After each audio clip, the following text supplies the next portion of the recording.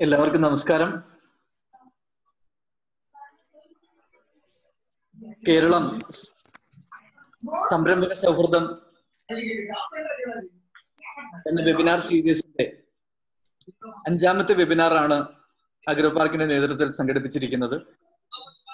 Agro പാർക്കിന്റെ ഈ webinar series കേരളത്തിന്റെ പ്രിയപ്പെട്ട വ്യവസായ മന്ത്രി ശ്രീ പി ജയരാജൻ സാറാണ് തുടർന്ന് വിവിധ പ്രൊജക്ടുകളെ കുറിച്ചും അതിന് ആവശ്യമുള്ള ലൈസൻസിങ് സമ്പ്രദായങ്ങളെ കുറിച്ചും ഒക്കെ പല സെമിനാറുകളിലും നമ്മൾ ചർച്ച ചെയ്തു. തുടർന്ന് ഇന്ന് വിവിധ ഡിപ്പാർട്ട്മെന്റുകൾ കേരളത്തിലെ സംരംഭക സൗഹൃദ മേഖലയിലും പ്രത്യേകിച്ച് പല സ്കീമുകളും ആവിഷ്കരിച്ച് നടപ്പാക്കുന്ന വിവിധ ഡിപ്പാർട്ട്മെന്റുകളുടെ സംബന്ധിച്ചിട്ടാണ് ഇന്നത്തെ ഓർഗനൈസ് ചെയ്തിരിക്കുന്നത്.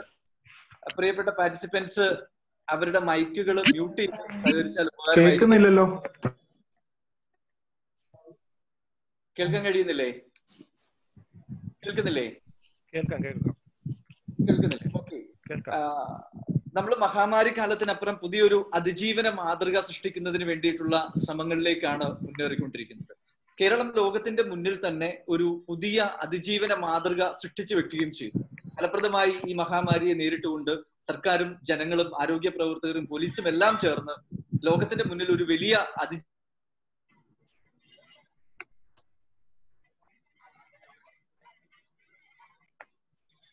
ഈ കാലഘട്ടത്തിലാണ് നമ്മൾ ഇത്തരത്തിലുള്ള പുതിയ സാങ്കേതിക വിദ്യകളും പുതിയ മാർഗങ്ങളും ഉപയോഗിച്ചിട്ടുള്ള ഇത്തരത്തിലുള്ള വെബിനാറുകളും ഒക്കെ സംഘടിപ്പിച്ചു വരുന്നത്. മുമ്പെല്ലാം ഇതൊരു സെമിനാറുകളായിരുന്നു.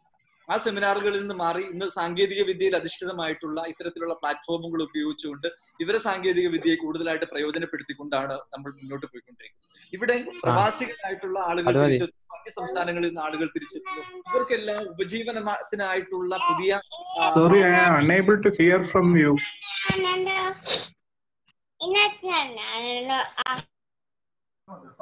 അതിജീവനത്തിനായിട്ടുള്ള പുതിയ മാതൃകകൾ നമുക്ക് സൃഷ്ടിച്ചു വെക്കേണ്ടതായിട്ടുണ്ട്. ഇത്തരത്തിലുള്ള ടെക്നോളജി പ്ലാറ്റ്ഫോമുകളിലേക്ക് നമ്മൾക്ക് വരുമ്പോൾ ആദ്യ ഘട്ടങ്ങളിലേക്ക് ഉണ്ടാകുന്ന ചില ഡിസ്റ്റർബൻസ് ആണ് അത് സ്വാഭാവികമായി നമ്മൾ കണ്ടാൽ മതി. ഈ സെമിനാറിൽ ഇന്ന് നിങ്ങളോട് അവരുടെ സ്കീംസുകൾ ഷെയർ ചെയ്യുന്നത് കെ സി ഡി സി എന്ന് ശ്രീ പ്രശാന്ത് സാർ നമ്മളോടൊപ്പം ചേരുന്നുണ്ട്. അതുപോലെ തന്നെ നോർക്കയുടെ സ്കീമുകളുമായിട്ട് രശ്മികാന്ത് മാഡം നമ്മളോടൊപ്പം ചേരും. അതുപോലെ തന്നെ പിന്നോക്ക വികസന കോർപ്പറേഷൻ സാർ നമ്മളോടൊപ്പം ചേരുന്നുണ്ട്. വ്യവസായ വകുപ്പിനെ പ്രതിനിധീകരിച്ചുകൊണ്ട് ശ്രീ ശ്രീരാജ് മലപ്പുറത്ത് നിന്ന് നമ്മളോടൊപ്പം ചേരുന്നുണ്ട്. അതുപോലെ തന്നെ എംപ്ലോയ്മെന്റ് ഡിപ്പാർട്ട്മെന്റുകളുടെ വിവിധ സ്കീമുകൾ ശ്രീ മോഹൻദാസ് സാർ നമുക്ക് വേണ്ടി പ്രസന്റ് ചെയ്യും. അതുപോലെ തന്നെ പട്ടികജാതി വികസന വകുപ്പിന്റെ വിവിധ പദ്ധതികളെ സംബന്ധിച്ചുള്ള presentation Shri Joseph John sir നിർവഹിക്കും. ഈ പ്രസന്റേഷന്റെ ഞാൻ ഞാൻ ഇൻട്രൊഡക്ഷൻ വലിയ നമ്മളുടെ ആദ്യത്തെ പ്രസന്റേഷൻ പ്രിയപ്പെട്ട പ്രശാന്ത് സാറാണ് നിർവഹിക്കുന്നത്. കെ സി ഡി സി നമുക്കെല്ലാം അറിയാം. കേരളത്തിലെ വ്യവസായ വികസനത്തിന്റെ നോഡൽ ഏജൻസി കൂടെ കൂടിയിട്ടാണ് കെ സി ഡി സി. നിരവധിയായിട്ടുള്ള മാതൃകാപരമായിട്ടുള്ള നിരവധി പ്രോജക്റ്റുകൾക്ക് കൈത്താങ്ങായി മാറിയ ഒരു പ്രസ്ഥാനം കൂടിയിട്ടാണ് K S I D C. അപ്പൊ കെ എസ് ഐ ഡി സിയുടെ സ്കീമുകൾക്കും അവർ ഇനിഷ്യേറ്റ് ചെയ്യുന്ന പ്രവർത്തനങ്ങൾക്കും വലിയ പ്രാധാന്യം കേരളത്തിന്റെ വ്യവസായ ഭൂപടത്തിലുണ്ട്. പ്രത്യേകിച്ചും പുതിയ വ്യവസായ പാർക്കുകളുടെ ഇനിഷ്യേറ്റീവുകളൊക്കെ വരുന്നു പുതിയ സ്കീമുകൾ വരുന്നു. ഇത്തരത്തിൽ കെ എസ് ഐ ഡി സിയുടെ സ്കീമുകളെ കുറിച്ച് നമ്മളോട് ഇവിടെ പ്രസന്റ് ചെയ്യുന്നത് പ്രിയപ്പെട്ട പ്രശാന്ത് സാറാണ്. പ്രശാന്ത് സാറിനെ ഞാൻ നിങ്ങൾക്ക് ഓരോരുത്തർക്കും വേണ്ടിയിട്ട് ഈ വെബിനാറിലേക്ക് ഹാർദവമായി സ്വാഗതം ചെയ്യുന്നു. സാർ അങ്ങേക്ക് സംസാരിച്ചു തുടങ്ങാം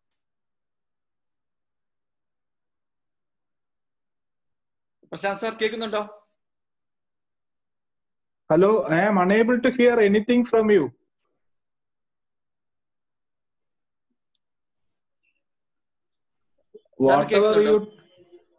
എന്താ പറഞ്ഞെന്ന് ഞാൻ കേട്ടില്ല. ഒന്നും കേൾക്കുന്നില്ല. ഇപ്പൊ സാറിന് കേൾക്കാമോ? ഇപ്പോൾ കേൾക്കാൻ കഴിയുന്നുണ്ടോ? ഇപ്പോൾ കേൾക്കാമോ?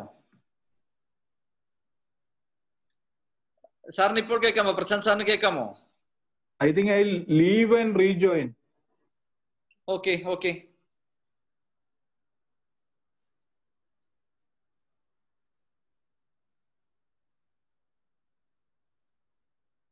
പ്രശാന്ത് സാറിന് വേണ്ടിയിട്ട് നമ്മൾ വെയിറ്റ് ചെയ്യുവാണ്. അദ്ദേഹത്തിന്റെ സൗണ്ടിൽ ചെറിയ പ്രോബ്ലംസ് ഉണ്ടായിരുന്നു. അദ്ദേഹം റീജോയിൻ ചെയ്യുന്നു.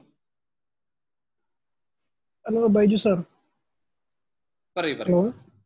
സാർ എനിക്ക് സാറിന്റെ പേഴ്സണൽ നമ്പർ ഒന്ന് കിട്ടിയാൽ കൊള്ളാമെന്നില്ല സാറിന്റെ പേഴ്സണൽ നമ്പർ അവസാനം ടെക്സ്റ്റ് ചെയ്യുന്നുണ്ട് അവസാനം ടെക്സ്റ്റ് ചെയ്യുന്നുണ്ട്. കുഴപ്പമില്ല തരാം. Okay okay. Prashant sir join ആയോ? പ്രശാന്ത് സാർ കേൾക്കാമോ?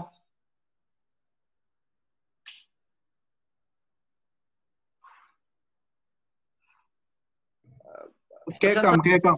കേൾക്കാം കേൾക്കാം. ഇൻട്രൊഡ്യൂസ് ചെയ്തിട്ടുണ്ട്. സാറിന്റെ കാര്യം നേരത്തെ ഇൻട്രൊഡ്യൂസ് ചെയ്തിരുന്നു. സാർ സ്കീം തുടർന്നോളൂ തുടർന്നു ഓക്കെ. അതായത് മെയിൻ ആയിട്ടും നിങ്ങൾ കോവിഡുമായിട്ട് ബന്ധപ്പെട്ടിട്ടുള്ള സ്കീംസിനെ കുറിച്ച് അറിയാൻ വേണ്ടിയിട്ടുള്ള മീറ്റിംഗ് അല്ലേ? തീർച്ചയായും. കോവിഡിന്റെ സ്കീംസും നമ്മൾ K S I D C എന്നുള്ള മറ്റ് സ്കീംസുകളും കൂടെ സാറിന് പറയാം. കുഴപ്പം. ഓക്കെ. നമ്മൾ കെ എസ് ഐ ഡി സിക്ക് കോവിഡ് നയന്റീന്റെ റിലേറ്റഡ് ആയിട്ട് ഇൻഡസ്ട്രി ഡിപ്പാർട്ട്മെന്റ് ആണ് ഒരു പൊതുവായിട്ടുള്ള ഒരു പാക്കേജ് വ്യവസായ ഭദ്രത എന്ന് പറയുന്ന ഒരു പാക്കേജ് ഇറക്കിയിരിക്കുന്നത്. കെ എസ് ഐ ഡി സിക്കും കിൻഫ്രയ്ക്കും വ്യവസായ വകുപ്പിന്റെ ബന്ധപ്പെട്ട എല്ലാവർക്കും അത് ബാധകമാണ്. നമ്മൾ ഞാൻ സ്പെസിഫിക് ആയിട്ട് K S I D C related ആയിട്ടുള്ള മാറ്റേഴ്സ് മാത്രം പറയാം. അതിനകത്ത് നമുക്ക് രണ്ട് സെക്ഷൻസ് ആണ് ഉള്ളത്. ഒന്ന് നമ്മൾ വ്യവസായ പാർക്കുകളിൽ ലാൻഡ് കൊടുക്കുന്നുണ്ട്. അത് കൂടാതെ നമ്മൾ പ്രോജക്റ്റുകൾക്ക് ഫണ്ടിങ്ങും ചെയ്യുന്നുണ്ട്. അതിൽ ഫസ്റ്റ് പാർട്ട് ലാൻഡിന്റെ ഇതാണെങ്കിൽ നമ്മൾ ഇപ്പോൾ പുതിയതായിട്ട് നമ്മുടെ പാർക്കുകളിൽ അലോട്ട് ചെയ്യുന്ന എല്ലാ ആൾക്കാർക്കും നേരത്തെ ഫിഫ്റ്റി പെർസെന്റ് വരെ അപ്ഫ്രണ്ട് പേയ്മെന്റ് കൊടുക്കേണ്ടത് വിത്ത് ഇൻട്രസ്റ്റ് ആണ് ബാക്കിയുള്ളത് പേ ചെയ്തുകൊണ്ടിരുന്നത് ഇപ്പോൾ നമുക്ക് ട്വന്റി പെർസെന്റ് വെച്ചിട്ട് ഏതൊരു സംരംഭകനും നമ്മുടെ പാർക്കുകളിൽ സ്ഥലം എടുക്കാം. അതുപോലെ തന്നെ ബാലൻസ് ഉള്ള പേയ്മെന്റ് എയ്റ്റി പെർസെന്റ് പേയ്മെന്റ് അഞ്ചു വർഷം കൊണ്ട് ഇൻട്രസ്റ്റ് ഫ്രീ ആയിട്ട് അടച്ചാൽ മതി എന്നുള്ളതാണ് അതിനകത്ത് ഒരു മെയിൻ ആയിട്ടുള്ള ഒരു കാതലായ ചേഞ്ച് കൊണ്ടുവന്നിട്ടുള്ളത്. പിന്നെ രണ്ടാമത്തേത് ഈ വർഷം അതായത് കഴിഞ്ഞ വർഷത്തെ അതേ ലീസ് പ്രീമിയം തന്നെയാണ് ഇൻഫ്രയുടെയും കെ എസ് ഐ ഡി സിയുടെയും പാർക്കുകളിലെല്ലാം നിലനിർത്തിക്കൊണ്ട് പോരുന്നത്. അതായത് ലാസ്റ്റ് അത് ഫ്രീസ് ചെയ്തിരിക്കുവാണ്. നോർമലി നമ്മുടെ ഒരു പ്രീമിയം ഹൈക്ക് ലാൻഡിന്റെ പ്രൈസും അവൈലബിലിറ്റിയും ഇൻഫ്രാസ്ട്രക്ചർ ഒക്കെ വെച്ചിട്ട് ഒരു ടെൻ ടു ട്വൽവ് പെർസെന്റ് ഒക്കെ നോർമലി കൂടുന്ന ഒരു സിനാരിയോ ആയിരുന്നു. ഈ വർഷം ബിക്കോസ് ഓഫ് കോവിഡ് നമ്മളത് ഫ്രീസ് ചെയ്തിട്ടുണ്ട്. അതുപോലെ തന്നെ നമ്മുടെ പാർക്കുകളിൽ സ്റ്റാൻഡേർഡ് ആയിട്ട് സ്റ്റാൻഡേർഡ് ഡിസൈൻ ഫാക്ടറീസ് എന്ന് പറഞ്ഞാൽ റെഡി ടു യൂസ് ആയിട്ടുള്ള ബിൽഡിങ്ങുകളുണ്ട് അവിടെ പ്രവർത്തിക്കുന്ന ഫാക്ടറികൾക്ക് മൂന്ന് മാസത്തേക്ക് റെന്റ് ഫുൾ ആയിട്ട് വേവർ ചെയ്തിട്ട് പിന്നെ അത് കളക്ട് ചെയ്തേ ഇല്ല. ഫുൾ ആയിട്ട് വേവ് ചെയ്ത് കൊടുത്തിട്ടുണ്ട്. അതുപോലെ തന്നെ ഈ പാർക്കുകളിലെ ഇൻവെസ്റ്റേഴ്സിന് ഈ സെക്യൂരിറ്റി ലൈറ്റിംഗ് അങ്ങനെ ഒരു കോമൺ ഫെസിലിറ്റി ചാർജസ് വരുമായിരുന്നു. ഒരു ചില പാർക്കുകളിൽ up to two thousand rupees ഒക്കെ മന്ത്ലി പെർ ഏക്കർ ഒക്കെ വന്നുകൊണ്ടിരുന്ന ചാർജസ് അതും ത്രീ മന്തിലേക്ക് കംപ്ലീറ്റ് ആയിട്ട് വേവ് ചെയ്തിട്ടുണ്ട്. ഇതാണ് നമ്മൾ പാർക്കുകളുമായിട്ട് ബന്ധപ്പെട്ടിട്ടുള്ള സ്കീംസ് ഇൻട്രൊഡ്യൂസ് ചെയ്തിരിക്കുന്നത്. അപ്പം ഇത് applicable to K S I D സിയുടെ ഇപ്പോഴുള്ള പോളിസി ആയിട്ട് കുറച്ചുകൂടെ റിലാക്സ്ഡ് ആയിട്ടുള്ള ഒരു പോളിസിയിലാണ് ഈ പാർക്കുകളിലെ ലാൻഡ് എടുക്കാനും സംരംഭങ്ങൾക്കുള്ള അവസരങ്ങൾ കൊടുക്കാനും ഒക്കെ ആയിട്ട് നമുക്ക് പാർക്കുകൾ ഉള്ളത് ഇപ്പം കണ്ണൂര് വലിയ വെളിച്ചത്തുണ്ട്. കോഴിക്കോട് കിനലൂരുണ്ട് ചേർത്തല പള്ളിപ്പുറത്തുണ്ട്.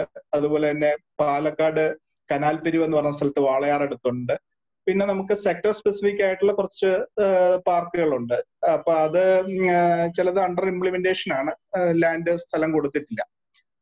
ഇത് കൂടാതെ നമ്മൾ എക്സിസ്റ്റിംഗ് ആയിട്ടുള്ള ലോൺ കസ്റ്റമേഴ്സ് അതായത് നമ്മൾ ടേം ലോൺ കൊടുക്കുന്ന കസ്റ്റമേഴ്സ് ഉണ്ട് വർക്കിംഗ് ക്യാപിറ്റൽ ലോൺ കൊടുക്കുന്ന not working capital term loan ആണ് കൊടുക്കുന്നത്. പിന്നെ അതുപോലെ കോർപ്പറേറ്റ് ലോൺ അങ്ങനത്തെ ഇൻസ്ട്ര എക്യുപ്മെന്റ് ലോൺ ഒക്കെ കൊടുത്തിട്ടുള്ള കസ്റ്റമേഴ്സിന് നമ്മൾ ആറ് മാസത്തേക്ക് ഇൻട്രസ്റ്റ് പിന്നെ മോറട്ടോറിയം കൊടുത്തിട്ടുണ്ട്.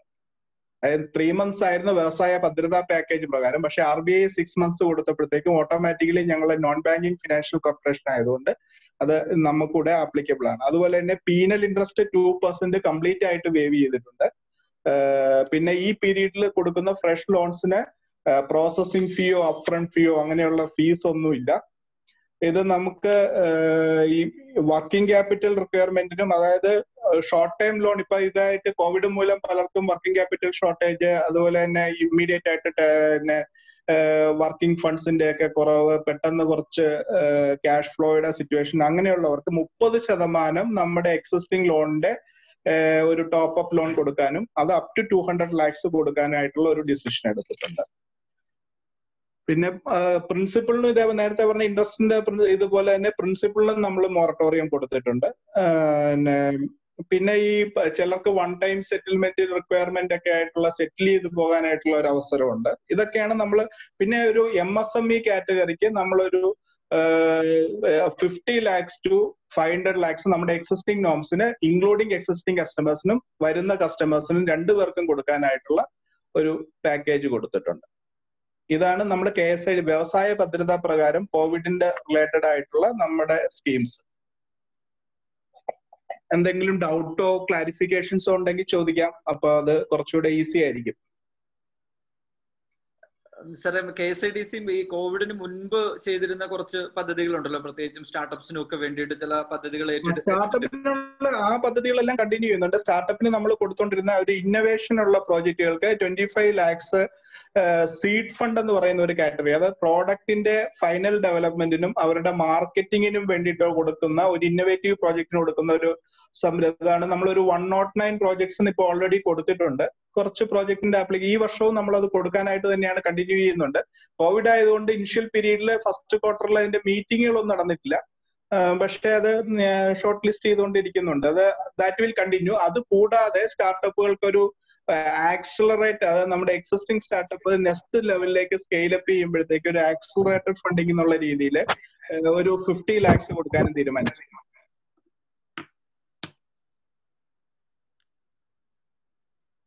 മറ്റാളുകൾക്ക് സാറിന്റെ കെ എസ് ഐ ഡി സിയുടെ സ്കീംസിനെ കുറിച്ച് ഏതെങ്കിലും തരത്തിലുള്ള സംശയങ്ങൾ ഉണ്ടെങ്കിൽ അൺമ്യൂട്ട് ചെയ്യാം. ഓരോരുത്തരായിട്ട് സാറിനോട് ചോദിക്കണം. നമുക്കൊരു ടെൻ മിനിറ്റ്സ് ആണ് ഒരു അദ്ദേഹത്തിന്റെ മറുപടി ഉണ്ടാവുക.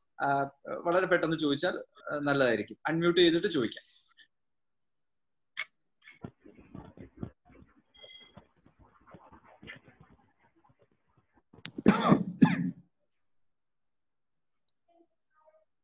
സംശയങ്ങളുണ്ടോ? ആർക്കെങ്കിലും കെ എ ഡി സിയുടെ സ്കീമിനെ കുറിച്ച് സംശയങ്ങൾ ചോദിക്കാനുണ്ടോ?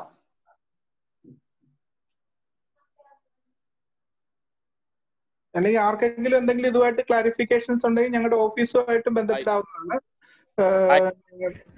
K S I D C Kochi ഓഫീസുമായിട്ട് ബന്ധപ്പെട്ട് കഴിഞ്ഞാൽ നിങ്ങളുടെ സംശയങ്ങളും നിങ്ങളുടെ കാര്യങ്ങളൊക്കെ റെസ്പെക്റ്റീവ് ആയിട്ടുള്ള ഡിവിഷൻസ് സോൾവ് ചെയ്ത് തരുന്നതായിരിക്കും നമുക്ക് ഇവിടെ പ്രോജക്ട് ഫൈനാൻസ് ഡിവിഷൻ ഉണ്ട് സീഡ് ഫണ്ടിന് വേണ്ടിയിട്ട് സെപ്പറേറ്റ് ഡിവിഷൻ ഉണ്ട്.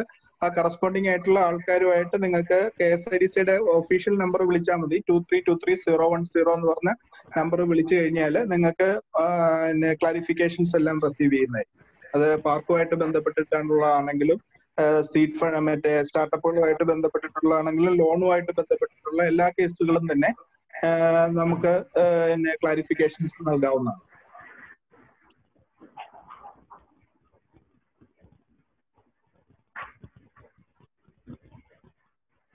ഓക്കെ നമുക്ക് സാറ് വളരെ എനിക്ക് തോന്നുന്നത് ഈ സ്കീംസുകൾ നമ്മളൊന്ന് അവെയർ ചെയ്യുക എന്നുള്ളതാണ് ഈ സെമിനാറിലൂടെ ഉദ്ദേശിക്കുന്നത്. അതിനുശേഷം ആ സ്കീം ആക്സസ് ചെയ്യുക എന്ന് പറയുന്നത് അതിന്റെ പ്രൊജക്ട് റിപ്പോർട്ടിന്റെയും മറ്റു കാര്യങ്ങളുടെയും ഫീസിബിലിറ്റിയുടെ ഒക്കെ അടിസ്ഥാനത്തിലായിരിക്കും. അപ്പൊ അതിന് അതാത് ഡിപ്പാർട്ട്മെന്റുകളുമായിട്ട് ബന്ധപ്പെട്ട് തന്നെ നമുക്ക് ആർക്കെങ്കിലും എന്തെങ്കിലും ബുദ്ധിമുട്ടുണ്ടെങ്കിൽ you can meet me directly അപ്പൊ എന്തെങ്കിലും അതുകൊണ്ട് ബുദ്ധിമുട്ടുകൾ എന്തെങ്കിലും സാധാരണ അതിൽ ഉണ്ടാവത്തില്ല. അപ്പൊ എന്തെങ്കിലും ബുദ്ധിമുട്ടുകൾ ഉണ്ടെങ്കിൽ യു ക്യാൻ ആർക്ക് വേണമെങ്കിലും എന്റെ അടുത്ത് നേരിട്ട് വരുന്നതാണ്. ഞാൻ കൊച്ചി ഓഫീസ് മനോരമ ജംഗ്ഷനിൽ ചോയ്സ് ടവേഴ്സ് എന്ന് പറഞ്ഞ സ്ഥലത്താണ് ഓഫീസ്. ആർക്ക് വേണമെങ്കിലും വരാവുന്നതാണ്. കോൾ വിളിക്കാവുന്നതാണ്. എന്റെ മെയിൽ ഐ ഡിയും വേണമെങ്കിൽ ഞാൻ പറയാം. Prashant at the rate K S I D C mail dot O R G office number K S I D സിയുടെ ഓഫീസ് നമ്പർ ഞങ്ങൾ ടെക്സ്റ്റ് ചെയ്ത് കൊടുത്തോളാം. സാറിന് ഈ ഒരു പ്രോഗ്രാമിൽ ഞങ്ങളോട് സഹകരിച്ച പ്രിയപ്പെട്ട പ്രശാന്ത് സാറിന് ഇതിൽ പങ്കെടുക്കുന്ന ഓരോരുത്തർക്കും വേണ്ടിയിട്ടുള്ള നന്ദിയും സ്നേഹവും ഞാൻ അറിയിക്കുന്നു. നമുക്ക് K S I D C നമ്മുടെ സ്റ്റേറ്റിന്റെ ഒരു പതാക വാഹക പ്രസ്ഥാനമാണ്. അപ്പൊ അതുകൊണ്ട് തന്നെ കെ സി ഡി സിയുടെ ഇനിഷ്യേറ്റീവുകൾ എപ്പോഴും പ്രത്യേകിച്ചും സ്റ്റാർട്ടപ്പ് മേഖലയിലൊക്കെ കെ സി ഡി സി വന്നതിന് ശേഷം ഉണ്ടായ മാറ്റങ്ങളൊക്കെ നമ്മൾ കണ്ടു കഴിഞ്ഞതാണ്.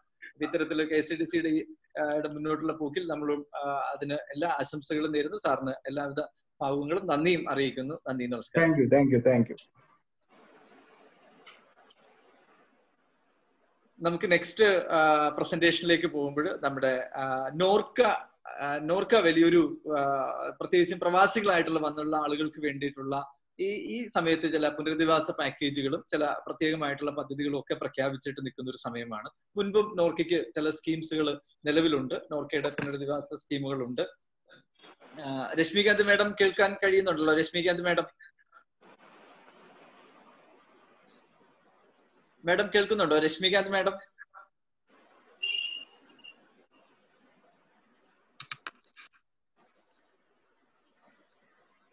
Madam Rashmikant madam കേൾക്കാമോ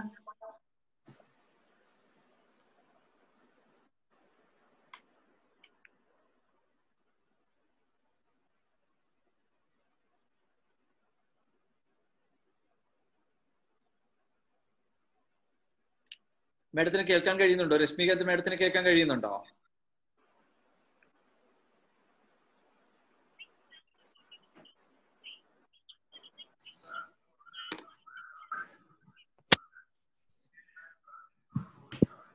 മാഡം വരാൻ വരാമോ ആ എന്നാ തുടർന്നോളൂ ഞാൻ ഞാൻ മാഡത്തോട് ചോദിക്കുന്നില്ല. മാഡത്തിന്റെ മ്യൂട്ട് മാറ്റിക്കേ. മ്യൂട്ട് മ്യൂട്ടാന്ന് തോന്നുന്നു.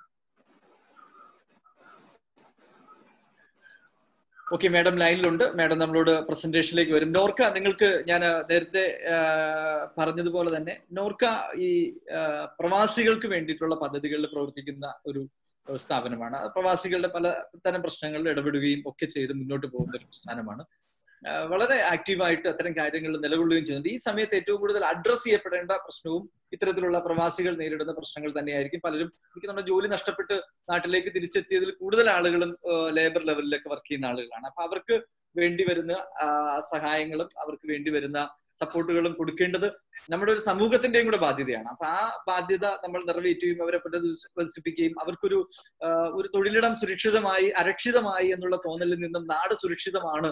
ഇവിടെ നമ്മളെ കാത്തിരിക്കാൻ ആളുകളുണ്ട് എന്നുള്ള ഒരു തോന്നലിലേക്ക് അവരെ കൊണ്ടുവരേണ്ടതും നമുക്ക് ആവശ്യമാണ്. അത്തരത്തിൽ ഒരു നോർക്കയുടെ സ്കീമുകൾ പ്രസന്റ് ചെയ്യുന്നതിന് വേണ്ടിയിട്ട് പ്രിയപ്പെട്ട രശ്മികാന്ത് മാഡത്തെ ഞാൻ ഹാർദവുമായി സ്വാഗതം ചെയ്യുന്നു. നിങ്ങൾക്ക് ഓരോരുത്തർക്കും വേണ്ടിയിട്ട് സ്വാഗതം ചെയ്യുന്നു.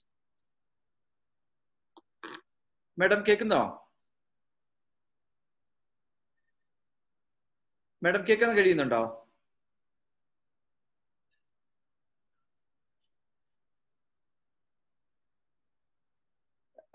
മേഡം രശ്മി മേഡം കേൾക്കാമോ?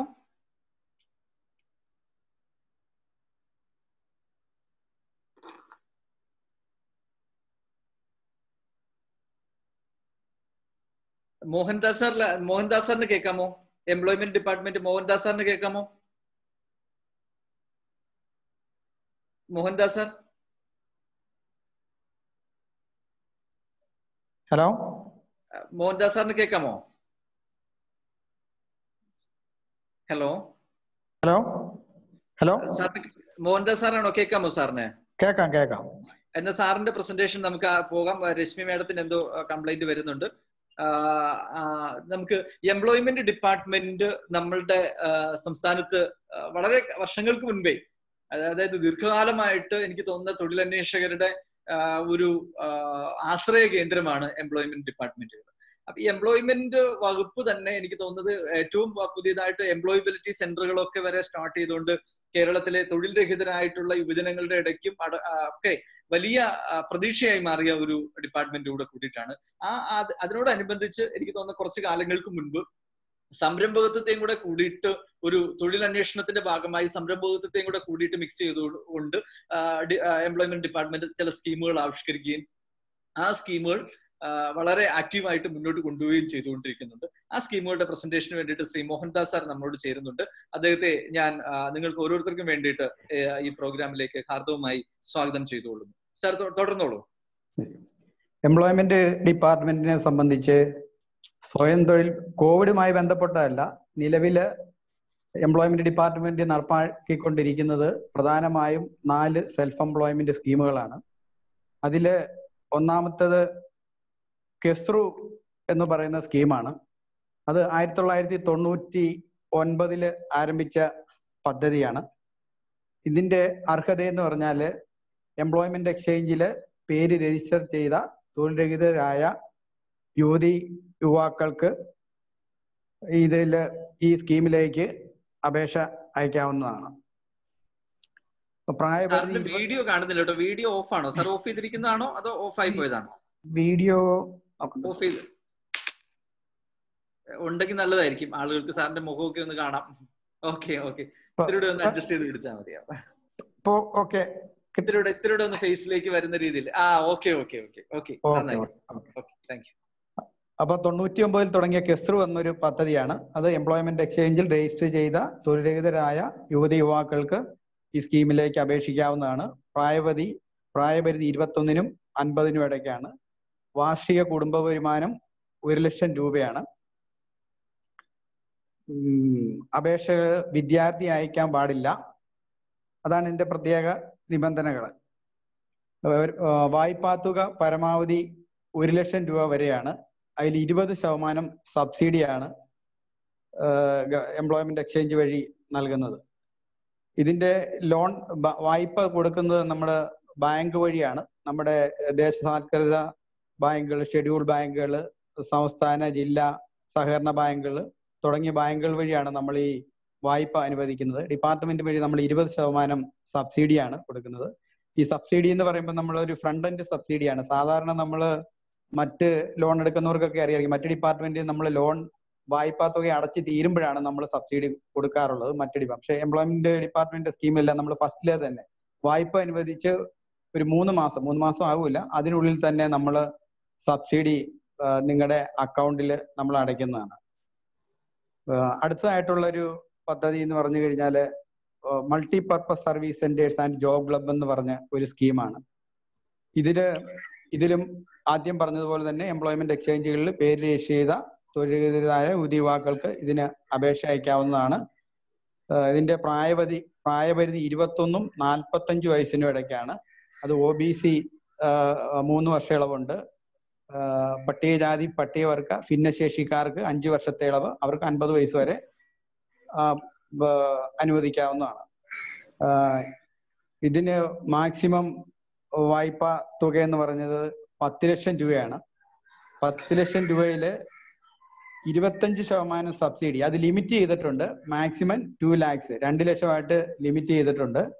ഇരുപത്തഞ്ച് ശതമാനം സബ്സിഡി എന്നുള്ളത് പത്ത് ലക്ഷം എടുത്തു കഴിഞ്ഞാൽ നമുക്ക് രണ്ടര ലക്ഷം ഇല്ല. അത് ലിമിറ്റ് ചെയ്തിട്ടുണ്ട്. രണ്ട് ലക്ഷം അല്ലെങ്കിൽ ട്വന്റി ഫൈവ് പെർസെന്റേജ് എന്നുള്ളതാണ് ഇതിനും വാർഷിക കുടുംബ വരുമാനം എന്ന് പറയുന്നത് ഒരു ലക്ഷം രൂപയാണ്. ഈ സ്കീമിൽ മിനിമം രണ്ട് പേര് വേണം. അപ്പൊ ആദ്യം പറഞ്ഞ സ്കീമിൽ ഒരാൾ ഇതിൽ മിനിമം രണ്ട് ഉദ്യോഗാർത്ഥികൾ ഉണ്ടായിരിക്കണം. രണ്ട് പേരും ഒരേ റേഷൻ കാർഡിൽ അതായത് ഒരേ വീട്ടിലുള്ളവര് ഒരേ റേഷൻ കാർഡിൽ ഉൾപ്പെട്ടവരാകാൻ പാടില്ല. നമ്മൾ ഉദ്ദേശിക്കുന്ന ഒരു വീട്ടിലെ ആൾക്കാർക്ക് തന്നെ അത്. ഇതാണ് ഈ സ്കീമിന്റെ ഇത്. ഇതും ആദ്യം പറഞ്ഞ പോലെ ബാങ്ക് മുഖേനയാണ് ഇത് നമ്മൾ നടപ്പാക്കുന്നത്. ഇത് രണ്ടായിരത്തി ഏഴിൽ മുതൽ ഉള്ള ഒരു പദ്ധതിയാണ് പുതിയ പദ്ധതിയല്ല. അപ്പം ഇതിന്റെയും ആദ്യം പറഞ്ഞ പോലെ തന്നെ ബാങ്കുകൾ വഴിയാണ് വായ്പ അനുവദിക്കുന്നത്. ഡിപ്പാർട്ട്മെന്റ് സബ്സിഡിയാണ് തരുന്നത്. രണ്ടുപേരും കൊണ്ട് ഒരു ജോയിന്റ് അക്കൗണ്ട് ഓപ്പൺ ചെയ്ത് കഴിഞ്ഞ് അവരുടെ അക്കൗണ്ടിലേക്ക് നമ്മൾ വായ്പ അനുവദിച്ചു കഴിഞ്ഞാൽ ഉടൻ തന്നെ സബ്സിഡി ക്രെഡിറ്റ് ചെയ്യുന്നതാണ് അപ്പൊ ഈ പറഞ്ഞ രണ്ട് പദ്ധതികളും നമ്മൾ ബാങ്ക് വഴിയാണ് നടപ്പാക്കുന്നത്. ഇനിയുള്ള രണ്ട് പദ്ധതികൾ എന്ന് പറഞ്ഞാൽ ഡിപ്പാർട്ട്മെന്റ് നേരിട്ട് ബാങ്കുമായിട്ട് ഒരു ബന്ധമില്ല. നമ്മൾ നേരിട്ട് വായ്പ അനുവദിക്കുന്ന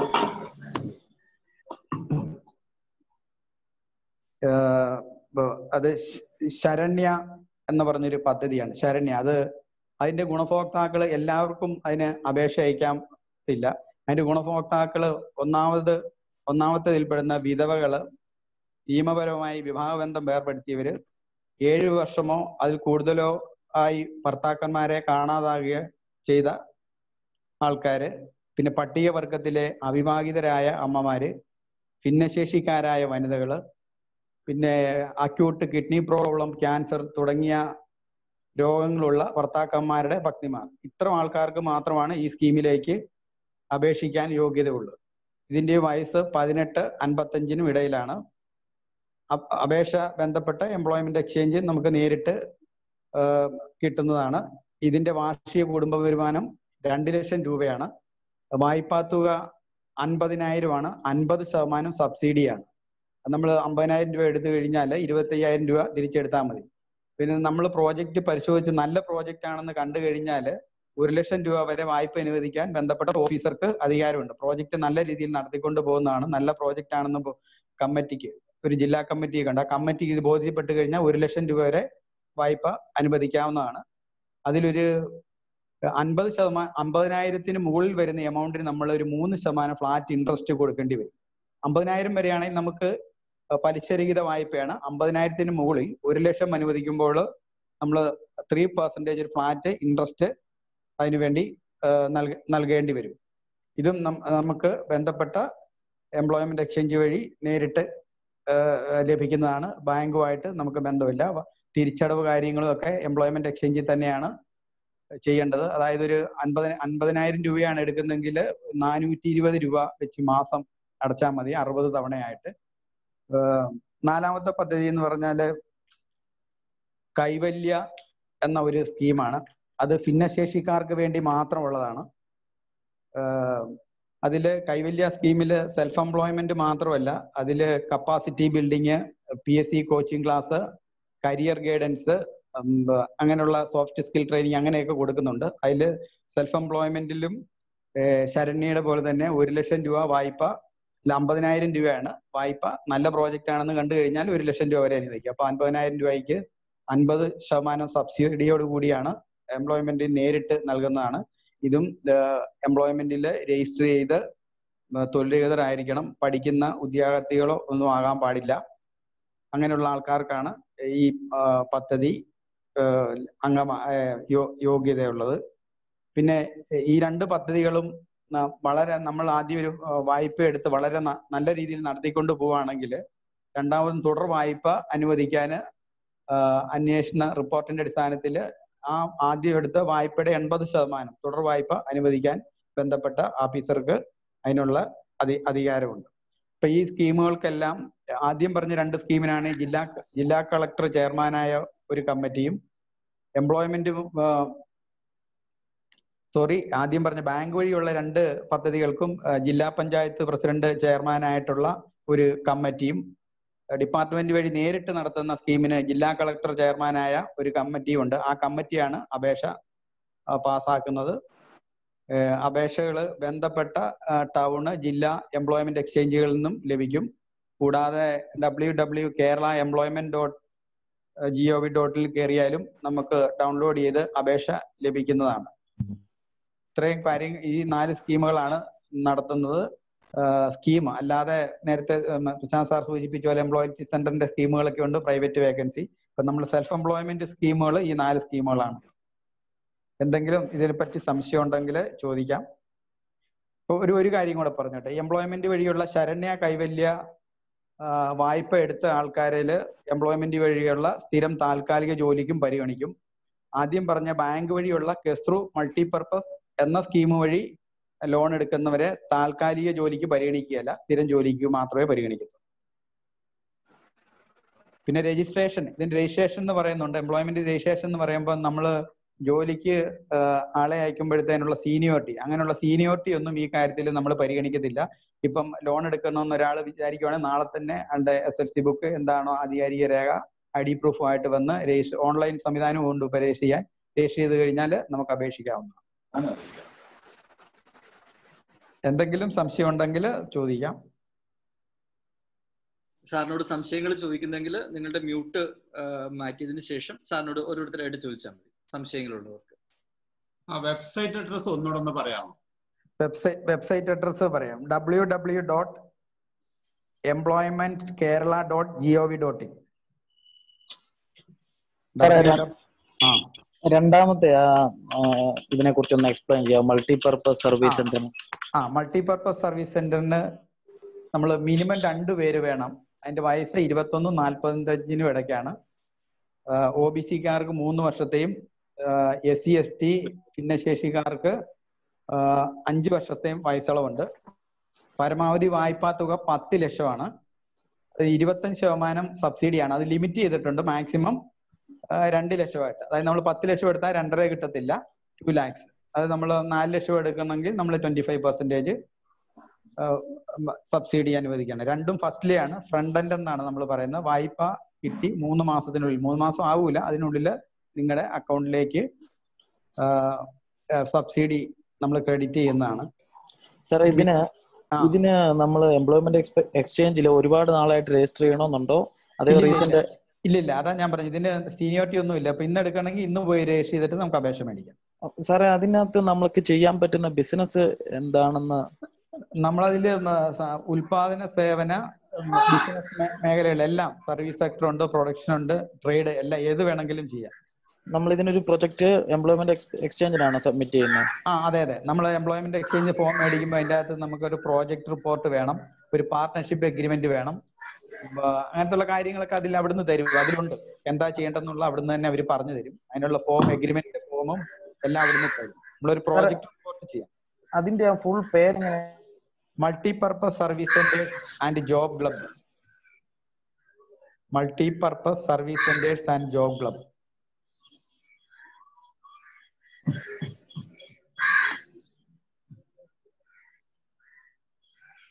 മറ്റെന്തെങ്കിലും സംശയങ്ങൾ സാറിനോട് ചോദിക്കാനുണ്ടോ നമുക്ക്? എന്ത് സംശയമുണ്ട്? നിങ്ങൾക്ക് ബന്ധപ്പെട്ട എംപ്ലോയ്മെന്റ് നിങ്ങളുടെ ഏറ്റവും അടുത്തുള്ള എംപ്ലോയ്മെന്റ് എക്സ്ചേഞ്ചിൽ അല്ലെങ്കിൽ ജില്ലാ എംപ്ലോയ്മെന്റ് എക്സ്ചേഞ്ചിൽ നിങ്ങൾ സമീപിച്ചാൽ മതി. ഏതെങ്കിലും രീതിക്ക് നിങ്ങൾ വായ്പയ്ക്ക് തടസ്സമുണ്ടോ തരുന്നില്ല എന്തെങ്കിലും ഉണ്ടെങ്കിൽ പ്രശാന്ത് സാറിനോട് ചോദിച്ച് എന്റെ നമ്പർ മേടിക്കാം. എന്റെ പേര് മോഹൻദാസ് റീജിയണൽ ഡെപ്യൂട്ടി ഡയറക്ടറാണ് എറണാകുളം. അപ്പൊ നിങ്ങൾക്ക് ഇടുക്കി കോട്ടയം തൃശ്ശൂര് ഒരു സംശയം ചോദിച്ചോട്ടെ സാറേ? സാറേ ഈ നമ്മൾ ഈ പത്ത് ലക്ഷം രൂപ ലോൺ വെക്കുമ്പോൾ നമുക്ക് എന്തെങ്കിലും സെക്യൂരിറ്റി അങ്ങനെ എന്തെങ്കിലും കൊടുക്കേണ്ട വരുമോ അതെയോ? സെക്യൂരിറ്റി കൊടുക്കേണ്ടി വരും. നമ്മളെ ബാങ്ക് ആവശ്യപ്പെടും. സെക്യൂരിറ്റി എന്തെങ്കിലും കൊടുക്കേണ്ടി വരും. അപ്പൊ നമ്മുടെ പ്രോപ്പർട്ടി അല്ലെങ്കിൽ അങ്ങനെ എന്തെങ്കിലും കൊടുക്കേണ്ടി അത് അത് ബാങ്കാണ് തീരുമാനിക്കുന്നത്. അതുപോലെ അതിന്റെ പലിശയും കാലാവധി വായ്പ കാലാവധിയും അത് ബാങ്കിന്റെ നിയമങ്ങൾക്ക് വിധേയമായിട്ടായിരിക്കും. നമ്മൾ നൽകുന്ന സബ്സിഡിയാണ്. പത്ത് ലക്ഷം എടുത്തു കഴിഞ്ഞാൽ നമ്മൾ രണ്ട് ലക്ഷം രൂപ നിങ്ങളുടെ അക്കൗണ്ടിൽ ക്രെഡിറ്റ് ചെയ്യും. അപ്പൊ അത് തിരിച്ചടയ്ക്കണ്ട. അപ്പൊ നമുക്ക് ആ ഇൻട്രസ്റ്റിൽ രണ്ട് ലക്ഷം രൂപ നമുക്ക് കിട്ടും. അതാണ് നമ്മുടെ പ്രോഫിറ്റ് എന്ന് പറയുന്നത്. Okay okay okay thank you sir thank you hello sir ഈ ഈ സബ്സിഡി കിട്ടാൻ ലോൺ എടുക്കണമെന്ന് നിർബന്ധമുണ്ടോ? എങ്ങനെ? സബ്സിഡി കിട്ടാൻ വേണ്ടിയിട്ട് ലോൺ എടുക്കണം അത് വേണമല്ലോ. ലോൺ വായ്പാ തുകയുടെ ആണല്ലോ വായ്പാ തുകയുടെ ട്വന്റി ഫൈവ് പെർസെന്റേജ് ആണ് നമ്മൾ സബ്സിഡി കൊടുക്കുന്നത്. ഓക്കെ സാറേ വായ്പ എടുക്കാതെ തന്നെ സബ്സിഡി കിട്ടുന്ന സ്കീം വ്യവസായ വകുപ്പിനുണ്ട്. അത് പുറകെ വരുമ്പോ പറയുന്നുണ്ട് കേട്ടോ. എംപ്ലോയ്മെന്റ് ഡിപ്പാർട്ട്മെന്റിന്റെ സ്കീംസുകളാണ് സാർ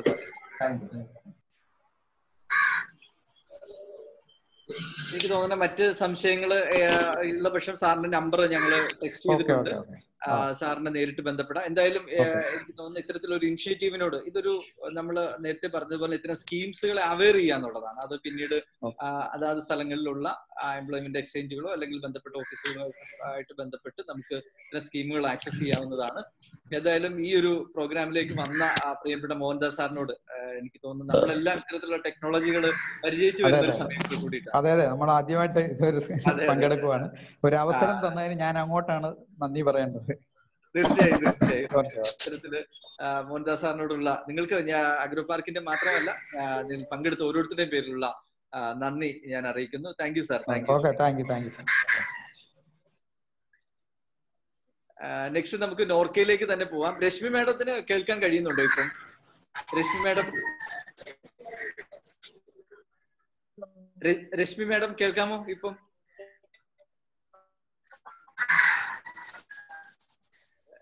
രശ്മി മാഡത്തിന് കേൾക്കാമോ?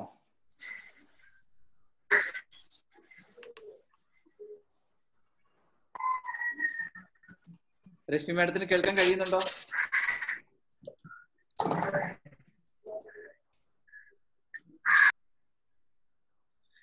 ഓക്കെ ശ്രീരാജ് സാർ ലൈനിലുണ്ടല്ലോ. ശ്രീരാജ് സാർ?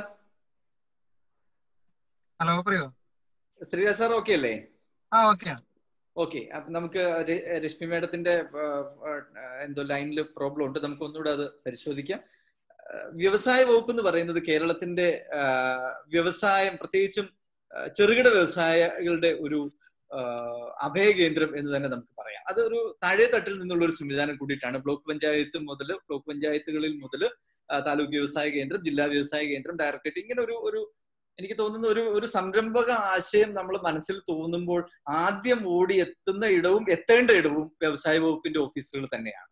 നമുക്കറിയാം ഒരു സ്കീമുകൾ പലതുണ്ട്. സ്കീമുകളും സബ്സിഡിയും ഒക്കെ ലഭിക്കുന്നതിനോടൊപ്പം തന്നെ നമ്മളുടെ ഓരോ ഘട്ടങ്ങളിലും നമ്മുടെ വളർച്ചയുടെ ഓരോ ഘട്ടങ്ങളിലും നമ്മുടെ ആലോചനയുടെ ഘട്ടങ്ങളിലും നമ്മുടെ ചിന്തകൾ രൂപപ്പെടുന്ന ഘട്ടങ്ങളിലൊക്കെ നമ്മളെ മോൾഡ് ചെയ്തെടുക്കാൻ കഴിയുന്ന പ്രത്യേകം പരിശീലനം നേടിയിട്ടുള്ള ആളുകളാണ് വ്യവസായ വകുപ്പിലുള്ളത്.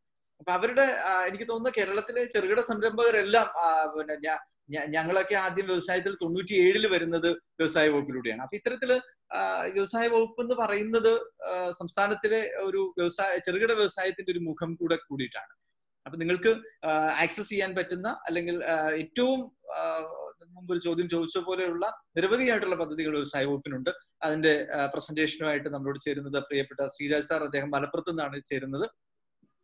വളരെ ആക്റ്റീവായിട്ട് ഈ സംരംഭക രംഗത്ത് ആളുകളെ സപ്പോർട്ട് ചെയ്തുകൊണ്ടിരിക്കുന്ന ഒരു ഓഫീസറാണ് ശ്രീരാജ് സാർ അദ്ദേഹത്തെ ഈ ഒരു പരിപാടിയിൽ പങ്കെടുപ്പിച്ചതിലും ഞാൻ വളരെ സന്തോഷവാനാണ്. അദ്ദേഹത്തിന്റെ സേവനങ്ങളെയൊക്കെ അടുത്ത നിന്ന് അറിയാൻ കഴിഞ്ഞിട്ടുള്ള ഒരു ആൾ കൂടെ കൂടിയിട്ടാണ് ഞാൻ ഒരു സർവീസ് എന്നതിനേക്കാൾ ഉപരി അല്ലെങ്കിൽ ഒരു ഒരു ജോലി എന്നതിനേക്കാൾ ഉപരി ഇതിന് വലിയൊരു പാഷനായിട്ട് കാണുകയും അതിന് വേണ്ടിയിട്ടുള്ള പദ്ധതികളൊക്കെ ആവിഷ്കരിക്കുകയും ഒക്കെ ചെയ്തുകൊണ്ടിരിക്കുന്ന ഒരു ഓഫീസർ ഞാൻ.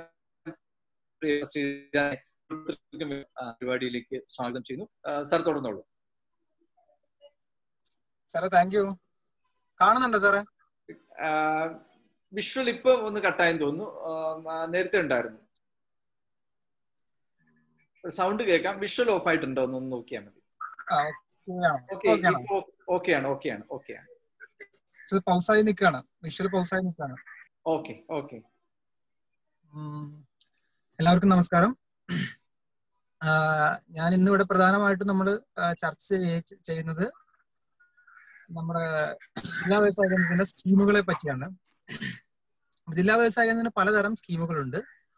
അതിൽ എംപ്ലോയ്മെന്റ് നമ്മൾ പുതിയതായിട്ട് സംരംഭം സ്റ്റാർട്ട് ചെയ്യുന്നതിനും സംരംഭം തുടങ്ങിയ സംരംഭത്തിന് നമുക്ക് എക്സ്പാൻഷൻ ചെയ്യുന്നതിനും ഒക്കെയുള്ള പലതരം സ്കീമുകൾ നമ്മളെ ഡിപ്പാർട്ട്മെന്റിനുണ്ട് അതിൽ പ്രധാനപ്പെട്ട ഒരു സ്കീമാണ് P M E G P എന്നുള്ള scheme prime minister employment generation programme എന്നുള്ള സ്കീമാണ് P M E G P അപ്പോൾ അതിനെക്കുറിച്ചാണ് നമ്മൾ ആദ്യം സംസാരിക്കുന്നത്. P M E G P എന്ന് പറഞ്ഞാൽ മൂന്ന് ഡിപ്പാർട്ട്മെന്റുകളാണ് ഈ സ്കീം നടത്തുന്നത്. ഒന്ന് K V I C K V I B D I C ഈ മൂന്ന് ഡിപ്പാർട്ട്മെന്റുകളുമാണ് നമ്മുടെ P M E G P എന്നുള്ള സ്കീം നടത്തുന്നത്. P M E G P എന്ന് പറഞ്ഞാൽ prime minister employment generation programme എന്നാണ് ആ സ്കീമിന്റെ ഫുൾ നെയിം ഇപ്പൊ ഉള്ളതിൽ വെച്ചിട്ട് നമുക്കൊരു വ്യവസായം തുടങ്ങുന്നതിന് വേണ്ടി ഏറ്റവും നല്ല ഒരു സ്കീമാണ് P M E G P P M E G P scheme പ്രകാരം നമുക്ക് ഒരു മാനുഫാക്ചറിങ് സെക്ടറും ഒരു സർവീസ് സെക്ടർ മാനുഫാക്ചറിങ് സർവീസ് എന്നീ രണ്ട് സെക്ടറുകളാണ് നമുക്ക് ഈ രണ്ട് സെക്ടറുകളിലും കൂടിയാണ് നമുക്ക് ഈ ഈ ഒരു സ്കീം ഉപയോഗിച്ച് നമുക്ക് സ്റ്റാർട്ട് ചെയ്യാൻ വേണ്ടി കഴിയുക. അതിന് പ്രായപരിധി പതിനെട്ട് വയസ്സിന് മുകളിലാവണമെന്ന് മാത്രമേ പ്രായപരിധി പറയുന്നുള്ളൂ. അപ്പർ ലിമിറ്റ് ഒന്നും പറയുന്നില്ല. അതേപോലെ തന്നെ P M E G P നമുക്ക് കിട്ടുന്ന അതൊരു ലോൺ ലിങ്ക്ഡ് സ്കീമാണ് പി എം ഇ ജിനെ പറ്റി പറയുന്നതാണെങ്കിൽ ആദ്യം തന്നെ അതൊരു ലോൺ ലിങ്ക്ഡ് സ്കീമാണ് നേരത്തെ നമ്മൾ എംപ്ലോയ്മെന്റ് എക്സ്ചേഞ്ച് ഒക്കെ പറഞ്ഞ പോലെ ഒരു ലോൺ ലിങ്ക്ഡ് സ്കീമാണ് അതിൽ മാനുഫാക്ചറിങ്ങിനും സർവീസിനും കിട്ടുമെന്ന് പറഞ്ഞു. മാനുഫാക്ചറിങ് ആണെങ്കിൽ പരമാവധി ഇരുപത്തഞ്ച് ലക്ഷം രൂപ വരെയും സർവീസ് ആണെങ്കിൽ സർവീസ് സെക്ടർ ആണെങ്കിൽ പരമാവധി പത്ത് ലക്ഷം രൂപ വരെയുമാണ് ഈ ഒരു സ്കീമിൽ നമുക്ക് പ്രൊജക്ട് കോസ്റ്റ് പരമാവധി ഇത്ര രൂപയാണ് നമുക്ക് പറ്റുക. ഇതിൽ തന്നെ നമുക്കൊരു ഇത് പറയുന്നുണ്ട്. അവർക്ക് മിനിമം എട്ടാം ക്ലാസ് എയ്ത്ത് പാസ് ആവണം. എയ്ത്ത് പാസ് ആണെങ്കിൽ മാത്രമേ നമുക്ക് മാനുഫാക്ചറിങ്ങിന് ഇരുപത്തഞ്ച് ലക്ഷവും സർവീസിന് പത്ത് ലക്ഷവും ലഭിക്കുകയുള്ളൂ. എയ്ത്ത് ഇല്ലെങ്കിൽ എയ്ത്ത് ഫെയിൽഡ് ആണെങ്കിൽ എട്ടാം ക്ലാസ് പാസ് അല്ലെങ്കിൽ അവർക്ക് മാനുഫാക്ചറിങ് ആണെങ്കിൽ അവർക്ക് പരമാവധി പത്ത് ലക്ഷം രൂപയും സർവീസ് സെക്ടർ ആണെങ്കിൽ അവർക്ക് പരമാവധി അഞ്ച് ലക്ഷം രൂപയും ലഭിക്കും. ഇതൊരു എംപ്ലോയ്മെന്റ് ജനറേഷൻ പ്രോഗ്രാം ആണ്. ലോൺ ലിങ്ക് സ്കീമാണെന്ന് പറഞ്ഞു. അപ്പൊ ടോട്ടൽ പ്രൊജക്ട് കോസ്റ്റിന്റെ ഇതിൽ രണ്ട് കാറ്റഗറി ഉണ്ട്. ഒന്ന് പഞ്ചായത്തിൽ സ്ഥാപനം തുടങ്ങുന്നതാണെങ്കിലും അതേപോലെ നമ്മുടെ മുനിസിപ്പാലിറ്റി മുനിസിപ്പാലിറ്റി അർബൺ ഏരിയാസിൽ സ്ഥാപനം തുടങ്ങുന്ന രണ്ടും വ്യത്യസ്ത സബ്സിഡി സ്കീമുകളും വ്യത്യസ്ത ലോൺ ലോണിന്റെ എമൗണ്ടും വ്യത്യാസമാണ്. അപ്പോൾ പഞ്ചായത്താണെങ്കിൽ പഞ്ചായത്താണെങ്കിൽ നമുക്ക് ആദ്യം നമ്മൾ പഞ്ചായത്തിന്റെ കാര്യം പറയാം. പഞ്ചായത്താണെങ്കിൽ ടോട്ടൽ പ്രൊജക്ട് കോസ്റ്റിന്റെ തൊണ്ണൂറ്റി അഞ്ച് ശതമാനം വരെ നമുക്ക് ലോൺ ആയിട്ട് ലഭിക്കും. പഞ്ചായത്താണെങ്കിൽ ടോട്ടൽ പ്രൊജക്ട് കോസ്റ്റിന്റെ തൊണ്ണൂറ്റി അഞ്ച് ശതമാനം ലോൺ ലഭിക്കും.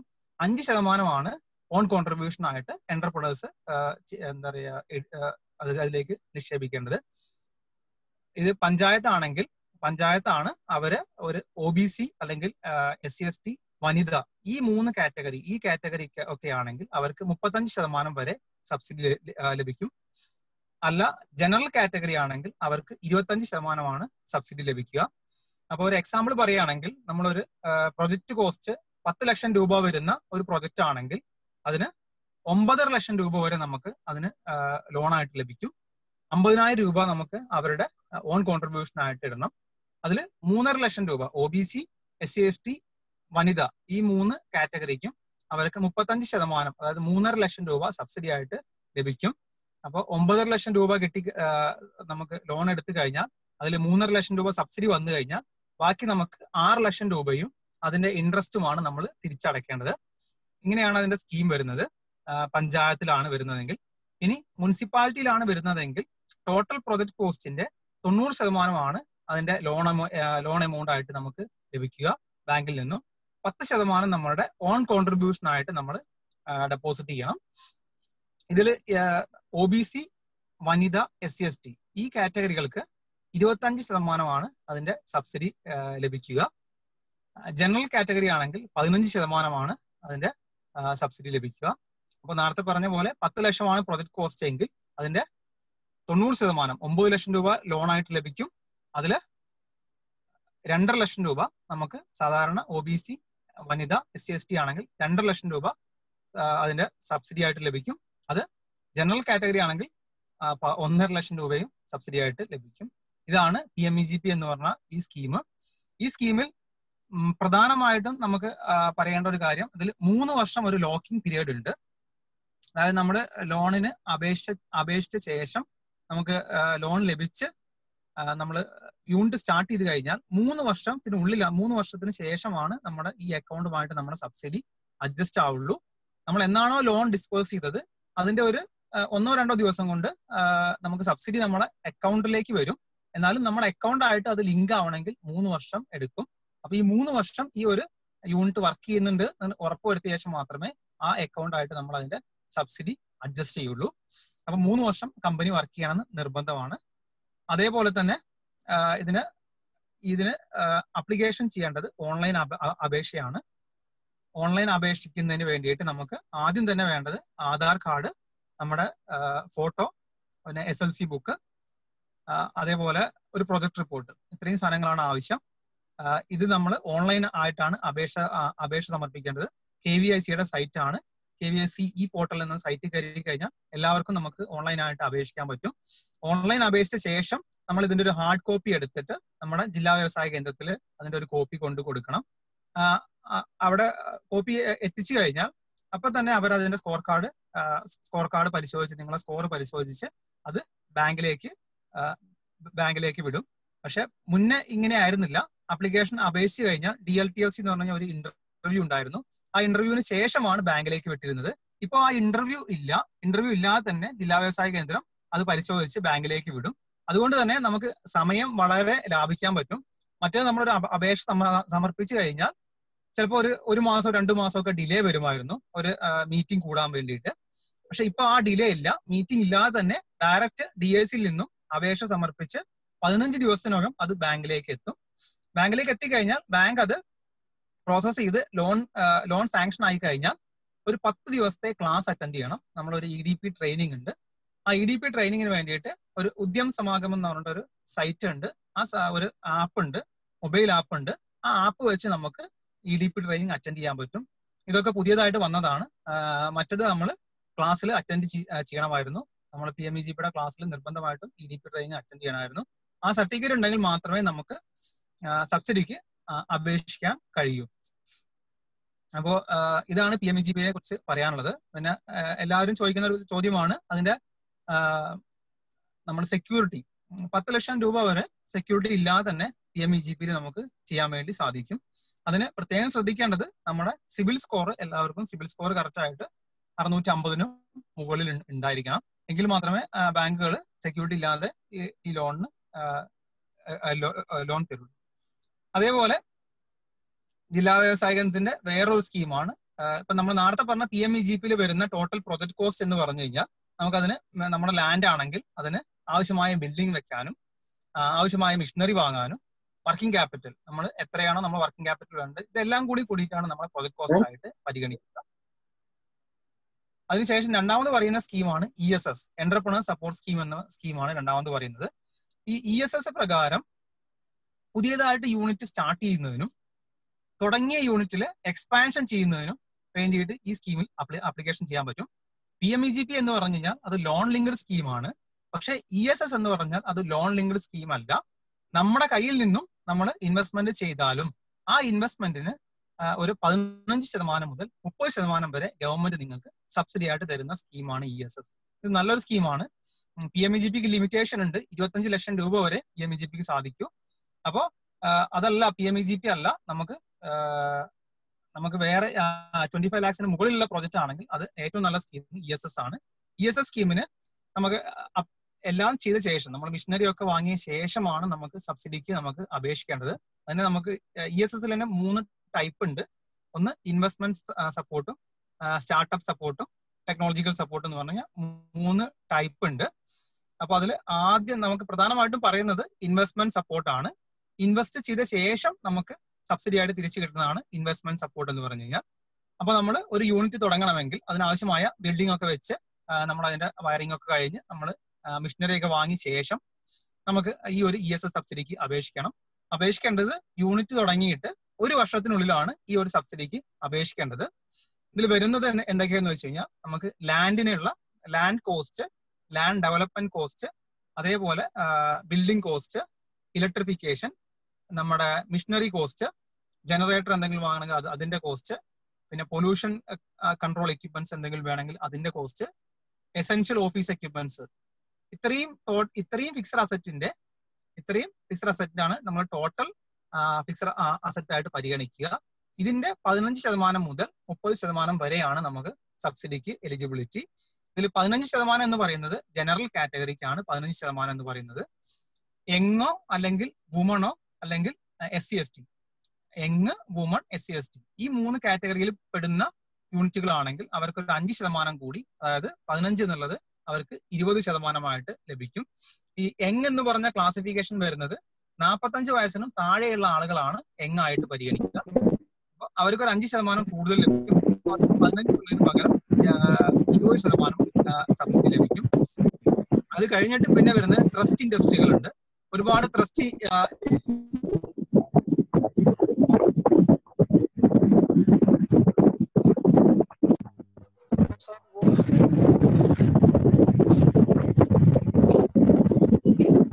വോയിസ് കട്ട് ആവുന്നുണ്ട് വോയിസ് ഡിസ്ട്രാക്ഷൻ ഇപ്പൊ ഇപ്പൊ ക്ലിയർ അല്ലേ? ഇപ്പൊ ക്ലിയർ രണ്ടുപേരും ഇവിടെ മൈക്ക് ഓൺ ആണ്. അവരൊന്ന് മ്യൂട്ട് ചെയ്യണം.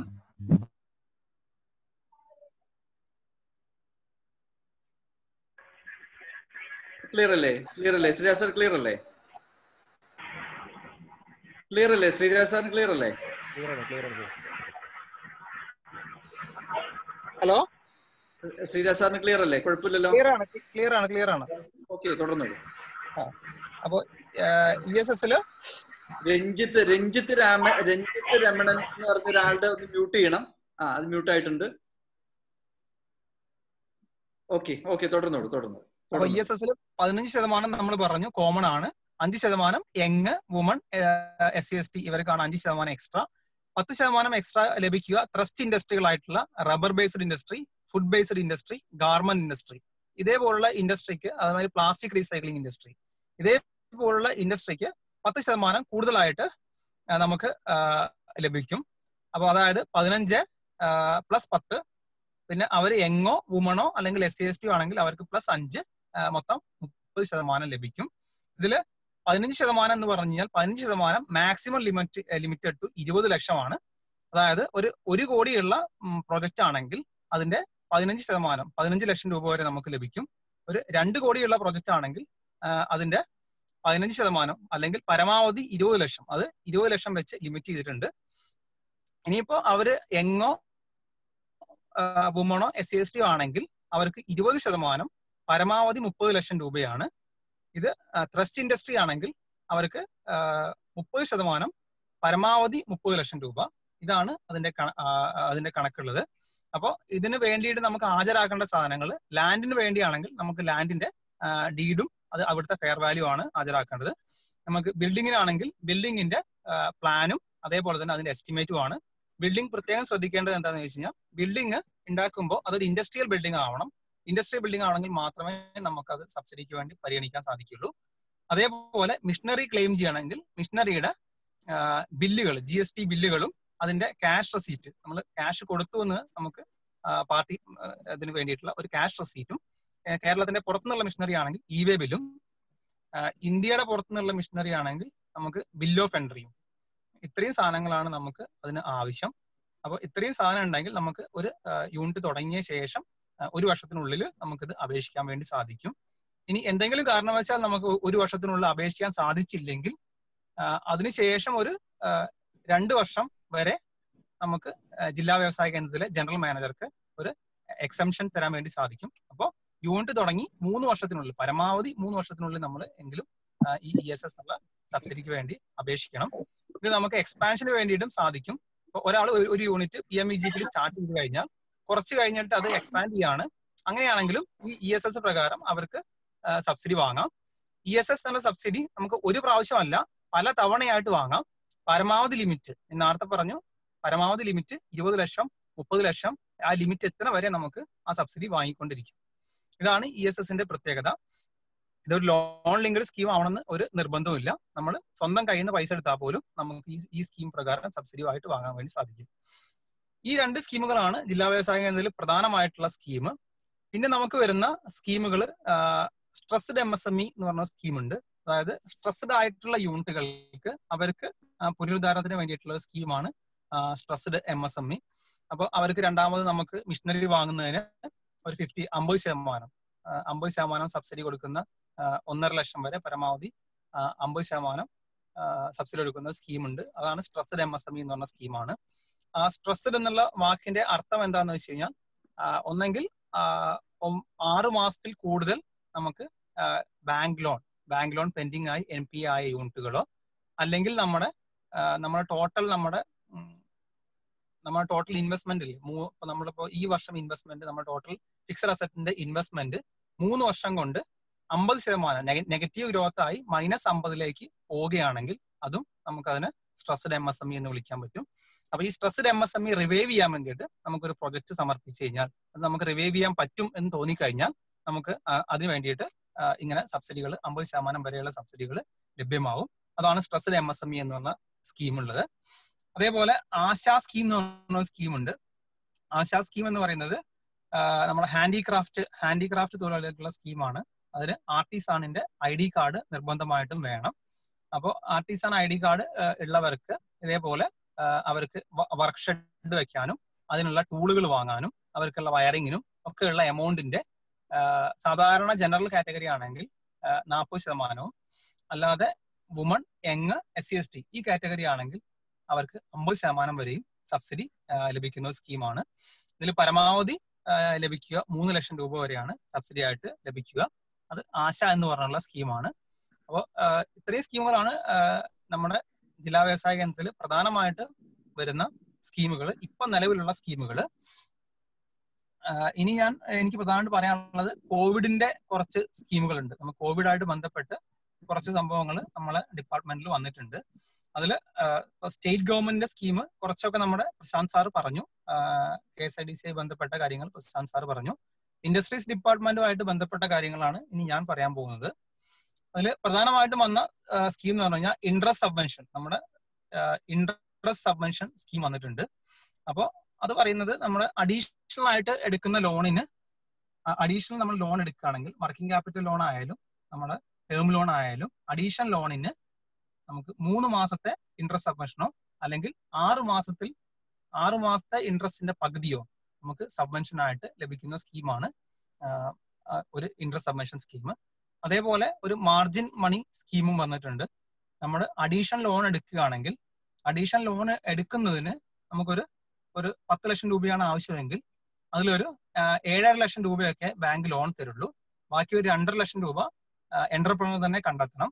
ആ എന്റർപ്രണർ കണ്ടെത്തുന്ന ആ ഒരു മാർജിന്റെ അമ്പത് ശതമാനമോ അല്ലെങ്കിൽ പരമാവധി ഒരു ലക്ഷം രൂപയോ ഗ്രാൻഡ് ആയിട്ട് തരുന്ന ഒരു സ്കീമാണ് മാർജിൻ മണി സ്കീം ഈ സ്കീമാണ് പിന്നെ അതേപോലെ തന്നെ വ്യവസായ ഭദ്രതാ സ്കീമിൽ കോവിഡ് ആയിട്ട് ബന്ധപ്പെട്ട് വന്ന വേറെ സ്കീമാണ് ഇ എസ് എസിന്റെ ഇ എസ് എസ് നമ്മൾ നേരത്തെ പറഞ്ഞു. Young S C S T woman ഈ മൂന്ന് കാറ്റഗറിക്കും നമ്മൾ അഞ്ച് ശതമാനം അഞ്ച് ശതമാനമാണ് സബ്സിഡി എന്ന് പറഞ്ഞു എക്സ്ട്രാ സാധാരണ പതിനഞ്ചാണ് അഞ്ച് ശതമാനം എക്സ്ട്രാ കിട്ടും എന്ന് പറഞ്ഞു. അത് ഇ എസ് എസിന്റെ ഈ ഒരു സ്കീം പ്രകാരം വ്യവസായ ഭദ്രതാ സ്കീം പ്രകാരം അഞ്ച് എന്നുള്ളത് പത്തായിട്ട് മാറ്റിയിട്ടുണ്ട്.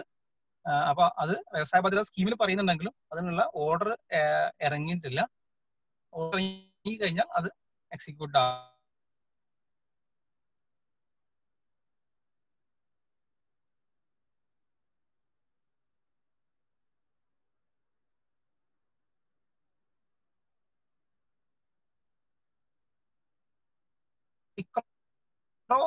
യൂണിറ്റ് ആയിട്ടുള്ള ഫുഡ് പ്രോസസ്സിംഗ് യൂണിറ്റുകൾക്ക് എക്സ്പാൻഷന് വേണ്ടിയിട്ടോ മോഡേണൈസേഷന് വേണ്ടിയിട്ടോ അവരുടെ പ്രൊജക്ട് കോസ്റ്റിന്റെ മുപ്പത്തഞ്ച് ശതമാനം മുപ്പത്തഞ്ച് ശതമാനം വരെ സബ്സിഡി കിട്ടുന്ന ഒരു സ്കീമാണ് അത് പത്ത് ലക്ഷം വരെയുള്ള പ്രൊജക്ടുകൾക്ക് മുപ്പത്തഞ്ച് ശതമാനം അവർക്ക് സബ്സിഡി ആയിട്ട് ലഭിക്കും. അത് ഇപ്പൊ ഉള്ള മൈക്രോ യൂണിറ്റുകൾക്ക് എക്സ്പാൻഷൻ ചെയ്യാനോ മോഡിഫിക്കേഷനോ വേണ്ടിയിട്ടുള്ള സ്കീമാണ് അപ്പോൾ ഇത്രയും സ്കീമുകളാണ് കോവിഡ് ആയിട്ട് ബന്ധപ്പെട്ട് നമ്മുടെ വ്യവസായ വകുപ്പ് കൈകാര്യം ചെയ്തു വരുന്ന സ്കീം ഇനി എന്തെങ്കിലും സംശയം ഉണ്ടെങ്കിൽ ചോദിക്കാം.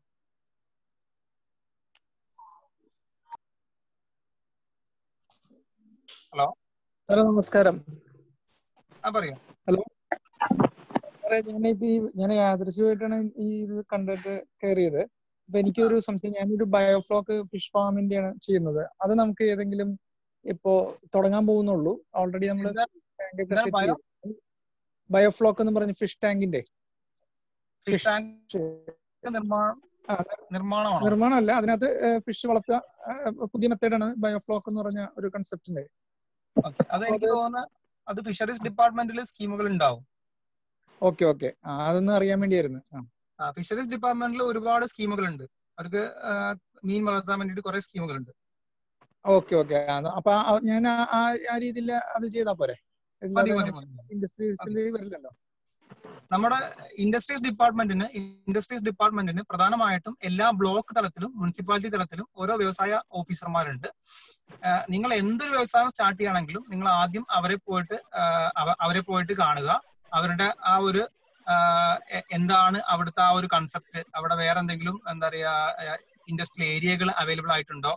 അതേപോലെ തന്നെ നമുക്ക് ലൈസൻസിങ്ങിനെ പറ്റിയും ലൈസൻസിങ്ങിന്റെ റൂളുകളെ പറ്റിയൊക്കെ ചോദിച്ച് മനസ്സിലാക്കിയ ശേഷം മാത്രം ഒരു വ്യവസായത്തിലേക്ക് കാലെടുത്ത് വെക്കുക അവർ എല്ലാ വ്യവസായ ഓഫീസർമാരും നിങ്ങൾ നല്ല നല്ല രീതിയിൽ ഹെൽപ്പ് ചെയ്യാൻ വേണ്ടി നിൽക്കുന്ന ആളുകളാണ്. അപ്പോൾ നിങ്ങൾ എന്തൊരു വ്യവസായം സ്റ്റാർട്ട് ചെയ്യുകയാണെങ്കിലും നിങ്ങൾ ബ്ലോക്കിലെ അല്ലെങ്കിൽ മുനിസിപ്പാലിറ്റിയിലെ വ്യവസായ ഓഫീസർമാരെ പോയി കണ്ട ശേഷം അവരോട് അഭിപ്രായം ചോദിച്ച് അവർ കുറെ ഇത് നിങ്ങൾക്ക് ചെയ്തു തരാൻ പറ്റും കുറെ കാര്യങ്ങൾ നിങ്ങൾക്ക് പറഞ്ഞു തരാൻ വേണ്ടി സാധിക്കും. കാരണം എന്താണെന്ന് വെച്ചാൽ നിങ്ങൾ പല ആളുകളും ഒരു ബിൽഡിംഗ് ഒക്കെ വെക്കുന്ന സമയത്തും കുറെ മിസ്റ്റേക്കുകൾ വരുത്തുന്നുണ്ട്. ഇങ്ങനത്തെ മിസ്റ്റേക്കുകൾ ഒഴിവാക്കാൻ വേണ്ടിയിട്ട് നമ്മൾ ഇതേപോലെ വ്യവസായ വകുപ്പിലൊക്കെ പോയി സംസാരിച്ച് എല്ലാ റൂളുകളും കാര്യങ്ങളൊക്കെ മനസ്സിലാക്കിയ ശേഷം മാത്രം ഒരു വ്യവസായത്തിലേക്ക് ഇറങ്ങിയാൽ കുറച്ചും കൂടി നല്ലതായിരിക്കും. സാർ അതെ. ചോദിച്ചോട്ടെ ആ ചോദിച്ചോളൂ സാർ നേരത്തെ മറ്റേ ഈ ഇ എസ് എസ് സ്കീം പറഞ്ഞല്ലോ. അപ്പൊ അതിൽ മൂന്ന് ടൈപ്പ് ഉണ്ടെന്ന് പറഞ്ഞു. അപ്പൊ അതിൽ ഈ സ്റ്റാർട്ടപ്പ് സപ്പോർട്ട് വരണത് അത് എന്താണെന്നൊന്ന് പറയാൻ പറ്റുമോ? പറയാം. സ്റ്റാർട്ടപ്പ് സപ്പോർട്ട് എന്ന് പറഞ്ഞു കഴിഞ്ഞാൽ നമുക്ക് അതിൽ പരമാവധി നമുക്ക് ലോൺ അത് ലോൺ ലിങ്ക്ഡ് സ്കീമാണ് സ്റ്റാർട്ടപ്പ് സപ്പോർട്ട്. അപ്പൊ ഇപ്പൊ ബാങ്കിൽ നിന്നും നമുക്ക് ലോൺ പാസ്സായി കഴിഞ്ഞു കഴിഞ്ഞാൽ നമുക്ക് ലോൺ സാങ്ഷൻ ലെറ്റർ കിട്ടിക്കഴിഞ്ഞാൽ ടോട്ടൽ അസറ്റിന്റെ ടോട്ടൽ ഫിക്സഡ് അസറ്റ് അല്ലേ ഒരു പത്ത് ലക്ഷമാണ് ടോട്ടൽ ഫിക്സഡ് അസറ്റ് ഉള്ളതെന്ന് വിചാരിക്കാം അതിൽ നമുക്ക് എലിജിബിൾ എലിജിബിൾ ആയിട്ടുള്ള സബ്സിഡി അതിന്റെ മുപ്പത് ശതമാനം പരമാവധി മുപ്പത് ശതമാനം ആണെങ്കിൽ മൂന്ന് ലക്ഷം രൂപയാണ് നമുക്ക് സബ്സിഡിക്ക് എലിജിബിലിറ്റി ഉണ്ടാവുക. എലിജിബിൾ സബ്സിഡി സബ്സിഡിയുടെ പകുതി നമുക്ക് അപ്പൊ തന്നെ റിലീസ് ചെയ്യാം. ലക്ഷം അത് പരമാവധി മൂന്ന് ലക്ഷം രൂപ വരെ നമുക്ക് ആ ഫസ്റ്റ് സ്റ്റാർട്ടിങ് തന്നെ റിലീസ് ചെയ്യും. ഓക്കെ ഓക്കെ അതാണ് സ്റ്റാർട്ടപ്പ് സ്റ്റാർട്ടപ്പ് അത് സ്റ്റാർട്ടപ്പിന് മാത്രം അങ്ങനെ കിട്ടുന്നതാണ് അല്ലേ? ആ അത് പക്ഷെ ബാങ്കിൽ നിന്ന് സാങ്ഷൻ ലെറ്റർ വേണം. അതുണ്ടെങ്കിൽ സാങ്ഷൻ ലെറ്റർ മാത്രം മതി. അത് വെച്ചിട്ട് നമുക്ക് ചെയ്യാൻ പറ്റും. Okay thank you hello hello സാറേ അതെ ഇ ഡി പി കോഴ്സ് ഒരു ആപ്പ് വഴി നടത്തുന്ന പറഞ്ഞില്ല. ആ ആപ്പിന്റെ പേരെന്താ? ഹലോ? ഉദ്യമി. ഉദ്യമി. ഓക്കെ അത് ചാറ്റിലിട്ടുള്ള വെബ്സൈറ്റ് ആപ്പ് നെയിമാണല്ലേ ഉദ്യമി. ഉദ്യമി എന്നാണ് അതിന്റെ പേര്. ഉദ്യമി. ഉദ്യമിയിൽ കയറുമ്പോ കയറുമ്പോൾ ശ്രദ്ധിക്കേണ്ട ഒരു കാര്യം എന്താന്ന് വെച്ച് കഴിഞ്ഞാൽ നമ്മൾ ഫോൺ നമ്പർ ലിങ്ക് ചെയ്തിട്ടുണ്ടാവും. നമ്മുടെ P M E G P ആപ്ലിക്കേഷനിൽ ഫോൺ നമ്പർ ലിങ്ക് ചെയ്തിട്ടുണ്ടാവും. ഓക്കെ ആ ലിങ്ക് ചെയ്ത ഫോൺ നമ്പർ തന്നെ അവിടെ കൊടുക്കണം. അതിൽ രണ്ട് കാറ്റഗറി ഉണ്ട്. ഒന്ന് ബെനിഫിഷ്യറീസ് അതേഴ്സ് അതേഴ്സിൽ കയറി കഴിഞ്ഞാൽ നിങ്ങൾക്ക് അയ്യായിരത്തി തൊള്ളായിരത്തി അൻപത് രൂപ ഫീസ് അടച്ചാൽ മാത്രമേ ഇ ഡി പി സർട്ടിഫിക്കറ്റ് കിട്ടുള്ളൂ ഓക്കെ ബെനിഫിഷ്യറിയിൽ കയറണം okay okay okay okay thank you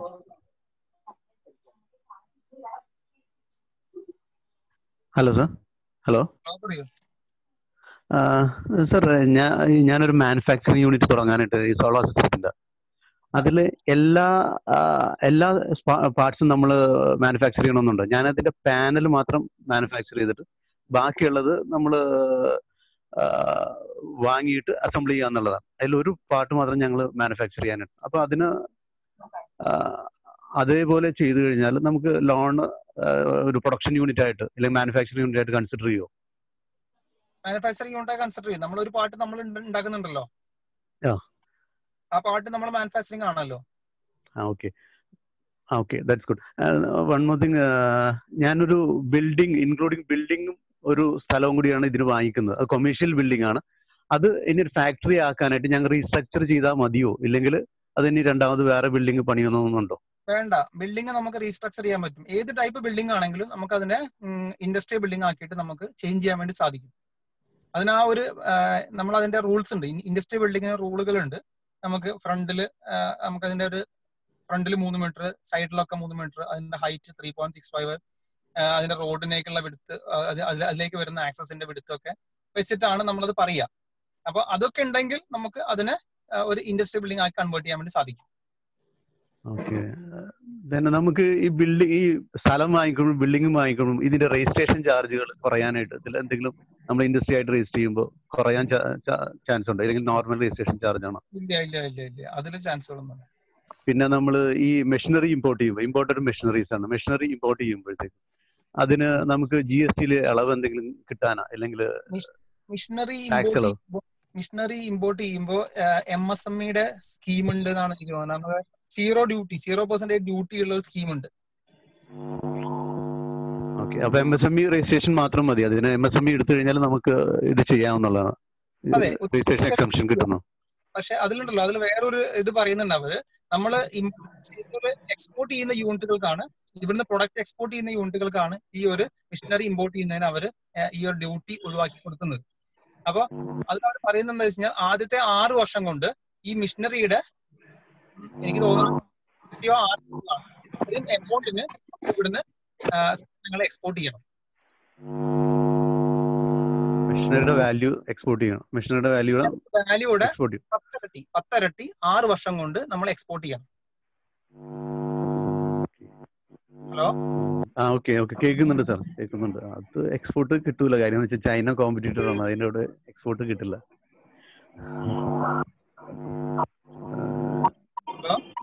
ആ സർ കേൾക്കുന്നുണ്ട്. അത് അത് ചൈന ഒരു വലിയ കോമ്പറ്റീറ്റർ ആണ് ഇതിന്റെ മാനുഫാക്ചറിങ് സോളാർ സിസ്റ്റം. അപ്പൊ നമുക്ക് അത്ര എക്സ്പോർട്ട് കിട്ടില്ല. നമ്മളൊരു നമ്മൊരു സ്റ്റേറ്റ് വൈസ് കേരള സ്റ്റേറ്റ് വൈസും പിന്നെ നേബറിംഗ് സ്റ്റേറ്റ്സ് ആണ് ഞങ്ങൾ ഉദ്ദേശിക്കുന്നത്. അപ്പൊ അതുകൊണ്ട് അത് കിട്ടാനുള്ള എക്സ്പോർട്ട് കിട്ടാനുള്ള സാധ്യത കുറവാണ്. ഇറക്കിയ ബുദ്ധിമുട്ടാവും.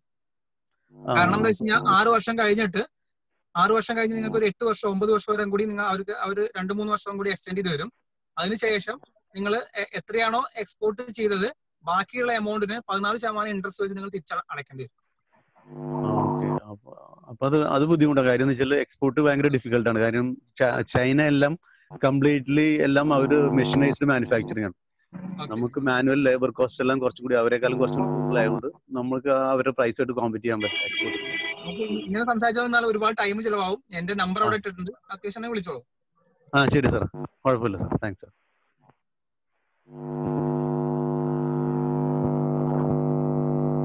hand raise ചെയ്തിട്ടുണ്ട്. വളരെ പെട്ടെന്ന് ശ്രീരാജ് സാറിനോട് ചോദിക്കുവാണെങ്കിൽ ഉപകാരമായിരുന്നു. ആ, സാറേ ഒരു സംശയം ഒരു ഒരു- ഒരു കാര്യമുണ്ട്. കേൾക്കുന്നുണ്ട് സാർ? ആ കേൾക്കുന്നുണ്ട്. പറഞ്ഞോളൂ. സാർ ഞാൻ എം എസ് സി ഇത് ഇത് എടുത്തിരിക്കുകയാണ് സർട്ടിഫിക്കറ്റ് എടുത്ത ആളാണ് ഇപ്പോ എന്തെങ്കിലും ഇപ്പൊ ഈ കോവിഡ് അനുബന്ധിച്ച് ലോൺ വല്ലതും നമുക്ക് ഉണ്ടെന്ന് പറയുന്നുണ്ടായിരുന്നു. അതിനെ പറ്റി ഒന്ന് പറയാമോ? കോവിഡ് അനുബന്ധിച്ച് ഇ സി എൽ ജി എന്ന് പറഞ്ഞിട്ട് emergency credit linked guarantee scheme എന്ന് പറഞ്ഞിട്ട് സ്കീം ഉണ്ട്. ഓക്കെ. ബാങ്കുകൾ നേരിട്ട് നടപ്പാക്കുന്ന സ്കീമാണത്. ആ സ്കീമിനെ കുറിച്ച് എന്താന്ന് വെച്ച് കഴിഞ്ഞാൽ ടോട്ടൽ നമ്മൾ ടോട്ടൽ ഇരുപത്തി ഒമ്പത് രണ്ട് രണ്ടായിരത്തി ഇരുപത് വരെ ഉള്ള നമ്മുടെ ടോട്ടൽ ലോണിന്റെ ഔട്ട്സ്റ്റാൻഡിങ്ങിന്റെ ഇരുപത് ശതമാനം വരെ നമുക്ക് പ്രീ അപ്രൂവ്ഡ് ലോൺ ആയിട്ട് ലഭിക്കും. ഹലോ? കേൾക്കുന്നുണ്ട് സാർ കേൾക്കുന്നുണ്ട് സാർ അത് അതാണ് എനിക്കിപ്പോ ഒരു ലെറ്റർ വന്നിട്ടുണ്ട്. Twenty percentage pre approved loan വന്നിട്ടുണ്ടെന്നും പറഞ്ഞുകൊണ്ടേ ഹലോ?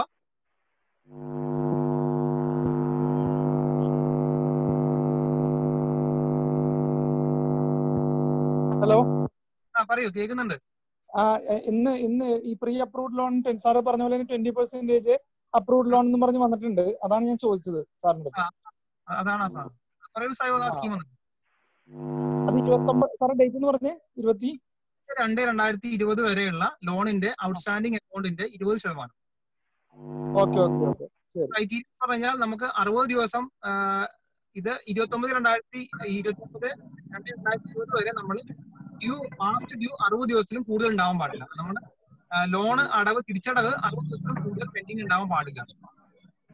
ശരി. Okay okay okay.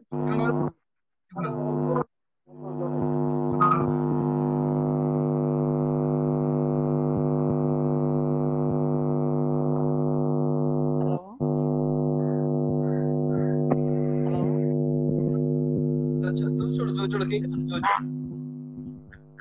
ഹലോ എന്റെ പേര് ധന്യ സാർ കേൾക്കാമോ?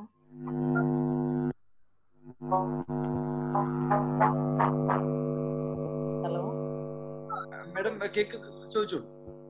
എന്റെ പേര് ധന്യ ഞാനൊരു എന്റർപ്രണർഷിപ്പ് തുടങ്ങാൻ വേണ്ടിയിട്ടുള്ള പ്ലാനിലാണ്. ബിക്കോസ് കോവിഡ് കാരണം I lose my job so ഞാൻ എം ഐ എന്ന് പറഞ്ഞൊരു പ്രോഗ്രാം ഓൺലൈൻ സർട്ടിഫൈഡ് ആണ്. So I have a plan കുട്ടികൾക്ക് ഓൺലൈൻ ആയിട്ട് ക്ലാസ് എടുത്തു കൊടുക്കാൻ വേണ്ടിയിട്ട്. അപ്പൊ അതിന് റെന്റഡ് ബിൽഡിങ്ങിന് വേണ്ടിയിട്ട് ലോൺ സാങ്ഷൻ ചെയ്യോ സാർ വേണ്ടി മാത്രോ? ഇല്ല. ബിൽഡിങ്ങിന് റെന്റഡ് ബിൽഡിങ്ങിന് മാത്രം നമുക്ക് ലോൺ സാങ്ഷൻ ചെയ്യില്ല. അതില്ല വി വോണ്ട് കമ്പ്യൂട്ടർ ഓൾസോ കുട്ടികൾ വന്നിരിക്കുമ്പം സി ഇത് വൺ ടൈം അവർക്ക് വീക്കിലി ഒരു ത്രീ അവേഴ്സ് പിന്നെ അടുത്ത ബാച്ചിന് I can give the three hours class അങ്ങനെ കുട്ടികളെല്ലാവരും കൂടെ ഒരുമിച്ച് വരണം എന്നല്ല എന്റെ പ്രോജക്റ്റ് കുട്ടികൾ വീഡിയോ എടുത്ത് അപ്ലോഡ് ചെയ്യുന്ന പോലെ അല്ല. ഓൺലൈൻ ക്ലാസ് അല്ല. അല്ല അല്ല അല്ല. They will come with me they will come and fit there so I take class ഞാൻ പറയുന്നത് ഒരുപാട് മക്കൾ അറ്റ് എ ടൈം എന്റെ അടുത്ത് വന്നിരിക്കില്ല ബിക്കോസ് ഓഫ് കോവിഡ് നയന്റീൻ അപ്പം അവർക്ക് ഒന്ന് സ്റ്റാർട്ട് ചെയ്ത് കൊടുത്തിട്ട് പിന്നെ അവരെ അവരവരുടെ വീട്ടിൽ തന്നെ ഇരുന്നിട്ട് I can connect with them കുറച്ച് പാരന്റ്സ് വരും കുറച്ച് കുട്ടികൾ വരും. അങ്ങനെ എനിക്ക് ഇൻ ബിറ്റ്വീൻ ഇവരെ കൊണ്ടുവരാൻ ഇടയിൽ ഫാക്കൽറ്റികൾ വരും വിസിറ്റിംഗ് പ്രൊഫസേഴ്സ് പോലെ. മേ ബി അത് ഇന്റർനാഷണൽ ഉണ്ടാവാം because I'm a qualified certified certified ആണ്. ഞാൻ മൈക്രോസോഫ്റ്റ് ഇന്നോവേറ്റീവ് എഡ്യൂക്കേറ്റർ എന്ന് പറഞ്ഞ ഓൺലൈൻ എക്സാം എഴുതിയിട്ട് പാസ്ഡ് ആണ്. സോ എനിക്ക് ഇന്ത്യയുടെ പുറത്തുനിന്നുള്ള സാറുമാർ എന്റെ കൂടെ ഓൺലൈനിൽ വരും. മേ ബി ഞാൻ വിളിക്കുകയാണെങ്കിൽ അവർ they will come after covid nineteen also to give a class for the kids ഏഹ് ഞാൻ അതുകൊണ്ട് ചോദിക്കണം. അപ്പൊ അവരൊക്കെ വന്ന് കാണുമ്പോ എനിക്കിപ്പോ എന്റെ പ്രോബ്ലം എന്താന്ന് വെച്ചാൽ സ്വന്തമായിട്ടുള്ള ബിൽഡിംഗ് എനിക്കില്ല. അപ്പം റെന്റിന് എടുത്തിട്ട് കമ്പ്യൂട്ടറും വേണം എനിക്ക്. റെന്റിന് എടുക്കാൻ നമുക്ക് ഇതിലെ ഇതിൽ എന്തൊക്കെ ഒരു പ്രൊജക്ട് കഴിഞ്ഞാൽ നമുക്ക് അതിന്റെ ആ, റൂമിന് കൊടുക്കുന്ന അഡ്വാൻസ് നമുക്ക് ഒരിക്കലും പ്രൊജക്ട് കോസ്റ്റ് ആയിട്ട് പരിഗണിക്കാൻ പറ്റില്ല. ഓക്കെ. അതിന് പകരം മിഷനറി വാങ്ങുക നമ്മളിപ്പോ എക്യുപ്മെന്റ്സ് വാങ്ങുക കമ്പ്യൂട്ടർ വാങ്ങുക അതേപോലെ നമ്മളെ അവിടുത്തെ ഇന്റീരിയർ ഡിസൈൻ ഇങ്ങനത്തെ കാര്യങ്ങളൊക്കെ അവർ ലോണിന് പരിഗണിക്കും. Thank you so much thank you sir thank you very much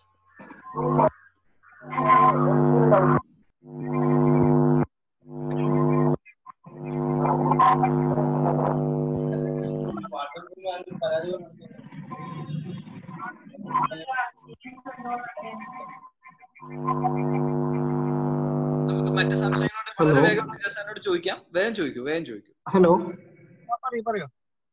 സാറേ. ആ നമുക്ക് ഇപ്പം ഞാനിപ്പം ക്ലാസ്സുകൾ നടത്തിക്കൊണ്ടിരിക്കുകയായിരുന്നു അതായത് കോച്ചിങ് സെന്റർ ആയിരുന്നു നമ്മൾ നടത്തിക്കൊണ്ടിരിക്കുന്നത് അപ്പം ഇതിന്റെ കൂടെ നമുക്കിപ്പം ഓൺലൈൻ പ്ലാറ്റ്ഫോമും കൂടി ചെയ്യാൻ വേണ്ടിയിട്ടാണ്.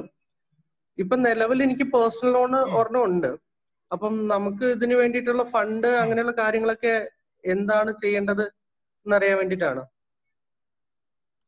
നമുക്ക് ഇതിന് എങ്ങനെയാണ് വീഡിയോ നിങ്ങൾ ഒരു വീഡിയോ എടുത്ത് ഒരു സോഫ്റ്റ്വെയർ ആയിട്ട് ചെയ്യുകയാണെങ്കിൽ അതൊരു പ്രൊഡക്റ്റ് ആയിട്ട് മാറും. അതെ നമ്മളിപ്പോ ഉദ്ദേശിക്കുന്നത് പിയിൽ ചെയ്യാൻ വേണ്ടി സാധിക്കും. ഓക്കെ അപ്പൊ നമ്മൾ എങ്ങനെയാണ് അതിന്റെ പി എം ഇ അത് എങ്ങനെയാണ് നമ്മളത് ചെയ്യേണ്ടത്? ഏത് ഓഫീസറെയാണ് നമ്മൾ പോയി കാണേണ്ടത് അത്? P M E G P ഞാൻ പറഞ്ഞത് കൃത്യമായി കേട്ടുള്ളൂ ഇത് നിങ്ങൾ ഈ സംഭവം നമ്മുടെ സാധാരണ എഡ്യൂക്കേഷനോ ട്യൂഷൻ സെന്ററുകളോ ഒന്നും പി എം ഇ ജി പിയിൽ വരില്ല. അത് നെഗറ്റീവ് ലിസ്റ്റിൽ വരുന്നതാണ് പി എം ഇ ജി പിയുടെ ഓക്കെ. എന്നാൽ ഇതിപ്പോ ഒരു സോഫ്റ്റ്വെയർ ആയിട്ട് നമ്മൾ ഒരു ആപ്പ് ആയിട്ട് നമ്മൾ ഡെവലപ്പ് ചെയ്ത് നമ്മൾ ഒരു മാനുഫാക്ചറിങ് ഒരു പ്രൊഡക്റ്റ് പോലെ ആക്കി കഴിഞ്ഞാൽ നമുക്കത് പി എം ഇ ജി പിയിൽ പെടുത്തി P M E G P എന്ന സ്കീമിൽ പെടുത്താം. Okay okay. സാധാരണ ട്യൂഷൻ സെന്ററുകളോ അതേപോലുള്ള സ്ഥാപനങ്ങളൊന്നും ഇൻസ്റ്റിറ്റ്യൂഷൻസ് ഒന്നും പി എം ഇ ജി പിയിൽ പെടില്ല. ഓക്കെ. ഓക്കെ. അപ്പൊ ഇതിൽ ആദ്യം ചെയ്യേണ്ടത് നിങ്ങൾ അവിടെ ബ്ലോക്കിലുള്ള ഏത് ബ്ലോക്കാണ്? ഞങ്ങളിപ്പോ എറണാകുളം എറണാകുളത്താണ് താമസിക്കുന്നത് സിറ്റിയിലാണ്. അപ്പൊ എറണാകുളത്ത് നിങ്ങൾ തുടങ്ങാൻ ഉദ്ദേശിക്കുന്ന സ്ഥലത്തിന്റെ സ്ഥലത്തുള്ള അവിടുത്തെ ബ്ലോക്കിലോ അല്ലെങ്കിൽ അവിടുത്തെ തദ്ദേശ സ്വയംഭരണ സ്ഥാപനമല്ലേ? എനിക്ക് അറിയില്ല സാർ കൃത്യമായിട്ട് എവിടെയാണ് കോർപ്പറേഷൻ കോർപ്പറേഷൻ കോർപ്പറേഷൻ കോർപ്പറേഷൻ പരിധിയിലാണ് വരുന്നത്. നമ്മുടെ ഡി ഐ സി ഉണ്ട് കുന്നുംപുറത്ത്. അവിടെ ചെന്ന് കഴിഞ്ഞാൽ വളരെ ജില്ലാ വ്യവസായ കേന്ദ്രം കാക്കനാട് കുന്നുംപുറത്തുണ്ട്. കാക്കനാട് കുന്നുംപുറം അല്ലെ? കുന്നുംപുറം. കാക്കനാട് സിവിൽ സ്റ്റേഷന്റെ നേരെ ഓപ്പോസിറ്റ് ആണ് നമ്മുടെ ജില്ലാ വ്യവസായ കേന്ദ്രം. കേട്ടോ? Okay sir thank you. Thank you very much sir. ഇത് കഴിയുമ്പോഴത്തേക്കും ഒന്ന് വിളിച്ചു കഴിഞ്ഞാൽ ഞാൻ അവിടുത്തെ ആരെങ്കിലും മാനേജർമാരുടെ നമ്പറും വേണമെങ്കിൽ തരാം. ശ്രീരാജ് സാർ മലപ്പുറമാണ് അപ്പൊ അദ്ദേഹത്തിന് ചിലപ്പോൾ എറണാകുളം അത്ര പരിചയം ഉണ്ടാവില്ല. അതുകൊണ്ട് ഞാൻ സാറിനെയാണോ വിളിക്കേണ്ടത് ഇത് കഴിഞ്ഞിട്ട്? വേണ്ട ശ്രീരാജ് സാറിന്റെ നമ്പർ ഉണ്ട് അദ്ദേഹത്തെ കോൺടാക്ട് ചെയ്തോളൂ. ഇല്ലെങ്കിൽ അഗ്രോ പാർക്കിൽ കോൺടാക്ട് ചെയ്താൽ ഞാൻ അവിടുത്തെ മാനേജർമാരുടെ ആരെങ്കിലും നമ്പർ തന്നെ തരും. ഇല്ലെങ്കിൽ ശ്രീരാജ് സാർ അത് കോർഡിനേറ്റ് ചെയ്തോളൂ. കുഴപ്പമൊന്നുമില്ല. കേട്ടോ. ശരി സാറേ താങ്ക് യു. വലിയ ഉപകാരം.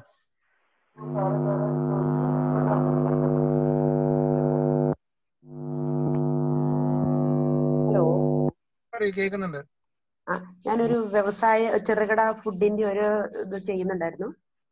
അപ്പൊ അപ്പൊ അതിനോടനുബന്ധിച്ച് എനിക്കൊരു ട്രെയർ ഉണ്ട്. അത് ഗ്യാസിന്റെ ട്രെയർ ആണ്. അപ്പൊ അത് മാറ്റി ഒരു ബയോഗ്യാസിന്റെ ട്രെയർ ഉം. അപ്പൊ അതിനു വേണ്ടി ബയോഗ്യാസ് പ്ലാന്റ് നിർമ്മിക്കാൻ വേണ്ടി എന്തെങ്കിലും ഒരു ലോൺ ഇതിനോടനുബന്ധിച്ച് കിട്ടുമായിരുന്നെങ്കിൽ കൊള്ളായിരുന്നു സാറേ. അപ്പൊ ഇത് നമുക്ക് ഏകദേശം എത്ര രൂപ കോസ്റ്റ് വരും? ഒരു ഒന്നര രണ്ട് രൂപയോളം ആവുമായിരിക്കും. എന്നുവെച്ചാൽ വലിയ പ്ലാന്റ് ഉണ്ടാക്കാൻ ഉദ്ദേശിക്കുന്നത്. അല്ലെ ട്രെയർ പ്രവർത്തിക്കണമെങ്കിൽ അതിനെന്ന് വെച്ചാൽ വലിയ ട്രെയർ അല്ല അമ്പത് കിലോയുടെ ട്രെയർ ആണ്. അപ്പൊ അതിലെനിക്ക് ഇപ്പൊ ലോൺ ഇപ്പൊ ലോൺ ഇല്ല. എനിക്ക് വ്യവസായ വകുപ്പിൽ നിന്നാണ് ഈ ട്രെയർ തന്നത്. ഞങ്ങളൊരു വനിതാ സംരംഭകരാണ്. അപ്പൊ ഈ കുടുംബശ്രീ മുഖാന്തരം തന്നാണ്. അപ്പൊ അതിന്റെ മുന്നോടിയായിട്ട് അപ്പൊ ഈ ഗ്യാസിന്റെ കിട്ടിയോണ്ട് നമുക്കൊന്നും ചെയ്യാൻ പറ്റണില്ല. അതിൽ ഭയങ്കര ചെലവാ.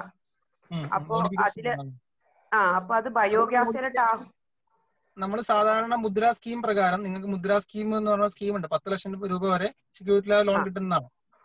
അതിൽ നിങ്ങൾക്ക് ലോൺ എടുത്ത് നിങ്ങൾക്ക് ഇത് ചെയ്യാൻ വേണ്ടി സാധിക്കും.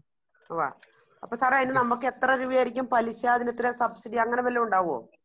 ഈ ബയോഗ്യാസ് പ്ലാൻ നിങ്ങൾക്ക് എഫ് എം ഇ എന്ന് പുതിയ സ്കീം വരുന്നുണ്ട്. എഫ് എം ഇ എന്ന് പറഞ്ഞിട്ട്. അതിന്റെ ഗൈഡ് ലൈൻ വന്നിട്ടില്ല. ഗൈഡ് ലൈൻ വന്നു കഴിഞ്ഞാൽ അത് കോവിഡ് നയന്റീൻ ബന്ധപ്പെട്ട സ്കീമാണ് അത് പത്ത് ലക്ഷം രൂപ വരെ ഉള്ള മോഡേണൈസേഷനും അതേപോലെ തന്നെ നമ്മുടെ എക്സ്പാൻഷനും പ്രൊജക്ടുകൾക്ക് മുപ്പത്തഞ്ച് ശതമാനം സബ്സിഡി ഉണ്ട്.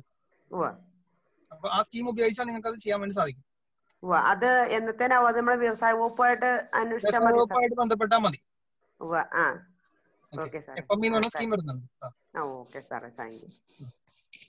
ശ്രീരാജ് സാറിന്റെ വളരെ നല്ലൊരു സെഷൻ ഉണ്ടായിരുന്നു. എന്തായാലും വളരെ അപ്ഡേറ്റഡ് ആയിട്ടുള്ള സ്കീംസും അതുപോലെ തന്നെ വ്യവസായികൾക്ക് ആവശ്യമായിട്ടുള്ള കൈത്താങ്ങലുകളും എല്ലാം അദ്ദേഹത്തിന്റെ വാക്കുകളിൽ ഉണ്ടായിരുന്നു. എനിക്ക് തോന്നുന്നത് നമുക്ക് അദ്ദേഹത്തിന്റെ നമ്പർ ഷെയർ ചെയ്തിട്ടുണ്ട്. അതുപോലെ തന്നെ പ്രാദേശികമായിട്ടുള്ള എല്ലാ വ്യവസായ ഓഫീസുകളിലും ഇതേ സ്കീമുകളെല്ലാം ഇപ്പോൾ അവൈലബിൾ ആണ്. നമ്മുടെ ഓഫീസർമാരെല്ലാം ആളുകളെ കാത്തിരിക്കുന്ന ഒരു സ്ഥിതിയാണുള്ളത്. പ്രത്യേകിച്ചും വ്യവസായ വകുപ്പ് ടി വി ചലഞ്ച് പോലുള്ള ചലഞ്ചുകളെല്ലാം ഏറ്റെടുത്ത് അങ്ങനെ ഒരു ഒരു സാമൂഹ്യ മുഖവും കൂടെ ആയി മാറിക്കൊണ്ടിരിക്കുന്ന ഒരു കാലഘട്ടമാണ്. പ്രത്യേകിച്ചും വ്യവസായ ഭദ്രത വരുന്നു. അതുപോലെ തന്നെ ഇപ്പം ഞങ്ങൾ കഴിഞ്ഞ മന്ത്രിയായിട്ടുള്ള ഉദ്ഘാടനം ചെയ്ത മീറ്റിംഗിൽ മന്ത്രി ഒരു പ്രഖ്യാപനം നടത്തിയിരുന്നു. ഈ എം എസ് എം ഇ സെക്ടറിലുള്ള ചെറുകിട വ്യവസായികൾക്ക് വേണ്ടിയിട്ട് ഒരു മൈക്രോ ഫിനാൻസ് ബാങ്ക് ഒരു micro industrial micro finance bank എന്ന് പറഞ്ഞിട്ട് ഒരു ഒരു ധനകാര്യ സ്ഥാപനം ഗവൺമെന്റിന്റെ പരിഗണനയിലേക്ക് വരുന്നുണ്ട്. അപ്പൊ ഇതെല്ലാം വളരെ ഗുണകരമായ രീതിയിലേക്ക് സംരംഭകർക്ക് മാറും. K S I D C വലിയ സംരംഭകർക്ക് ലോൺ പ്രദാനം ചെയ്യുമ്പോൾ ചെറുകിട സംരംഭകർക്ക് വേണ്ടിയിട്ടാണ് ഒരു പി പി പി മോഡൽ അത്തരത്തിലൊരു ധനകാര്യ സ്ഥാപനം ഗവൺമെന്റിന്റെ ആലോചനയിലുണ്ട്. അദ്ദേഹം അത് പ്രഖ്യാപിച്ചതാണ്. അപ്പൊ ഇത്തരത്തിലുള്ള കുറെ അധികം കാര്യങ്ങൾ മുന്നോട്ട് വരുന്നുണ്ട്. എന്തായാലും വ്യവസായ വകുപ്പ് വളരെ ആർജവമായിട്ട് തന്നെ ഈ രംഗത്തേക്ക് മുന്നോട്ട് വന്നുകൊണ്ടിരിക്കുന്നു. പ്രിയപ്പെട്ട ശ്രീരാജ് സാർ ഇത്രയും സമയം നമുക്ക് വേണ്ടി ചെലവഴിച്ചു. അദ്ദേഹത്തെ ഞാൻ നിങ്ങൾക്ക് ഓരോരുത്തർക്കും വേണ്ടി അദ്ദേഹത്തോടുള്ള നന്ദിയും സ്നേഹവും കടപ്പാടും അറിയിക്കുന്നു. നന്ദി. Thank you Sreeraj sir thank you. Thank you thank you. Okay നമുക്ക് നെക്സ്റ്റ് സെഷനിലേക്ക് വരുന്നത് നമ്മുടെ പിന്നോക്ക വിഭാഗ വികസന കോർപ്പറേഷന്റെ ബാലകൃഷ്ണൻ സാറാണ്. സാറിന് കേൾക്കാമോ? സാറ് ഓക്കെ അല്ലേ? ബാലകൃഷ്ണൻ അല്ല Balabhaskar Balabhaskar sir Balakrishnan Balabhaskar sir. Okay sir ഓക്കെയാണ് അപ്പൊ പിന്നോക്ക വിഭാഗ വികസന കോർപ്പറേഷനെ കുറിച്ച് പറയുമ്പോഴും എനിക്ക് തോന്നുന്നത് വളരെ നേരത്തെ തന്നെ ഈ പല ഇത്തരത്തിലുള്ള ക്ഷേമ കോർപ്പറേഷനുകളൊക്കെ ഉണ്ട്. ആ ക്ഷേമ കോർപ്പറേഷനുകൾ തന്നെ ഈ സംരംഭകത്വത്തെ ഒരു അജണ്ടയാക്കി മാറ്റിക്കൊണ്ട് നിരവധി സംരംഭകത്തെ മീറ്റുകളും ഒക്കെ സംഘടിപ്പിച്ച് മുന്നോട്ട് വന്നിട്ടുള്ള ഒരു കോർപ്പറേഷനാണ് പിന്നോക്ക വിഭാഗ കോർപ്പറേഷൻ. ഞാനടക്കം അത്തരത്തിലുള്ള കോർപ്പറേഷന്റെ സെമിനാറുകൾ പങ്കെടുക്കുകയും സംരംഭകരുമായിട്ട് ഇന്ററാക്ട് ചെയ്യുകയൊക്കെ ചെയ്തിട്ടുണ്ട്. അതിനായിട്ട് ചില പ്രത്യേക സ്കീംസുകൾ വർക്കൗട്ട് ചെയ്യുകയും എനിക്ക് തോന്നുന്ന ഒരു ലൈവായിട്ട് ഈ മേഖലയിൽ നിൽക്കുകയാണ്. ഒരു ക്ഷേമ കോർപ്പറേഷനുകളിൽ പലതിലും എനിക്ക് തോന്നുന്ന സ്കീമുകൾ ഉണ്ടെങ്കിൽ പോലും നമ്മൾ അന്വേഷിച്ച് ചെന്നാൽ മാത്രം അറിയുന്ന സ്ഥലത്ത് നിന്ന് മാറിക്കൊണ്ട് ഇതിനെ കൂടുതൽ ജനകീയവൽക്കരിക്കാനും ഈ സ്കീമുകളെ കൂടുതൽ ഗുണഭോക്താക്കളിലേക്ക് എത്തിക്കുന്നതിനൊക്കെ വേണ്ടിയിട്ട് വലിയ ഇനിഷ്യേറ്റീവുകൾ എടുത്തിട്ടുള്ള ഒരു കോർപ്പറേഷനാണ് പിന്നോക്ക വിഭാഗ കോർപ്പറേഷൻ. ഞാൻ പ്രിയപ്പെട്ട ബാലഭാസ്കർ സാറിനെ ഈ ഒരു പ്രോഗ്രാമിലേക്ക് ഞാൻ ഹാർദവുമായിട്ട് നിങ്ങൾക്ക് ഓരോരുത്തർക്കും വേണ്ടിയിട്ട് സ്വാഗതം ചെയ്തുകൊള്ളുന്നു. അദ്ദേഹത്തിന്റെ സ്കീമുകളുടെ പ്രസന്റേഷന് വേണ്ടിയിട്ട് നിങ്ങൾക്ക് ഓരോരുത്തർക്കും വേണ്ടിയിട്ട് അദ്ദേഹത്തെ ക്ഷണിച്ചുകൊള്ളുന്നു. Thank you Baiju. ഞാൻ കെ ടി ബാലഭാസ്കരൻ കേരള സംസ്ഥാന പിന്നോക്ക വിഭാഗ വികസന കോർപ്പറേഷന്റെ മാനേജിംഗ് ഡയറക്ടറാണ്. കേരളത്തിലെ ഈ ഒ ബി സി മതന്യൂനപക്ഷ വിഭാഗങ്ങൾക്ക് വേണ്ടിയിട്ട് കഴിഞ്ഞ ഇരുപത്തഞ്ച് വർഷമായിട്ട് പ്രവർത്തിക്കുന്ന സ്ഥാപനമാണ് കേരള സംസ്ഥാന പിന്നോക്ക വിഭാഗ വികസന കോർപ്പറേഷൻ. നേരത്തെ ബൈജു സൂചിപ്പിച്ചത് പ്രധാനമായിട്ടും സംരംഭ കേന്ദ്രീകൃത പദ്ധതികളാണ് ഈ കോർപ്പറേഷൻ നടപ്പിലാക്കുന്നത്. അപ്പൊ ഞാൻ ഇതിന്റെ പദ്ധതികളിലേക്ക് കടക്കുന്നതിന് മുമ്പ് ഇതിന്റെ ടാർഗറ്റ് ഗ്രൂപ്പും ഇതൊക്കെ സംബന്ധിച്ച് ചില ക്ലാരിഫിക്കേഷൻ നൽകുന്നത് നന്നായി നന്നാകുമെന്ന് തോന്നുന്നു. അത് സംബന്ധിച്ച് ചില കാര്യങ്ങൾ പ്രാഥമികമായിട്ട് പറഞ്ഞുകൊണ്ട് ഞാൻ പദ്ധതിയിലേക്ക് കടക്കുകയാണ്. ഈ കോർപ്പറേഷൻ ഞാൻ പറഞ്ഞു നേരത്തെ സൂചിപ്പിച്ചതുമാതിരി ഈ കോർപ്പറേഷൻ ആരംഭിച്ചത് ആയിരത്തി തൊള്ളായിരത്തി തൊണ്ണൂറ്റി അഞ്ചിലാണ് ഇതിന്റെ ഈ കോർപ്പറേഷൻ ആരെ ലക്ഷ്യം വെച്ചിട്ടാണ് പ്രവർത്തിക്കുന്നത് എന്ന് പറഞ്ഞാൽ ഇത് ഒ ബി സി മത ന്യൂനപക്ഷ വിഭാഗങ്ങളെ കേന്ദ്രീകരിച്ചിട്ടാണ്. ഒ ബി സി എന്ന് പറഞ്ഞാൽ മറ്റു പിന്നോക്ക വിഭാഗങ്ങൾ പിന്നെ മത ന്യൂനപക്ഷ വിഭാഗങ്ങൾ. മത ന്യൂനപക്ഷ വിഭാഗങ്ങൾ കേരളത്തെ സംബന്ധിച്ചിടത്തോളം മുസ്ലിം ക്രിസ്ത്യൻ വിഭാഗങ്ങൾക്ക് അതിൽ വരും. ഒ ബി സി മറ്റു പിന്നോക്ക വിഭാഗം എന്ന് കേൾക്കുമ്പോൾ തന്നെ പൊതുവെ ആളുകൾക്ക് സംശയം ഉണ്ടാവും. പിന്നോക്ക വിഭാഗം എന്ന് കേൾക്കുമ്പോൾ പൊതുവെ ആളുകൾ ധരിച്ചിരിക്കുന്നത് അത് പട്ടികജാതി പട്ടികവർഗ വിഭാഗം മാത്രമാണെന്നാണ്. യഥാർത്ഥത്തിൽ പട്ടികജാതി പട്ടികവർഗ വിഭാഗവും പിന്നോക്ക വിഭാഗമാണ്. പിന്നോക്ക വിഭാഗത്തിൽ നിന്നും പട്ടികജാതി പട്ടികവർഗ വിഭാഗങ്ങളെ ഒഴിവാക്കിക്കൊണ്ടുള്ള വിഭാഗത്തെയാണ് നമ്മൾ മറ്റു പിന്നോക്ക വിഭാഗം എന്ന് പറയുന്നത്. ഈ കോർപ്പറേഷൻ പ്രവർത്തിക്കുന്നത് മറ്റു പിന്നോക്ക വിഭാഗങ്ങൾക്ക് വേണ്ടി മാത്രമാണ്. മറ്റു പിന്നോക്ക വിഭാഗങ്ങൾക്ക് വേണ്ടി പിന്നെ മതന്യൂനപക്ഷ വിഭാഗങ്ങൾക്ക് വേണ്ടി. ഈ പട്ടികജാതി പട്ടികവർഗ വിഭാഗങ്ങൾക്ക് വേണ്ടി സെപ്പറേറ്റ് കോർപ്പറേഷൻ കേരളത്തിൽ പ്രവർത്തിക്കുന്നുണ്ട്. കേരള സംസ്ഥാന പട്ടികജാതി പട്ടികവർഗ വികസന കോർപ്പറേഷൻ അതിന്റെ ആസ്ഥാനം തൃശ്ശൂരാണ്. അത് ഇതേ രീതിയിൽ പദ്ധതികൾ നടപ്പിലാക്കുന്നുണ്ട്. അപ്പൊ കേരള ഇപ്പൊ കേരളത്തിലെ പിന്നെ ജനസംഖ്യയുടെ ഏകദേശം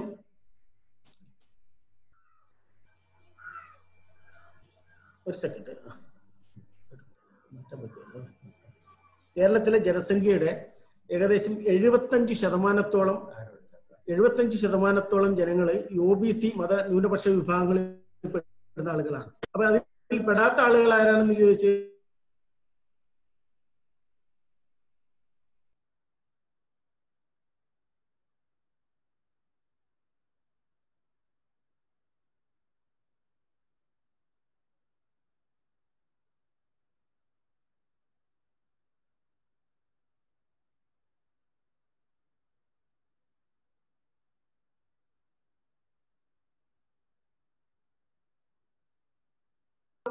ഫണ്ട് ഉപയോഗിച്ചുകൊണ്ടുള്ള വായ്പാ പദ്ധതികൾ നടപ്പിലാക്കുന്നുണ്ട്. അതുകൂടാതെ തൊഴിലധിഷ്ഠിത പരിശീലനം സംരംഭകത്വ പരിശീലനം നൈപുണ്യ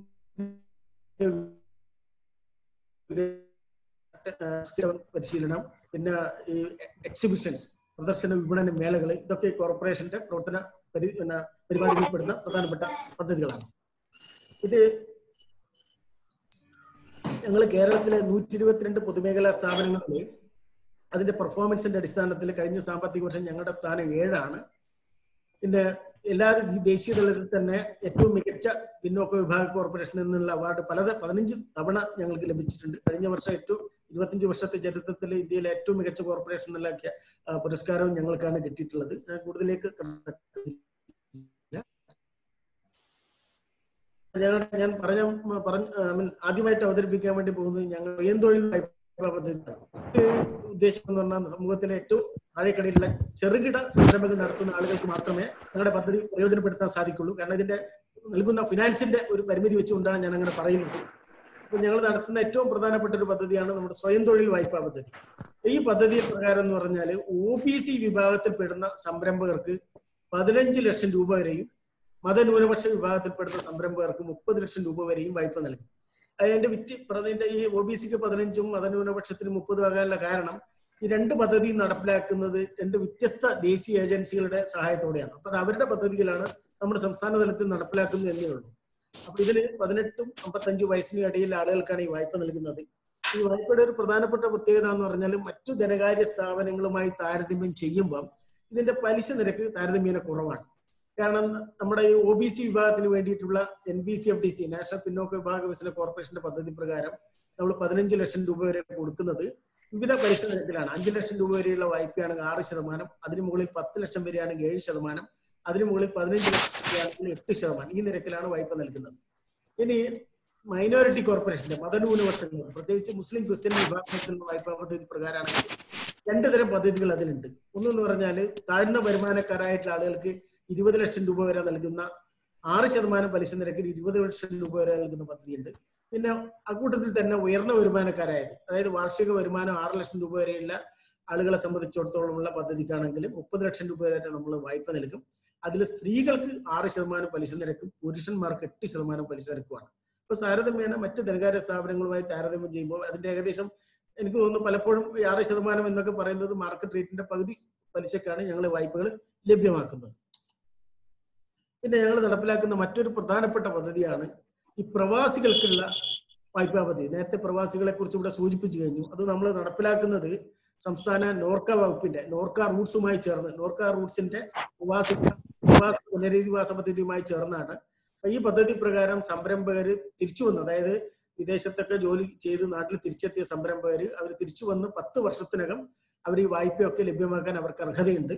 അപ്പൊ അങ്ങനെയുള്ള ആളുകൾക്കാണ് ഈ വായ്പ നൽകുന്നത്. അപ്പൊ തിരിച്ചു വന്ന പ്രവാസികൾക്ക് നമ്മൾ പരമാവധി ഇരുപത് ലക്ഷം രൂപ ചെറുകിട സംരംഭങ്ങൾ നൽകുന്നതിന് വായ്പ നൽകും. അറുപത്തഞ്ച് വയസ്സ് വരെ ഇതിന് പ്രായപരിധിയും ഉണ്ട് അറുപത്തഞ്ച് വയസ്സ് വരെയുള്ള ആളുകൾക്ക് വായ്പ നൽകും. ഇതിൽ ചെയ്യേണ്ട കാര്യങ്ങൾ എന്ന് പറഞ്ഞാൽ ഈ ഒ ബി സി മത ന്യൂനപക്ഷ വിഭാഗക്കാരായ പ്രവാസികൾ K S B C D C I mean ചെയ്യേണ്ട പ്രവാസികൾ അവരെ നോർക്കയിൽ രജിസ്റ്റർ ചെയ്യുന്ന ആദ്യമാണ്. നോർക്കയുടെ ഒരു വെബ്സൈറ്റ് ഉണ്ട്. Norka roots dot O R G ഈ വെബ്സൈറ്റിൽ ആദ്യം രജിസ്റ്റർ ചെയ്ത് കഴിഞ്ഞാൽ നോർക്ക ഇവരുടെ അപേക്ഷ ശുപാർശ ചെയ്ത് ഞങ്ങളുടെ കോർപ്പറേഷനിലേക്ക് അയച്ചു തരും. അപ്പൊ ഞങ്ങൾ ഇവിടെ നിന്നും പ്രോസസ് ചെയ്തിട്ടാണ് വായ്പ നൽകുക. ഇതിൽ വലിയൊരു പ്രത്യേകതയുണ്ട്. ഈ പ്രത്യേകത എന്ന് പറഞ്ഞാൽ ഇതിന്റെ അതിനു മുമ്പേ ഏതൊക്കെ പദ്ധതികൾക്കാണ് നമുക്ക് വായ്പ നൽകാൻ പറ്റുക എന്നുള്ളതാണ് കേരളത്തിൽ വയബിൾ ആയിട്ട് നടത്താൻ പറ്റുന്ന ഏത് പദ്ധതിക്കും? ഇപ്പൊ നമ്മൾ സാധാരണ പറയുന്ന വാക്കെന്ന് പറഞ്ഞാൽ സൂര്യന് താഴെ വയബിൾ ആയിട്ട് നടത്താൻ പറ്റുന്ന ഏത് പദ്ധതിക്കും ഞങ്ങൾ വായ്പ നൽകും. ഇന്ന പദ്ധതിയൊന്നുമില്ല. ഇപ്പൊ കേരളത്തെ സംബന്ധിച്ചിടത്തോളം ഇപ്പം വളരെ വ്യാപകമായ രീതിയിലും വയബിൾ ആയിട്ട് നടത്താൻ പറ്റുന്ന dairy farm poultry farm aquaculture bakery sanitary shop hardware shop furniture shop restaurant taxi pickup വാഹനങ്ങൾ beauty parlour hollow bricks unit provision store driving school fitness centre supermarket food processing unit orchid കൃഷി readymade garment unit ഞാൻ കുറച്ച് വായിക്കുന്നില്ല. ഇതൊക്കെ ഒരു indicative ആയിട്ട് പറഞ്ഞു എന്നേ ഉള്ളൂ. അപ്പൊ ഇങ്ങനെ വൈവിധ്യമാർന്ന പദ്ധതികൾക്ക് നമുക്ക് വായ്പ നൽകാൻ വേണ്ടി സാധിക്കും. അപ്പൊ ഇവരുടെ ഇതിലത്തെ വിശദാംശങ്ങളിലേക്ക് കിടക്കുകയാണ്. ഇതിലിപ്പോ എന്ന് പറഞ്ഞാൽ ഇരുപത് ലക്ഷം രൂപ വരെയാണ് നമ്മൾ വായ്പ നൽകുന്നത്. പലിശ നിരക്ക് ഞാൻ നേരത്തെ സൂചിപ്പിച്ച രീതിയിൽ തന്നെയാണ്.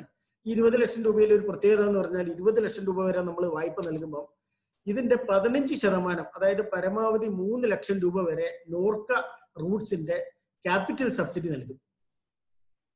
അതുകൂടാതെ നോർക്ക റൂട്ട്സ് ആദ്യത്തെ നാല് വർഷത്തെ തിരിച്ചടവിന് മൂന്ന് ശതമാനം പലിശ സബ്സിഡി നൽകും.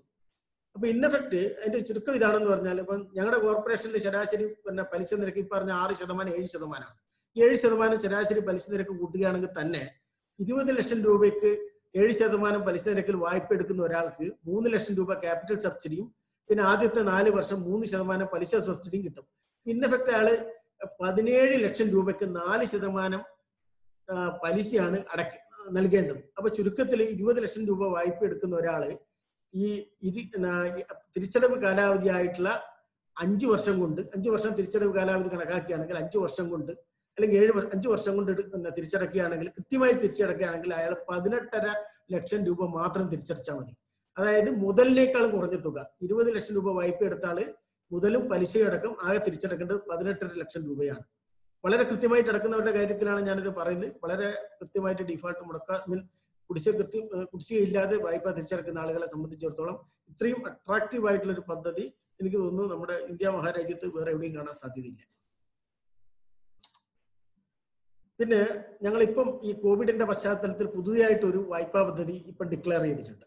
അതിന്റെ ഇത് പ്രവർത്തന മൂലധന വായ്പ പദ്ധതി അതിന് കോവിഡ് പശ്ചാത്തലത്തിൽ പ്രവർത്തനം സ്തംഭിച്ചു പോയ അല്ലെങ്കിൽ അവർക്ക് പിന്നെ മൂന്നാൽ മാസം വർക്ക് ചെയ്യാത്തതുകൊണ്ട് മൊത്തം അവതാളത്തിലായിട്ടുള്ള സംരംഭങ്ങളെ സംബന്ധിച്ചിടത്തോളം അവർക്ക് പുനരുജ്ജീവിപ്പിക്കുന്നതിന് വേണ്ടിയിട്ട് നമ്മളൊരു പ്രവർത്തന മൂലധന വായ്പ നൽകുകയാണ് ഈ പദ്ധതി പ്രകാരം ഒ ബി സിയിലും മതന്യൂനപക്ഷത്തിൽപ്പെട്ട സംരംഭകർക്ക് ആറ് ശതമാനം പലിശ നിരക്കിൽ അഞ്ച് ലക്ഷം രൂപ വരെ വായ്പ നൽകും. അവർക്ക് അവരുടെ നിലവിലെ സംരംഭങ്ങൾ പുനരുജ്ജീവിപ്പിക്കുന്നതിന് ഈ പദ്ധതി നല്ല രീതിയിൽ പ്രയോജനപ്പെടുത്താവുന്നതാണ്. ആറ് ശതമാനം പലിശക്കാണ് ഇത് നൽകുന്നത്. അപ്പൊ ഈ പദ്ധതിയിൽ എന്ന് പറഞ്ഞാൽ പിന്നെ സാധാരണ ഏത് സംരംഭകർക്കും ഈ വിഭാഗത്തിൽ വരുന്ന ഏത് സംരംഭകർക്കും അപേക്ഷിക്കാവുന്നതാണ്. പക്ഷെ അവർക്ക് ഒരു പിന്നെ കോർപ്പറേഷനിൽ നിന്നും വായ്പ എടുത്ത സംരംഭകർക്കും ഇത് കിട്ടും. കാരണം അവരുടെ നിലവിൽ പിന്നെ അവരുടെ പിന്നെ വായ്പയിലെ ചില നിബന്ധനകൾക്ക് വിധേയമായിട്ട് അവർക്ക് ഒരു പിന്നെ ടോപ്പപ്പ് വായ്പയായിട്ടും ഈ പദ്ധതി പ്രയോജനപ്പെടുത്താവുന്നതാണ്. അപ്പൊ നമ്മുടെ കോർപ്പറേഷനിൽ നിന്ന് നിലവിൽ ഏകദേശം ഒരു ലക്ഷത്തോളം ആളുകൾ കേരളത്തിൽ വായ്പ എടുത്ത് സംരംഭങ്ങൾ നടത്തുന്ന ആളുകളായിട്ട് നിലവിലുണ്ട്. അവർക്കും ഈ പദ്ധതി പ്രയോജനപ്പെടുത്താവുന്നതാണ്. ഒരു ടോപ്പപ്പ് വായ്പയായിട്ട് ഈ ആറ് ശതമാനം പലിശ നിരക്കിൽ പരമാവധി അഞ്ച് ലക്ഷം രൂപ വരെ നൽകും. പക്ഷെ അതിന് ചില പ്രത്യേക നിബന്ധനകളുണ്ട്. അപ്പൊ അത് ഇവിടെ പറയാൻ നേരമില്ലാത്തതുകൊണ്ട് അതിലേക്ക് കടക്കുന്നില്ല. പിന്നെ ഇത് ഇത് മൈക്രോ ക്രെഡിറ്റ് വായ്പാ പദ്ധതിയാണ്. പക്ഷെ അത് ഇവിടെ എത്രമാത്രം റിലവന്റ് ആണെന്ന് അറിയില്ല. കാരണം ഇതെല്ലാവരും വ്യക്തിഗത സംരംഭകരാണ് ഇവിടെ വന്നിരിക്കുന്നത്. അപ്പൊ ഞാൻ അതിലേക്ക് വേണമെങ്കിൽ കടക്കാം. പക്ഷെ അതിനു മുമ്പ് വേറെ രണ്ട് പദ്ധതികൾ. അത് സംബന്ധിച്ച സ്ലൈഡ് ഞാൻ ഇതിനെ തയ്യാറാക്കിയിട്ടില്ല. പക്ഷെ ഞാനത് പറയാം. ഒന്നാണെന്ന് പറഞ്ഞാൽ നമ്മുടെ സ്റ്റാർട്ടപ്പ് വായ്പാ പദ്ധതി. കാരണം പുതുതായിട്ട് സംരംഭത്തേക്ക് വരുന്ന ആളുകൾക്ക് പ്രത്യേകിച്ച് പ്രൊഫഷണലുകൾക്ക് അവരുടെ പിന്നെ വിദ്യാഭ്യാസ യോഗ്യതയുമായിട്ട് ബന്ധപ്പെട്ട മേഖലകളിൽ സംരംഭങ്ങൾ ആരംഭിക്കുന്നതിന് ഇതേമാതിരി ഇരുപത് ലക്ഷം രൂപ വരെ നമ്മൾ വായ്പ നൽകുന്നുണ്ട്. അതിലൊരു പ്രത്യേകതയുണ്ട്. ഇതിന്റെ പരമാവധി പത്ത് ശതമാനം അതായത് പിന്നെ ഇരുപത് ലക്ഷം എടുക്കുന്ന ആൾക്കാണെങ്കിൽ ഇരുപത് രണ്ട് ലക്ഷം രൂപ നമ്മുടെ പിന്നോക്ക ക്ഷേമ വകുപ്പ് ഒരു പ്രത്യേക സബ്സിഡി ആയിട്ട് നൽകുന്നുണ്ട്. ഇതാണ് സാധാരണ നമ്മുടെ സ്വയം തൊഴിൽ വായ്പാ പദ്ധതിയിൽ നിന്നും ഈ പദ്ധതിക്കുള്ള വ്യത്യാസം. ഇനി ഞാൻ പറയാൻ വേണ്ടി പോകുന്ന ഒരു പദ്ധതി പറഞ്ഞാൽ ഞങ്ങളുടെ കോർപ്പറേഷനായിട്ട് ബന്ധപ്പെട്ടതല്ല പക്ഷെ കേരളത്തിലെ ഒ ബി സിയിൽ വരുന്ന ഒ ബി സിക്കാർക്ക് മാത്രമുള്ള പദ്ധതിയാണ് ഒ ബി സിയിൽ വരുന്ന സംരംഭകരെ വലിയ രീതിയിൽ പ്രയോജനപ്പെടുത്താൻ പറ്റുന്ന ഒരു പദ്ധതിയാണ്. ഈ പദ്ധതി നടപ്പിലാക്കുന്നത് investment finance corporation of India ആണ്. ഇൻവെസ്റ്റ്മെന്റ് ഫിനാൻസ് കോർപ്പറേഷൻ ഓഫ് ഇന്ത്യയുടെ വെഞ്ചർ ക്യാപിറ്റൽ ഫണ്ടാണ്. ഇത് investment finance corporation of India ഡൽഹിയിലുള്ള ഒരു സ്ഥാപനമാണ്. അപ്പൊ ഞങ്ങളുടെ റോൾ എന്താണെന്ന് പറഞ്ഞാൽ ഞങ്ങൾ അവർക്ക് വേണ്ടിയിട്ട് കേരള കഴിഞ്ഞ വർഷം രണ്ടു വർഷം മുമ്പ് കൊച്ചിയിൽ ഒരു സംസ്ഥാനതല സെമിനാർ സംഘടിപ്പിക്കുകയുണ്ടായിട്ടുണ്ടായിരുന്നു. കാരണം ആ പദ്ധതി കാരണം ആ വലിയ രീതിയിൽ ആളുകൾക്ക് പ്രയോജനപ്പെടുത്താൻ പറ്റുന്ന ആ പദ്ധതി കേരളത്തിലെ സംരംഭകരെ പരിചയപ്പെടുത്തുന്നതിന് വേണ്ടിയിട്ടാണ് ചെയ്തത്. അപ്പൊ ഈ പദ്ധതി പ്രകാരം എന്ന് പറഞ്ഞാൽ ഈ പിന്നെ ബാക്ക്വേർഡ് ക്ലാസ്സിൽ വരുന്ന സംരംഭകർക്ക് എഴുപത്തഞ്ച് ശതമാനം വരെ പിന്നെ അവരുടെ അതായത് പരമാവധി ഈ പദ്ധതി പ്രകാരം അഞ്ചു കോടി രൂപ വരെയാണ് വായ്പ നൽകുന്നത്. ഈ അഞ്ചു കോടി രൂപയിൽ രണ്ട് തരത്തിലുണ്ട്. ഒന്ന് ഒരു കോടി രൂപ വരെയുള്ള വായ്പയാണെങ്കിൽ അതിന്റെ എഴുപത്തിയഞ്ച് ശതമാനം I F C I venture ക്യാപിറ്റലായിട്ട് നൽകും. ബാക്കി ഇരുപത്തിയഞ്ച് ശതമാനം ഇതിന്റെ പ്രൊമോട്ടർമാർ സംഘടിപ്പിക്കണം. ബാക്കിയുള്ള അതായത് പിന്നെ ഒരു ലക്ഷ ഒരു കോടി മുതൽ അഞ്ചു കോടി രൂപ വരെയുള്ള വായ്പയാണെങ്കിൽ അതിന്റെ അൻപത് ശതമാനം ഇതേമാതിരി വെഞ്ചർ ക്യാപിറ്റലായിട്ട് നൽകും. ബാക്കി ഇരുപത്തിയഞ്ച് ശതമാനം പ്രൊമോട്ടറോ അല്ലെങ്കിൽ ഇരുപത്തിയഞ്ച് ശതമാനം മറ്റ് ധനകാര്യ സ്ഥാപനങ്ങളിൽ നിന്നോ സംഘടിപ്പിക്കേണ്ടതാണ്. ഇതാണ് ഇതിന്റെ വ്യവസ്ഥ. ഇത് നൽകുന്നത് സാധാരണ എന്ന് പറഞ്ഞാൽ കമ്പനികൾക്കാണ്. പ്രൈവറ്റ് ലിമിറ്റഡ് കമ്പനികളാണ്. പക്ഷെ ഒരു കണ്ടീഷൻ പറഞ്ഞിരിക്കുന്നു പറഞ്ഞാൽ ഈ പ്രൈവറ്റ് ലിമിറ്റഡ് കമ്പനികളിലെ പിന്നെ പിന്നെ എന്താ ഡയറക്ടേഴ്സിൽ അൻപത്തി ഒന്ന് ശതമാനം ആളുകൾ ഒ ബി സി വിഭാഗത്തിൽപ്പെട്ടവരായിരിക്കണം എന്നുള്ളൊരു കണ്ടീഷനാണ് ഉള്ളത്. ഇപ്പൊ കേരളത്തിൽ മിക്കവാറും എവിടെ സംരംഭം ആരംഭിച്ചാലും പ്രൈവറ്റ് ലിമിറ്റഡ് കമ്പനി ആണെങ്കിലും കേരളത്തിന്റെ ഒരു പൊതുസ്ഥിതി വെച്ച് ഏകദേശം ഇത്തിരി ശതമാനം ആളുകൾ ഒ ബി സിയിൽ പെടുന്ന ആളുകൾ ഉണ്ടാകാം. കാരണം ഒ ബി സി പോപ്പുലേഷൻ തന്നെ അറുപത്തിയഞ്ച് ശതമാനം വരുന്നുണ്ട് കേരളത്തിൽ. അപ്പൊ സ്വാഭാവികമായിട്ടും അത് വലിയ ബുദ്ധിമുട്ടുണ്ടാകില്ല. അപ്പൊ നിലവിൽ പുതുതായിട്ട് ആരംഭിക്കുന്ന പ്രൈവറ്റ് ലിമിറ്റഡ് കമ്പനികൾക്കും പിന്നെ നിലവിലെ പാർട്ട്ണർഷിപ്പോ അല്ലെങ്കിൽ പ്രൊപ്പറേറ്റർഷിപ്പ് സ്ഥാപനങ്ങൾക്കൊക്കെ ഒരു നിബന്ധനകൾക്ക് വിധേയമായിട്ട് പർട്ടിക്കുലർ സമയത്തിനകത്ത് ഈ പ്രൈവറ്റ് ലിമിറ്റഡ് കമ്പനിയായിട്ട് കൺവേർട്ട് ചെയ്താലും ഈ വായ്പയ്ക്ക് അപേക്ഷയുണ്ട്. ഇതിന്റെ ഒരു ഗുണം എന്ന് പറഞ്ഞാൽ ഇതിന്റെ പ്രത്യേകത എന്ന് പറഞ്ഞാൽ ഇതിന് ഇതിന്റെ പലിശ നിരക്ക് എന്ന് പറഞ്ഞാൽ ഇത്രയും വലിയ വായ്പയ്ക്ക് അഞ്ചു കോടി വരെയുള്ള വായ്പയ്ക്ക് പലിശ നിരക്ക് എന്ന് പറഞ്ഞാൽ അത് പിന്നെ ഈ ഒ ബി സിയിൽപ്പെട്ട സ്ത്രീകളും പിന്നെ അത് നിരാല പിന്നെ ഹാൻഡിക്യാപ്ഡ് ആയിട്ടുള്ള ആളുകളൊക്കെ സംരംഭം തുടങ്ങുകയാണെങ്കിൽ അവർക്ക് ഏഴര ശതമാനത്തിനും പുരുഷന്മാർക്ക് ഐ മീൻ മറ്റുള്ളവർക്ക് എട്ട് ശതമാനത്തിനുമാണ് ഈ വായ്പ ഐ എഫ് സി ഐ ലഭ്യമാക്കുന്നത്. എന്താ എന്ത് പറഞ്ഞാൽ എട്ട് ശതമാനം പലിശയ്ക്ക് അഞ്ചു കോടി രൂപ വരെ വായ്പ ലഭ്യമാക്കുന്ന വലിയൊരു സംരംഭമാണ്. പക്ഷെ ഇതിന് മറ്റൊരു പ്രധാനപ്പെട്ട പ്രത്യേകത ഇതിൽ കൊലാട്രൽ സെക്യൂരിറ്റി വേണ്ട. അപ്പൊ ഇതിന്റെ assets created out of the loan that itself is a security ആ രീതിയിലാണ് അവർ കണക്കാക്കുന്നത്. അപ്പൊ അതിന് വേറെ കൊലാട്രൽ സെക്യൂരിറ്റിയുടെ കാര്യമൊന്നുമില്ല. പിന്നെ ഈ അമ്പത്തൊന്ന് പിന്നെ ഇതിന് പ്രായപരിധിയില്ല ഒ ബി സിയിൽപ്പെട്ട ആളുകൾക്ക് ഇത്ര പ്രായത്തിലുള്ള ആളുകൾക്ക് കൊടുക്കുള്ളൂ എന്നുള്ള വ്യവസ്ഥയിലില്ല. ഏത് പ്രായത്തിലുള്ള ആളുകൾക്കും ഇതിന് അപേക്ഷിക്കാൻ വേണ്ടി സാധിക്കുന്നതാണ്. പിന്നെ ഇതിൽ ഇതിന്റെ മറ്റു വിശദ വിവരങ്ങൾ അവരുടെ വെബ്സൈറ്റിൽ ലഭ്യമാണ്. അതായത് venture capital fund for backward classes എന്ന് പറഞ്ഞ പ്രത്യേക ലിങ്ക് തന്നെ അതിലുണ്ട്. അപ്പൊ ആ വെബ്സൈറ്റിൽ ലഭ്യമാണ്. അവരുടെ വെബ്സൈറ്റ് പിന്നെ യു ആർ എൽ ഇതാണ് I F C I venture dot com. എന്ന ഇതിലേക്ക് I F C I I F C I venture V N T U R E I F C I I F C I N T U R E dot com ഇതിൽ ഇതിന്റെ പിന്നെ ഈ വിശദാംശങ്ങൾ മുഴുവൻ ഇവിടെ ഇതിൽ ലഭ്യമാണ്. പിന്നെ മൈക്രോ ക്രെഡിറ്റ് വായ്പാ പദ്ധതിയെ കുറിച്ച് പറയണ ഉണ്ടെങ്കിൽ പറയാം. പക്ഷെ ഇവിടെ അത്രമാത്രം പ്രസക്തമാണെന്ന് തോന്നാത്തതുകൊണ്ട് ഞാൻ പറയുന്നില്ല. ഇതാണ് പദ്ധതികളെ കുറിച്ചിട്ട് പറയാനുള്ളത് പിന്നെ ഇതിൽ ഒന്ന് രണ്ട് കാര്യങ്ങളും കൂടിയുണ്ട്. അപ്പം ഞങ്ങളുടെ ഈ ബി സി ഡി സി നടപ്പിലാക്കുന്ന പദ്ധതികളുടെ ഇതിന്റെ ഒരു പിന്നെ സ്വാഭാവിക സ്വാഭാവികമായിട്ടും ഇതിൽ ജാമ്യ വ്യവസ്ഥയെക്കൊണ്ട് ഇതിന്റെ പിന്നെ വസ്തു ജാമ്യം അല്ലെങ്കിൽ ഉദ്യോഗസ്ഥ ജാമ്യമോ അല്ലെങ്കിൽ എൽ ഐ സി പോളിസിയോ സ്ഥിര നിക്ഷേപമോ ഇത് ഏതെങ്കിലും ജാമ്യമായിട്ട് നൽകണം. അതിന്റെ വിശദവിവരങ്ങളൊക്കെ എനിക്കൊന്ന് ഈ പ്രസന്റേഷൻ ഷെയർ ചെയ്യപ്പെടുമല്ലോ അല്ലെ വൈജു ഏ?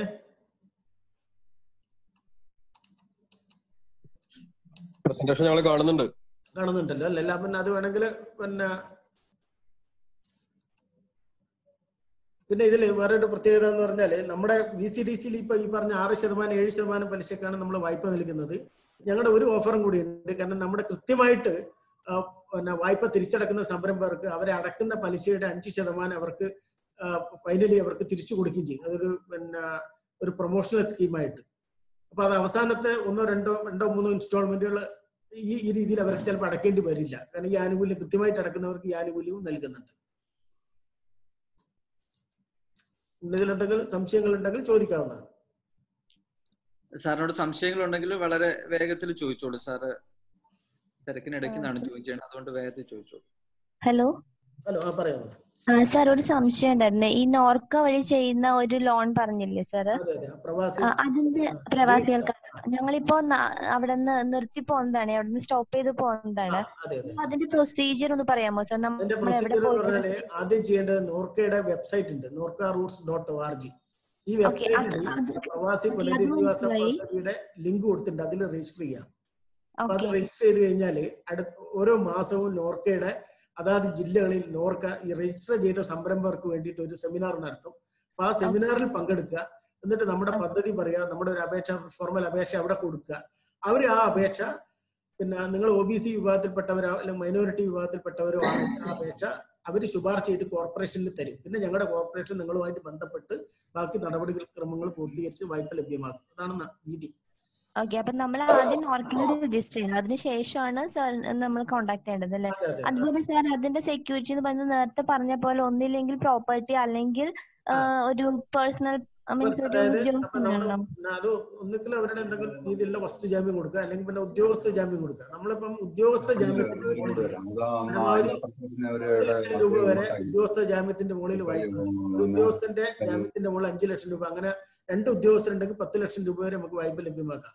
മറ്റു അല്ലേ സാർ? ഏഹ് അല്ല ഏതെങ്കിലും ഒരു ജാമ്യം മതി അല്ലേ? ഏതെങ്കിലും ഒന്ന് മതി. ഏതെങ്കിലും നിങ്ങളുടെ തുകക്ക് അനുസരിച്ച് നിശ്ചയിച്ചിട്ട് ഏതെങ്കിലും ഒരു ജാമ്യം മതി. Okay sir. Okay. Thank you. ഇതിൽ എന്നാണ് സാർ ഒരു സംശയം ചോദിച്ചോട്ടെ? ഹലോ? കേൾക്കുന്നുണ്ട് പറയാം. ആ സാർ ഞാൻ ഈറം സയന്റിഫിക് സൊല്യൂഷൻസ് എന്ന് പറയുന്ന കമ്പനിയിൽ വർക്ക് ചെയ്യുക അപ്പൊ ഞങ്ങളുടെ പല എന്റർപ്രണർ ആയിട്ട് ഒരാൾക്ക് സംരംഭം തുടങ്ങാവുന്ന രീതിയിൽ ഒരു മൂന്നാൽ സ്ലാബിൽ പല പ്രോജക്ട്സ് ഉണ്ട്. അപ്പം ഇതിനെക്കുറിച്ച് ഈ ബാക്ക്വേർഡ് കമ്മ്യൂണിറ്റിയുടെ ഇതിനകത്ത് വരുന്ന ആൾക്കാർക്ക് ഒന്ന് നമുക്കൊന്ന് ഇതിനെക്കുറിച്ചൊന്ന് അവയർനെസ് കൊടുക്കാൻ വേണ്ടി നമുക്കൊരു കോമൺ പ്ലാറ്റ്ഫോം എന്തെങ്കിലും ഉണ്ടോ? മീൻസ് ഈ കോവിഡിന്റെ പശ്ചാത്തലത്തിലല്ല അത് കഴിഞ്ഞിട്ടൊക്കെ എന്തെങ്കിലും മീറ്റിംഗ് പോലെ എന്തെങ്കിലും ഉണ്ടാവാറുണ്ടോ? നമ്മൾ അങ്ങനെ ചെയ്യുകയാണെങ്കിൽ നമ്മൾക്ക് വേണമെങ്കിൽ അങ്ങനെയുള്ള സംരംഭകർക്ക് വേണ്ടി പ്രത്യേകിച്ച് പ്രോഗ്രാം നടത്താം. നമ്മുടെ. ബന്ധപ്പെട്ട ജില്ലാ മാനേജർമാർ അവിടെ വന്നിട്ട് ഇത് വിശദീകരിക്കുന്നതാണ്. അതിന് തടസ്സമൊന്നുമില്ല. നിങ്ങൾ അങ്ങനെ ഒരു പ്രോഗ്രാം ഓർഗനൈസ് ചെയ്യുകയാണെങ്കിൽ ബന്ധപ്പെട്ട മാനേജർ അവിടത്തേക്ക് അത് എക്സ്പ്ലെയിൻ ചെയ്യാൻ വേണ്ടി വിടാം.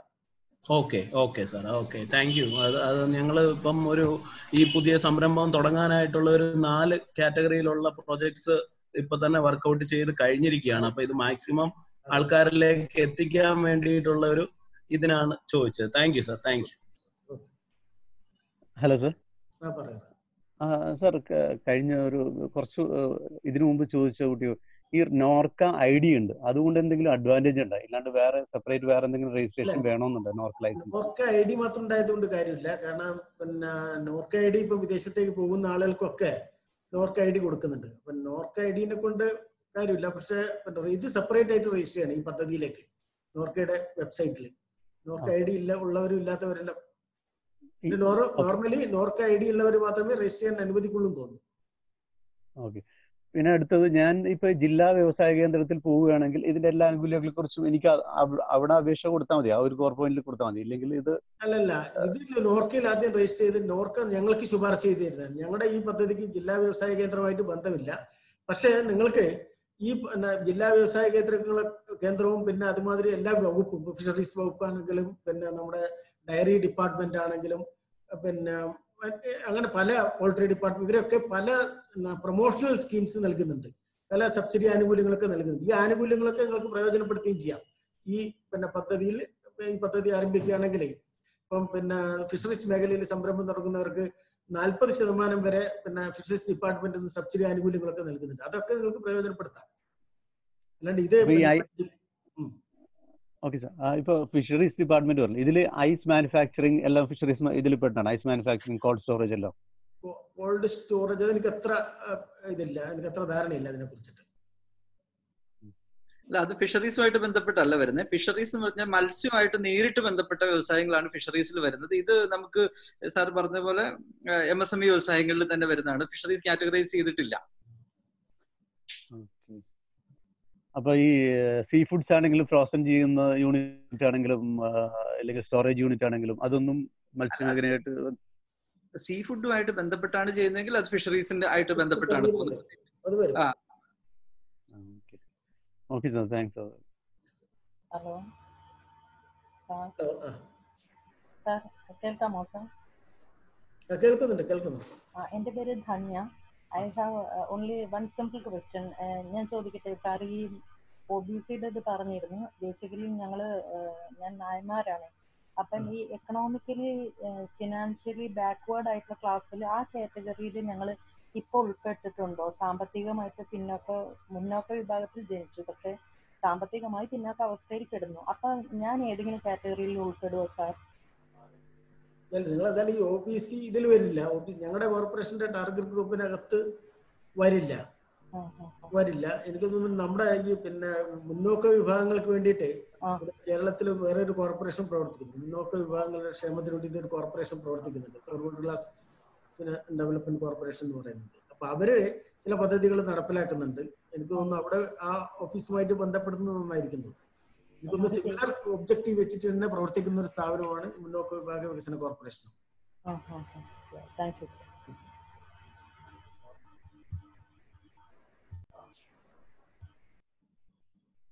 വേറെ എന്തെങ്കിലും സംശയങ്ങൾ അദ്ദേഹത്തോട് ചോദിക്കാൻ തന്നെ ഉണ്ടെങ്കിൽ വളരെ വേഗം.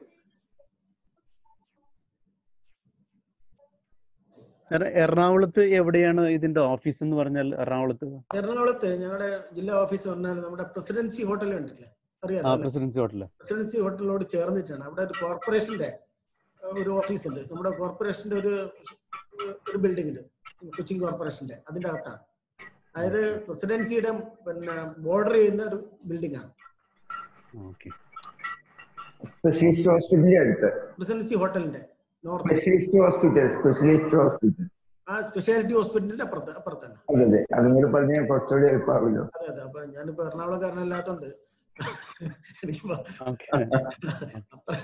യു സാർ ഹലോ സാറിന്റെ പ്രസന്റേഷൻ വളരെ നന്നായിരുന്നു. സ്ലൈഡ് മുഴുവൻ കവർ ചെയ്യാൻ പറ്റിയില്ല. അതുകൊണ്ട് വെബ്സൈറ്റ് അഡ്രസ് ഒന്ന് തരുമോ sir website K S B C D C dot com K S B C D C okay okay sir thank you സാറേ ഇതിന്റെ തൃശ്ശൂരത്തെ ഓഫീസ് എവിടെയാന്ന് പറയാം ഇവിടെ തൃശ്ശൂർ തൃശ്ശൂർ. തൃശ്ശൂർ ചിക്കൻ തമ്പുരാൻ സ്റ്റാൻഡിന് തൊട്ടടുത്താണ്. അവിടെ ഒരു പിന്നെ തൃശ്ശൂർ കോർപ്പറേഷന്റെ ഒരു ബിൽഡിംഗ് സ്റ്റാൻഡിന് അടുത്തന്നെ. ഹലോ സാർ ആ പറയാം. സാർ കണ്ണൂർ ജില്ലയിൽ എവിടെയാ ഓഫീസ് കണ്ണൂർ ജില്ലയിൽ ഇവിടെ പിന്നെ കണ്ണൂര് റെയിൽവേ സ്റ്റേഷന്റെ കുറച്ചടുത്തായിട്ട് പാറക്കണ്ടി എന്ന് പറഞ്ഞൊരു സ്ഥലമുണ്ട്. കണ്ണൂർ കണ്ണൂർ തന്നെയാണ് അവിടുന്ന് ബസ് സ്റ്റാൻഡിന് എടുക്കുന്ന ജസ്റ്റ് ഒരു കിലോമീറ്റർ ഉള്ളിൽ ഒരു കിലോമീറ്റർ വേണ്ട അര കിലോമീറ്ററിന്റെ ഉള്ളിൽ ബസ് സ്റ്റാൻഡിൽ നിന്ന് സ്റ്റേഷനിലേക്ക് വരുമ്പോൾ അവിടുന്ന് ആ ഒരു ഒരു കോർണർ ഉണ്ടല്ലോ അവിടെ. Palakkad plaza okay sir okay thank you. ഇത് വെബ്സൈറ്റ് നമ്മുടെ എല്ലാ ഓഫീസിന്റെ അഡ്രസ്സും നമ്മുടെ വെബ്സൈറ്റിലുണ്ട് ഓക്കെ സാർ ഓക്കെ. അപ്പൊ അതിൽ സംശയം ഉണ്ടെങ്കിൽ അതിൽ നോക്കിയാൽ ഫോൺ നമ്പർ എല്ലാം അതിലുണ്ട്. Okay okay thank you.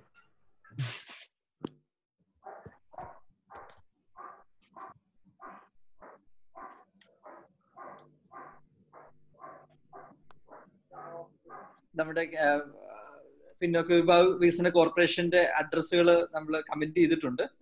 Office നമ്പറുകൾ കമന്റ് ബോക്സിലുണ്ട് നിങ്ങൾക്ക് അവിടെ നിന്ന് എടുക്കാം. മറ്റു ഓഫീസുകളുമായിട്ട് ബന്ധപ്പെടാം. വെബ്സൈറ്റ് ഐ ഡി നമ്മൾ കമന്റ് ബോക്സിൽ ഇട്ടിട്ടുണ്ട് കിട്ടാത്തവർക്ക് വേണ്ടിയിട്ട്. എന്തായാലും എനിക്ക് വളരെ കരുതലോടെ വളരെ കമന്റിലൊക്കെ സാറിന് കാണാൻ വളരെ നന്നായിട്ട് ഈ ഒരു പ്രസന്റേഷനിൽ വന്ന് ആളുകളോട് സംബന്ധിച്ച പ്രിയപ്പെട്ട ബാലഭാസ്കരൻ സാറിനോട് വളരെ എല്ലാവർക്കും വേണ്ടിയിട്ട് ഇതിൽ പങ്കെടുക്കുന്ന മുഴുവൻ ആളുകൾക്കും വേണ്ടിയിട്ട് ഏകദേശം തൊണ്ണൂറോളം പാർട്ടിസിപ്പൻസ് നമുക്കുണ്ട്. ബാക്കി ആളുകൾ നമുക്ക് ഇതിൽ അക്സെപ്റ്റ് ചെയ്യാൻ പറ്റാത്തതുകൊണ്ട് ഫേസ്ബുക്കിൽ ഈ പ്രോഗ്രാം വാച്ച് ചെയ്യുന്നുണ്ട്. ഇത് റെക്കോർഡഡ് പ്രോഗ്രാം ആയിട്ട് തന്നെ കിടക്കും. പിന്നീടും ആളുകൾക്ക് ഇത് പ്രയോജനം ചെയ്യുന്നതാണ്. ഇത്രയും സമയം അദ്ദേഹം ഒരു കോർപ്പറേഷന്റെ എം ഡി ആയിരിക്കുമ്പോൾ എനിക്ക് തോന്നുന്നു പലപ്പോഴും ചെയ്യുന്നത് സബോർഡിനേറ്റ്സിനെ ചുമതലപ്പെടുത്തുകയാണ് ചെയ്യുന്നത്. അതിൽ നിന്ന് മാറിയിട്ട് സാർ എനിക്ക് തോന്നുന്നത് നേരിട്ട് സംവദിക്കാൻ ഒരു അവസരം കണ്ടെത്തിയത് വലിയൊരു കാര്യം തന്നെയാണ്. പലപ്പോഴും കോർപ്പറേഷൻ എം ഡിമാരൊന്നും അങ്ങനെ പൊതുവെ വരാറില്ല. പക്ഷെ അതൊരു താല്പര്യത്തിന്റെയും കൂടെ ഭാഗമാണ്. എനിക്ക് തോന്നുന്നത് അതുകൊണ്ട് തന്നെയാണ്. പ്രത്യേകിച്ചും നമ്മൾ മറ്റൊരു സ്ഥലത്തേക്ക് ചെല്ലുമ്പോൾ ഒരു ബ്രോഷർ സ്ലൈഡുകളും അതിന്റെ പ്രിപ്പറേഷൻ വളരെ നന്നായി ആളുകളിലോട് സംബന്ധിച്ച പ്രിയപ്പെട്ട ബാലഭാസ്കർ സാറിനോട് എല്ലാവരുടെയും പേരിലുള്ള നന്ദി. പ്രത്യേകിച്ച് നന്ദി. ഞാൻ ഒരിക്കൽ കൂടി അദ്ദേഹത്തോട് അറിയിക്കുകയാണ്. അദ്ദേഹത്തിന്റെ സംരംഭങ്ങൾ ആയിട്ടും അതുപോലെ തന്നെ ഇത്തരത്തിലുള്ള മറ്റു ക്ഷേമ പദ്ധതികളും ഒക്കെ ആയിട്ടുള്ള യാത്രകൾ. എനിക്ക് തോന്നുന്നത് ഓരോ ദിവസവും ഞാൻ പത്രത്തിൽ വായിക്കാറുണ്ട്. ഇങ്ങനെ പിന്നോക്ക വിഭാഗ കോർപ്പറേഷന്റെ ഏതെങ്കിലും ഒരു പുതിയ പദ്ധതി സാർ പ്രഖ്യാപിച്ചിരിക്കും അത് എപ്പോഴും പ്രത്യേകിച്ച് മനോരമയൊക്കെ എടുത്തു നോക്കിക്കഴിഞ്ഞാൽ എപ്പോഴും ഓരോ പുതിയ പദ്ധതികൾ കാണാം. പുതിയ ആശയങ്ങളും പുതിയ കാഴ്ചപ്പാടുകളും ഒക്കെ ആയിട്ട് ആളുകളെ കൂടുതൽ ഊർജസ്വലരാക്കിക്കൊണ്ട് കൂടുതൽ ചിന്തിക്കാൻ പ്രേരിപ്പിക്കുന്ന ഇത്തരത്തിലുള്ള പദ്ധതികൾ ലോഞ്ച് ചെയ്യുന്ന ഒരു എം ഡി എന്നുള്ള നിലയിൽ സാറിനോടുള്ള എല്ലാ നന്ദിയും സ്നേഹവും അറിയിക്കുന്നു. Thank you sir thank you thank you thank you thank you sir thank you നമ്മളുടെ നെക്സ്റ്റ് പ്രസന്റേഷൻ വരുന്നത് പട്ടികജാതി വികസന വകുപ്പിന്റെ വിവിധ പദ്ധതികളെ കുറിച്ചിട്ട്. ജോസഫ് സാർ ക്ലിയർ അല്ലേ? Joseph sir? ജോസഫ് സാറിന് ക്ലിയർ ആണോ? Joseph sir?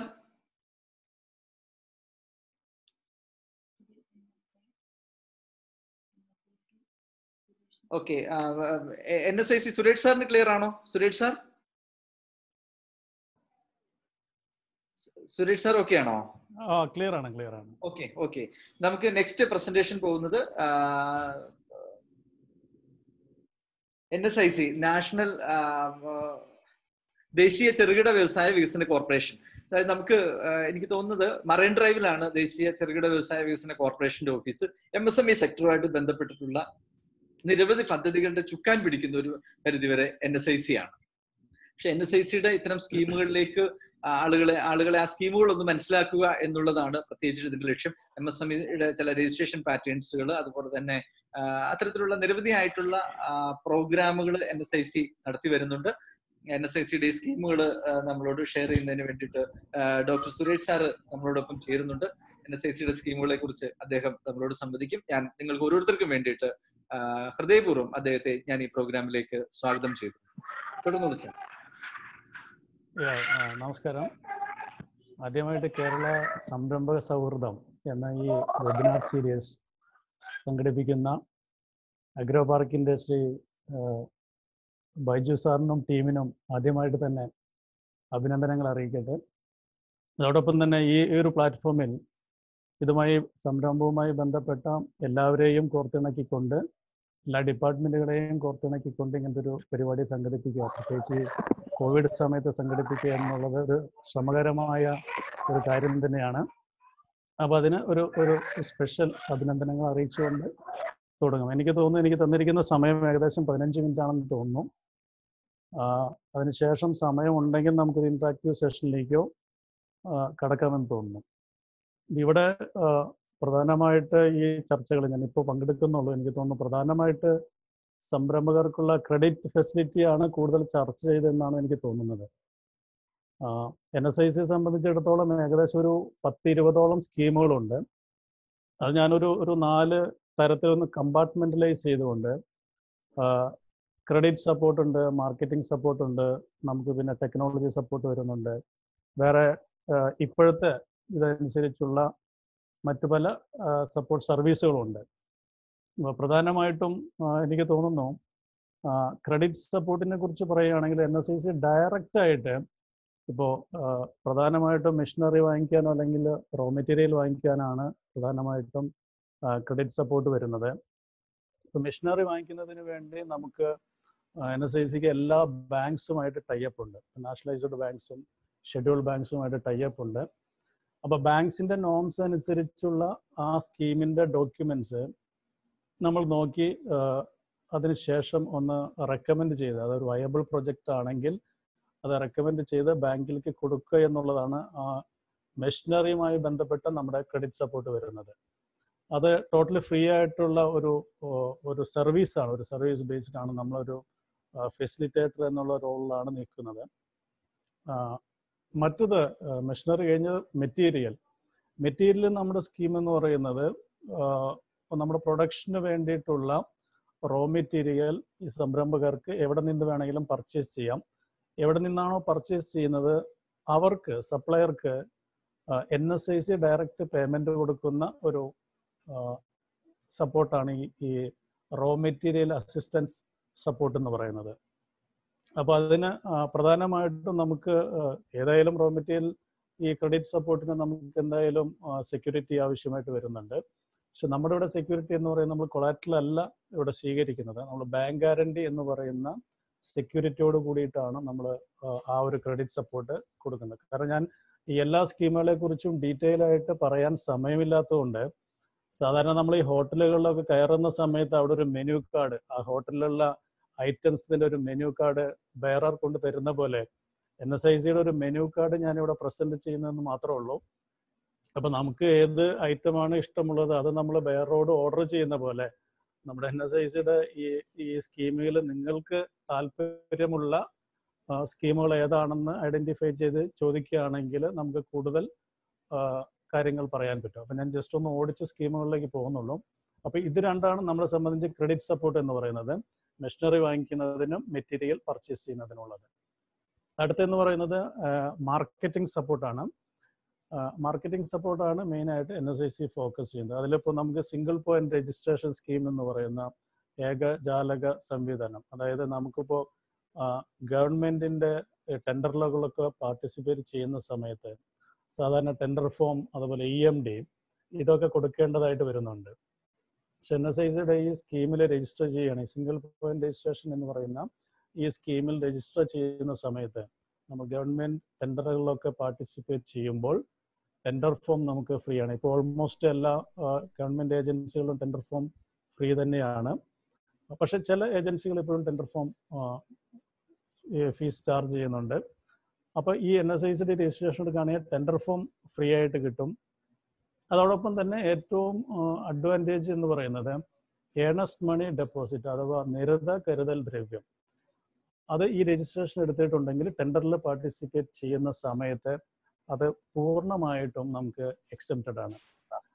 അതുകൂടാതെ ഒന്നാമത്തെ issue of tender documents free of cost രണ്ടാമത്തെ നമുക്ക് exemption from payment of earnest money deposit E M D ഡെപ്പോസിറ്റിന്റെ exemption totally waive ചെയ്ത് കിട്ടും. മൂന്നാമത്തെ അഡ്വാന്റേജ് എന്ന് പറയുന്നത് നമുക്ക് ഈ ടെൻഡറിൽ പാർട്ടിസിപ്പേറ്റ് ചെയ്യുന്നതിനുള്ള അഡ്വാൻസ് ആയിട്ടുള്ള ഇന്റിമേഷൻ നിങ്ങൾ രജിസ്റ്റർ ചെയ്യുന്ന സമയത്ത് നിങ്ങൾ തരുന്ന ഇമെയിൽ ഐ ഡിയിൽ ഏതൊക്കെ നിങ്ങൾ രജിസ്റ്റർ ചെയ്യുന്ന ആ പ്രൊഡക്റ്റിന് ഓൾ ഓവർ ഇന്ത്യയിൽ ഗവൺമെന്റ് ഡിപ്പാർട്ട്മെന്റുകളിൽ എവിടേക്കാണോ അതിന്റെ റിക്വയർമെന്റ് വരുന്നത് ആ റിക്വയർമെന്റിനെ കുറിച്ച് അഡ്വാൻസ് ആയിട്ടുള്ള ഇന്റിമേഷൻ നിങ്ങൾക്ക് നിങ്ങളുടെ മെയിൽ വഴി കിട്ടും. അപ്പോൾ നിങ്ങൾക്ക് ആ ടെൻഡറിൽ പാർട്ടിസിപ്പേറ്റ് ചെയ്യാൻ അഡ്വാൻസ് ഇന്റിമേഷൻ കിട്ടുകയും അതോടൊപ്പം തന്നെ ടെൻഡറിൽ പാർട്ടിസിപ്പേറ്റ് ചെയ്യുമ്പോൾ ഫ്രീ ആയിട്ട് പാർട്ടിസിപ്പേറ്റ് ചെയ്യുമ്പോൾ നമുക്ക് വേറെ ഫിനാൻഷ്യൽ ക്രഞ്ച് ഫിനാൻഷ്യൽ ബ്ലോക്ക് ഒന്നും ഇല്ലാത്ത വിധത്തിൽ നമുക്ക് ഈ ടെൻഡറിൽ പാർട്ടിസിപ്പേറ്റ് ചെയ്യാൻ പറ്റുന്നുണ്ട്. അതോടൊപ്പം തന്നെ നമ്മളൊരു കോമ്പിറ്റൻസി സർട്ടിഫിക്കറ്റും കൂടെ അതായത് നിങ്ങൾ പെർ മന്ത് അല്ലെങ്കിൽ പെർ ആനം ഇത്രയും പ്രൊഡക്റ്റ് ചെയ്യാൻ ഇത്രയും പ്രൊഡക്ഷൻ ഉണ്ടാക്കാനുള്ള കപ്പാസിറ്റി ഉണ്ടെന്ന് ഉള്ള ഒരു കോമ്പിറ്റൻസി സർട്ടിഫിക്കറ്റ് ആവശ്യമുണ്ടെങ്കിൽ അതും നമ്മൾ ഇഷ്യൂ ചെയ്യുന്നതാണ്. സാധാരണ ഇതിന്റെ ഈ സിംഗിൾ പോയിന്റ് രജിസ്ട്രേഷനിൽ രജിസ്റ്റർ ചെയ്യാനുള്ള ക്രൈറ്റീരിയ എന്ന് പറയുന്നത് ഉദ്യോഗാധാർ മെമ്മോറാണ്ടം എനിക്ക് തോന്നുന്നു ഇപ്പോൾ എല്ലാ അതിനെക്കുറിച്ച് ഇപ്പോൾ സംസാരിച്ചിട്ടുണ്ടാവും തോന്നുന്നു. അതാണ് ഉദ്യോഗാധാർ മെമ്മോറാണ്ടമാണ് നമ്മളെ സംബന്ധിച്ച് ഏറ്റവും പ്രധാനമായിട്ടുള്ള ക്രൈറ്റീരിയ സാധാരണ ഈ പബ്ലിക് പ്രൊക്യൂർമെന്റ് പോളിസി അനുസരിച്ച് തന്നെ ഉദ്യോഗാധാർ മെമ്മറാണ്ടം ഉള്ള സംരംഭകർക്ക് ടെൻഡർ ഫോം ഫ്രീ ആണ് ഇ എം ഡി എക്സ്റ്റെൻഡ് ചെയ്ത് കൊടുക്കണമെന്നൊക്കെ പബ്ലിക് പ്രൊക്യൂർമെന്റ് പോളിസിയിൽ തന്നെ പറയുന്നുണ്ട്. അപ്പൊ തീർച്ചയായിട്ടും അങ്ങനെ ഒരു ഒരു സംശയം വരാം. അങ്ങനെയാണെങ്കിൽ ഈ ഉദ്യോഗാധാർ മെമ്മറാണ്ടം ഇതിൽ മാൻഡേറ്ററി ആണ്. അത് വെച്ചിട്ട് തന്നെ നമുക്ക് ഈ ബെനിഫിറ്റ് ഒക്കെ കിട്ടുന്നുണ്ടെങ്കിൽ എന്തിനാണ് എൻ എസ് ഐ രജിസ്ട്രേഷൻ എടുക്കേണ്ട ആവശ്യകത എന്നുള്ള ഒരു സംശയവും നമുക്കുണ്ടാവും. അപ്പോൾ ഞാൻ അതിന് പ്രധാനമായിട്ടും പറയുന്നത് സാധാരണ ഉദ്യോഗാധാർ മെമ്മറാണ്ടത്തിൽ നമ്മൾ രജിസ്റ്റർ ചെയ്യുമ്പോൾ നമ്മൾ കൊടുക്കുന്ന സംരംഭകൻ കൊടുക്കുന്ന ഡീറ്റെയിലിനെ ബേസ് ചെയ്തിട്ട് മാത്രമാണ്. അതിനൊരു കൗണ്ടർ ചെക്കിംഗ് ഒന്നും പറ്റുന്നില്ല അപ്പൊ നമ്മുടെ കപ്പാസിറ്റി ഒന്നും നമുക്ക് അസസ് ചെയ്യാൻ പറ്റില്ല. പക്ഷെ നേരെ മറിച്ച് എൻ എസ് ഐ സിയുടെ രജിസ്ട്രേഷൻ ആകുമ്പോൾ അതൊരു തേർഡ് പാർട്ടിയെ വെച്ചുകൊണ്ടുള്ള ഒരു ഇൻസ്പെക്ഷൻ നടത്തി നമ്മുടെ ക്വാളിറ്റേറ്റീവ് കപ്പാസിറ്റിയും ക്വാണ്ടിറ്റേറ്റീവ് കപ്പാസിറ്റിയും ഓരോ യൂണിറ്റിന്റെയും കപ്പാസിറ്റി പ്രൊഡക്ഷൻ കപ്പാസിറ്റി എത്രയാണെന്ന് അസസ് ചെയ്തുകൊണ്ടുള്ള ഒരു ഒരു സർട്ടിഫിക്കേഷനാണ് N S I C certification എന്ന് പറയുന്നത്. സാധാരണ ഇപ്പോൾ നമ്മൾ പ്ലസ് ടു കഴിഞ്ഞിട്ട് ഡിഗ്രിക്ക് പോകുമ്പോൾ ഇപ്പോൾ നമ്മൾ ഇന്ത്യൻ ഇൻസ്റ്റിറ്റ്യൂട്ട് ഓഫ് മാനേജ്മെന്റിലും അതുപോലെയുള്ള വലിയ സ്ഥാപനങ്ങളിലും അപ്ലിക്കേഷൻ കൊടുക്കും. സാധാ ഗവൺമെന്റ് കോളേജുകളിലോ അല്ലെങ്കിൽ പ്രൈവറ്റ് കോളേജുകളിലൊക്കെ അപ്ലിക്കേഷൻ കൊടുക്കും. ഇപ്പൊ രണ്ടിനും ക്രൈറ്റീരിയ പ്ലസ് ടു തന്നെയാണ്. അപ്പോൾ അതുപോലെ പക്ഷെ നമ്മൾ അഡ്മിഷൻ കിട്ടുന്ന സമയത്ത് നമ്മൾ പ്രിഫർ ചെയ്യുന്നത് ഐ ഐ എം ഒക്കെ ആയിരിക്കും. അതുപോലെ തന്നെയാണ് ഈ രജിസ്ട്രേഷന്റെ കാര്യം. കാരണം അതിന്റെ ഒരു advantage N S I C തന്നെ തേർഡ് പാർട്ടിയെ വെച്ച് അസസ് ചെയ്തുകൊണ്ട് നമ്മൾ ടെൻഡറിൽ പാർട്ടിസിപ്പേറ്റ് ചെയ്യുമ്പോൾ ഈ ബയർ ഏജൻസീസിന് നിങ്ങളുടെ കപ്പാസിറ്റിയെ കുറിച്ചുള്ള ഒരു വിശ്വസനീയത ഉള്ളത് കൊണ്ടാണ് ഈ കൂടുതൽ ഈ ഗവൺമെന്റ് ഏജൻസികളും ഈ എൻ എസ് ഐ സിയുടെ സിംഗിൾ പോയിന്റ് രജിസ്ട്രേഷൻ സർട്ടിഫിക്കറ്റ് ഉണ്ടോ എന്ന് ടെൻഡറിൽ പാർട്ടിസിപ്പേറ്റ് ചെയ്യുന്ന സമയത്ത് ചോദിക്കുന്നത്. അപ്പൊ അതാണ് നമ്മളെ സംബന്ധിച്ച് മെയിൻ ആയിട്ട് ഈ സിംഗിൾ പോയിന്റ് രജിസ്ട്രേഷനിൽ കിട്ടുന്ന അഡ്വാന്റേജ് അത് കൂടാതെ ഇപ്പൊ നമുക്ക് ആവശ്യമുള്ള റോ മെറ്റീരിയൽ പല ഏജൻസികളുമായുള്ള നമുക്ക് ടൈപ്പ് ഉണ്ട്. നമ്മൾ ബൾക്ക് ക്വാണ്ടിറ്റീസ് ഒക്കെ പർച്ചേസ് ചെയ്യുന്ന സമയത്ത് നമുക്ക് ഈ റേറ്റ് ഒക്കെ കുറച്ചുകൊണ്ട് തന്നെ എൻ എസ് ഐ സിയുടെ ഭാഗത്ത് നിന്ന് പല മെറ്റീരിയലും സപ്ലൈ ചെയ്യുന്നുണ്ട്. അപ്പോൾ അതിന്റെ ഡീറ്റെയിൽസ് ഒക്കെ കാരണം ഈ പത്ത് പതിനഞ്ച് മിനിറ്റ് സമയം ഉള്ളത് കൊണ്ട് ഏതൊക്കെ ഏജൻസികളാണെന്ന് പറയാൻ ഒരു ഒരു കൺസ്റ്റൈൻ ഉള്ളത് കൊണ്ട് ഞാൻ ഇത് ഈ പ്രസന്റേഷന് ശേഷം എൻ എസ് ഐ സിയുടെ വെബ്സൈറ്റോ മറ്റുള്ള ഡീറ്റെയിൽസ് തരാം. അപ്പം അതിനുശേഷം വൺ ടു വൺ ആയിട്ടുള്ള കോണ്ടാക്റ്റോ അല്ലെങ്കിൽ കോണ്ടാക്ട് ചെയ്താൽ ഫർദർ ഡീറ്റെയിൽസ് നമുക്ക് കിട്ടുന്നതാണ്. അതോടൊപ്പം തന്നെ ഇപ്പോഴത്തെ ഈ ട്രെൻഡ് അനുസരിച്ച് ഇപ്പം എല്ലാം ഈ ഈ കോവിഡ് സമയത്തൊന്നും മാത്രമല്ല എല്ലാവരും ഇപ്പം സോഷ്യൽ മീഡിയ വഴിയും നെറ്റ്വർക്ക് വഴിയും ഒക്കെ കൂടുതൽ ബിസിനസ് ചെയ്യുന്നത് കൊണ്ട് അങ്ങനത്തെ ഒരു മേഖലയായ B to B business to business business to customer അല്ലെങ്കിൽ കൺസ്യൂമർ എന്ന് പറയുന്ന രീതിയിലുള്ള ഒരു ഓൺലൈൻ മാർക്കറ്റിംഗ് പ്ലാറ്റ്ഫോമും കൂടെ N S I C start ചെയ്തിട്ടുണ്ട്.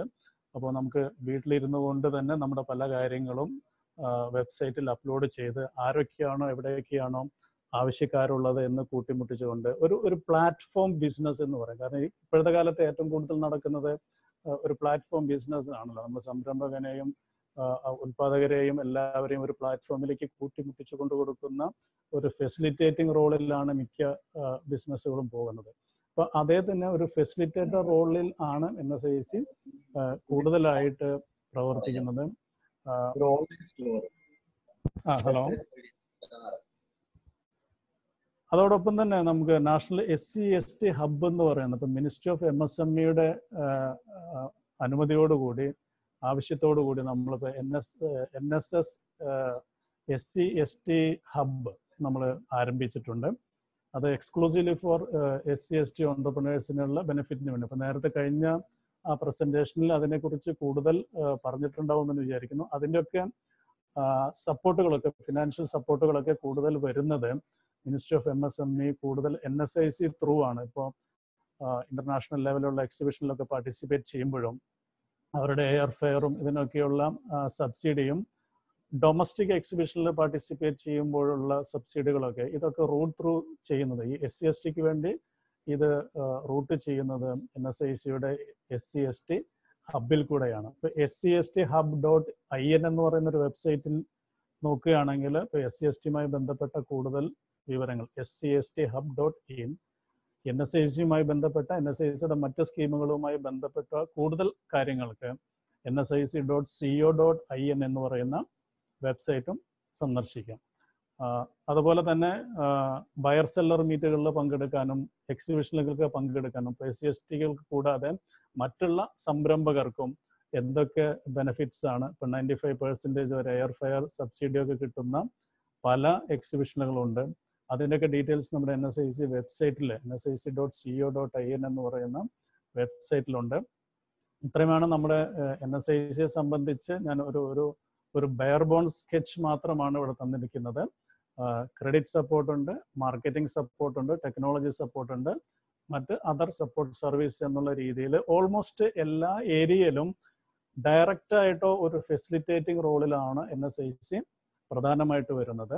പ്രത്യേകിച്ച് എൻ എസ് സ്പെഷ്യൽ ഫോക്കസ് എന്ന് പറയുന്നത് മാർക്കറ്റിംഗ് ഏരിയയിലാണ് അതിപ്പോൾ ഓൺലൈൻ മാർക്കറ്റിംഗ് ആണെങ്കിലും പ്ലാറ്റ്ഫോം ബിസിനസ് ഏരിയയിലാണെങ്കിലും അല്ലെങ്കിൽ ഈ ടെൻഡറിലൊക്കെ പാർട്ടിസിപ്പേറ്റ് ചെയ്യുന്ന സമയത്ത് കിട്ടുന്ന ബെനിഫിറ്റിന്റെ കാര്യത്തിലാണെങ്കിലും മാർക്കറ്റിംഗ് സപ്പോർട്ടും കൂടിയാണ് മെയിനായിട്ട് N S I C focus ചെയ്യുന്നത്. ഇപ്പോൾ എനിക്ക് തോന്നുന്നു ഏകദേശം ഇന്നൊരു പത്ത് മിനിറ്റ് സമയം കഴിഞ്ഞു. ഇനി നമുക്കൊരു അഞ്ച് മിനിറ്റ് ഉള്ളത് ഒരു ഇന്ററാക്റ്റീവ് സെഷനോ അല്ലെങ്കിൽ വൺ ടു വൺ സെഷനോ ഏത് വേണമെങ്കിലും ആകാം. അല്ലെങ്കിൽ കൂടുതൽ ഡീറ്റെയിൽസ് വേണമെങ്കിൽ W W W dot N S I C dot C O dot I N എന്ന് പറയുന്ന വെബ്സൈറ്റ് ഉണ്ട്.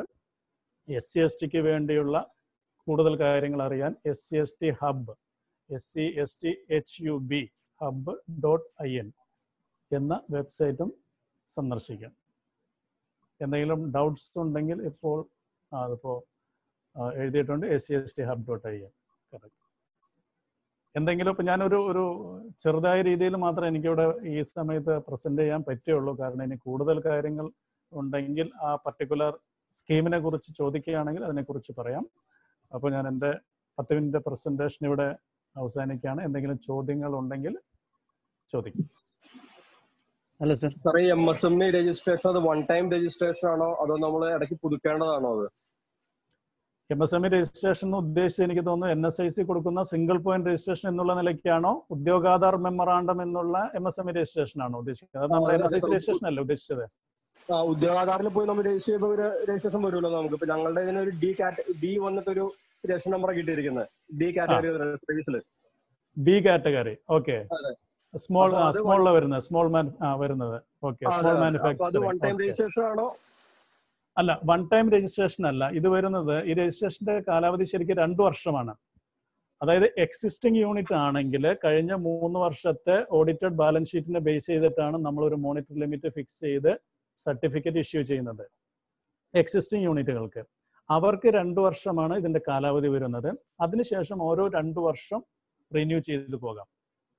രണ്ടു വർഷമാണ് കാലാവധി റിന്യൂവലും രണ്ടു വർഷത്തേക്കാണ്. അപ്പൊ every two years you have to renew it okay sir thank you പുതിയ യൂണിറ്റ് ആണെങ്കിൽ നമ്മൾ പ്രൊവിഷണൽ രജിസ്ട്രേഷൻ ആണ് കൊടുക്കുക. കാരണം അവർക്ക് ബാലൻസ് ഷീറ്റ് സബ്മിറ്റ് ചെയ്യാനുണ്ടാവില്ല. അപ്പൊ സ്റ്റാർട്ടപ്പുകളോ പുതിയ രജിസ്ട്രേഷനുള്ള യൂണിറ്റുകളാണെങ്കിൽ തുടങ്ങാൻ പോകുന്ന യൂണിറ്റുകളാണെങ്കിൽ നമ്മൾ ഒരു വർഷത്തെ ഒരു പ്രൊഫഷണൽ സർട്ടിഫിക്കറ്റ് ആണ് കൊടുക്കുക. കാരണം അവർക്ക് ബാലൻസ് ഷീറ്റ് സബ്മിറ്റ് ചെയ്യാൻ പറ്റാത്തതുകൊണ്ട് ആ ഒരു വർഷത്തിന് ശേഷം നമ്മൾ അത് റിന്യൂ ചെയ്ത് കൊടുക്കും. രണ്ട് വർഷത്തേക്ക് റിന്യൂ ചെയ്ത് കൊടുക്കും.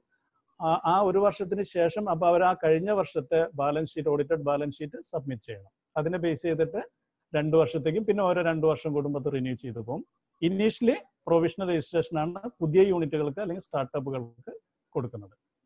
Thank you sir okay hello sir sir technology support കൊടുക്കും എന്ന് പറഞ്ഞല്ലോ. ഇപ്പോൾ ഞങ്ങളിപ്പോൾ ഏതെങ്കിലും ഇപ്പൊ ഞാൻ ഞാൻ ഒരു ന്യൂ സ്റ്റാർട്ടപ്പ് തുടങ്ങാൻ പോകണം പുതിയൊരു പുതിയൊരു പുതിയ ടെക്നോളജി ഒരു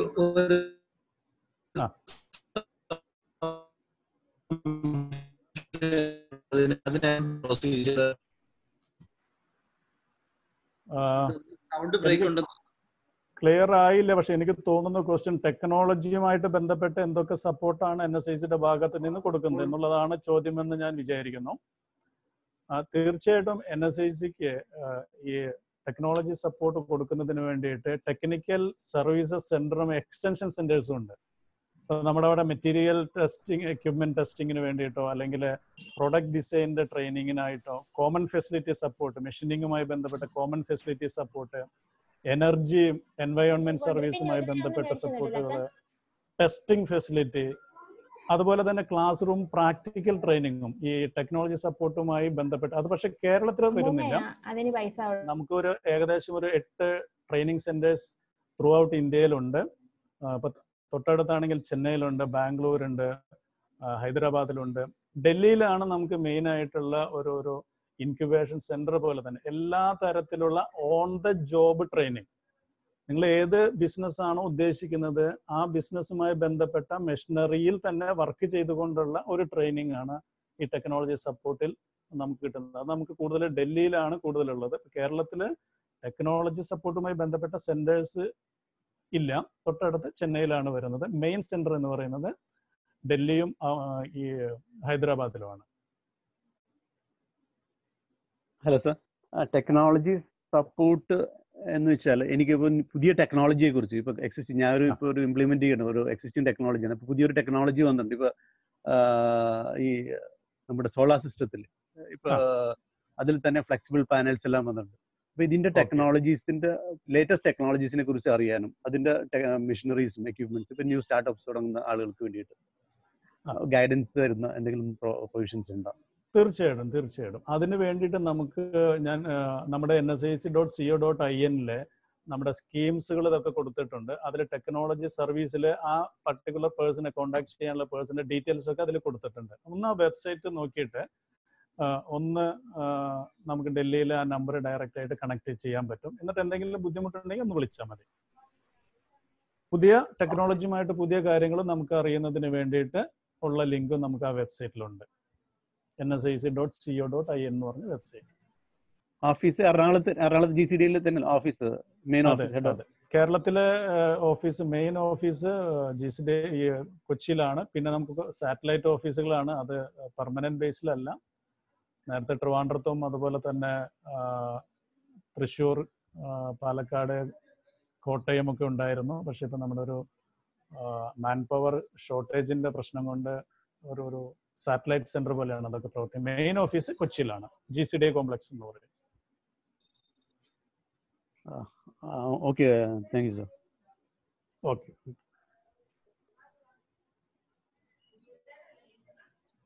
വേറെ Okay, എന്തെങ്കിലും?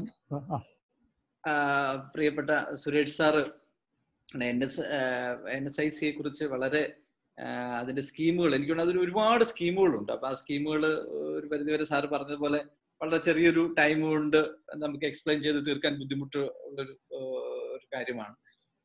എൻ എസ് ഐ സിയുടെ ഓഫീസുമായിട്ട് നേരിട്ട് ബന്ധപ്പെടാം. എൻ എസ് ഐ സിയുടെ രജിസ്ട്രേഷന്റെ അതുകൊണ്ട് കിട്ടുന്ന പ്രയോജനങ്ങളൊക്കെ അദ്ദേഹം വളരെ ചെറിയ വാക്കുകളിലാണ് അദ്ദേഹം പറഞ്ഞതെങ്കിലും അതിൽ ഒരുപാട് വലിയ പ്രയോജനങ്ങൾ ലഭിക്കുന്ന സർട്ടിഫിക്കറ്റ് ആണ് അപ്പൊ ആ സർട്ടിഫിക്കറ്റുകളൊക്കെ എടുക്കുന്നതിനൊക്കെയുള്ള ശ്രമങ്ങൾ സംരംഭകരുടെ ഭാഗത്തു നിന്നുണ്ടാവുന്നതാണ് അതുപോലെ തന്നെ എൻ എസ് ഐ സിയുടെ സ്കീമുകൾ പ്രത്യേകിച്ചും ഈ പിന്നെ നമ്മുടെ മൂലധനം ആർജിക്കുന്നതുമായിട്ട് ബന്ധപ്പെട്ടിട്ടുള്ള സ്കീമുകളൊക്കെ വളരെ പ്രയോജനപ്രദമായിട്ടുള്ള സ്കീമുകളാണ്. എനിക്ക് തോന്നുന്ന കൂടുതൽ ആളുകൾ ഇത് പ്രയോജനപ്പെടുത്തുന്നത് എൻ എസ് ഐ സി കേരളത്തിലുണ്ട്. നമുക്ക് പ്രയോജനപ്പെടുത്താൻ വളരെ എളുപ്പമാണ്. നമ്മുടെ മലയാളി ഓഫീസേഴ്സും കൂടെ അതിനകത്തുണ്ട്.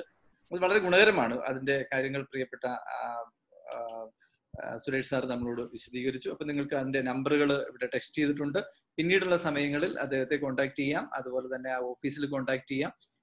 മറ്റു അവിടെ നടക്കുന്ന സെമിനാറുകൾ മറ്റ് പ്രോഗ്രാമുകളിൽ അറ്റൻഡ് ചെയ്യുന്നതിന് സാധിക്കും. അപ്പൊ എല്ലാ ഇത്തരത്തിൽ ഈ ഒരു പ്രോഗ്രാമിലേക്ക് വന്ന് നമ്മളോട് സംസാരിച്ച പ്രിയപ്പെട്ട സുരേഷ് സാറിനോട് നിങ്ങൾക്ക് ഓരോരുത്തർക്കും വേണ്ടിയിട്ടുള്ള നന്ദിയും സ്നേഹവും കടപ്പാടും ഞാൻ അറിയിക്കുന്നു. Thank you sir thank you thank you thank you thank you so much നമ്മുടെ നെക്സ്റ്റ് സെഷനിലേക്ക് നമ്മൾ പോകുന്നത് നമ്മുടെ പട്ടികജാതി ക്ഷേമ വകുപ്പിന്റെ നിരവധിയായിട്ടുള്ള സ്കീമുകളുണ്ട്. പ്രത്യേകിച്ച് പട്ടികജാതി വികസന കോർപ്പറേഷനും പട്ടികജാതി ക്ഷേമ വകുപ്പും ബന്ധപ്പെട്ട് ഇനിഷ്യേറ്റ് ചെയ്യുന്ന സ്കീമുകൾ കേരളത്തിൽ നടപ്പിലായി വരുന്നുണ്ട്.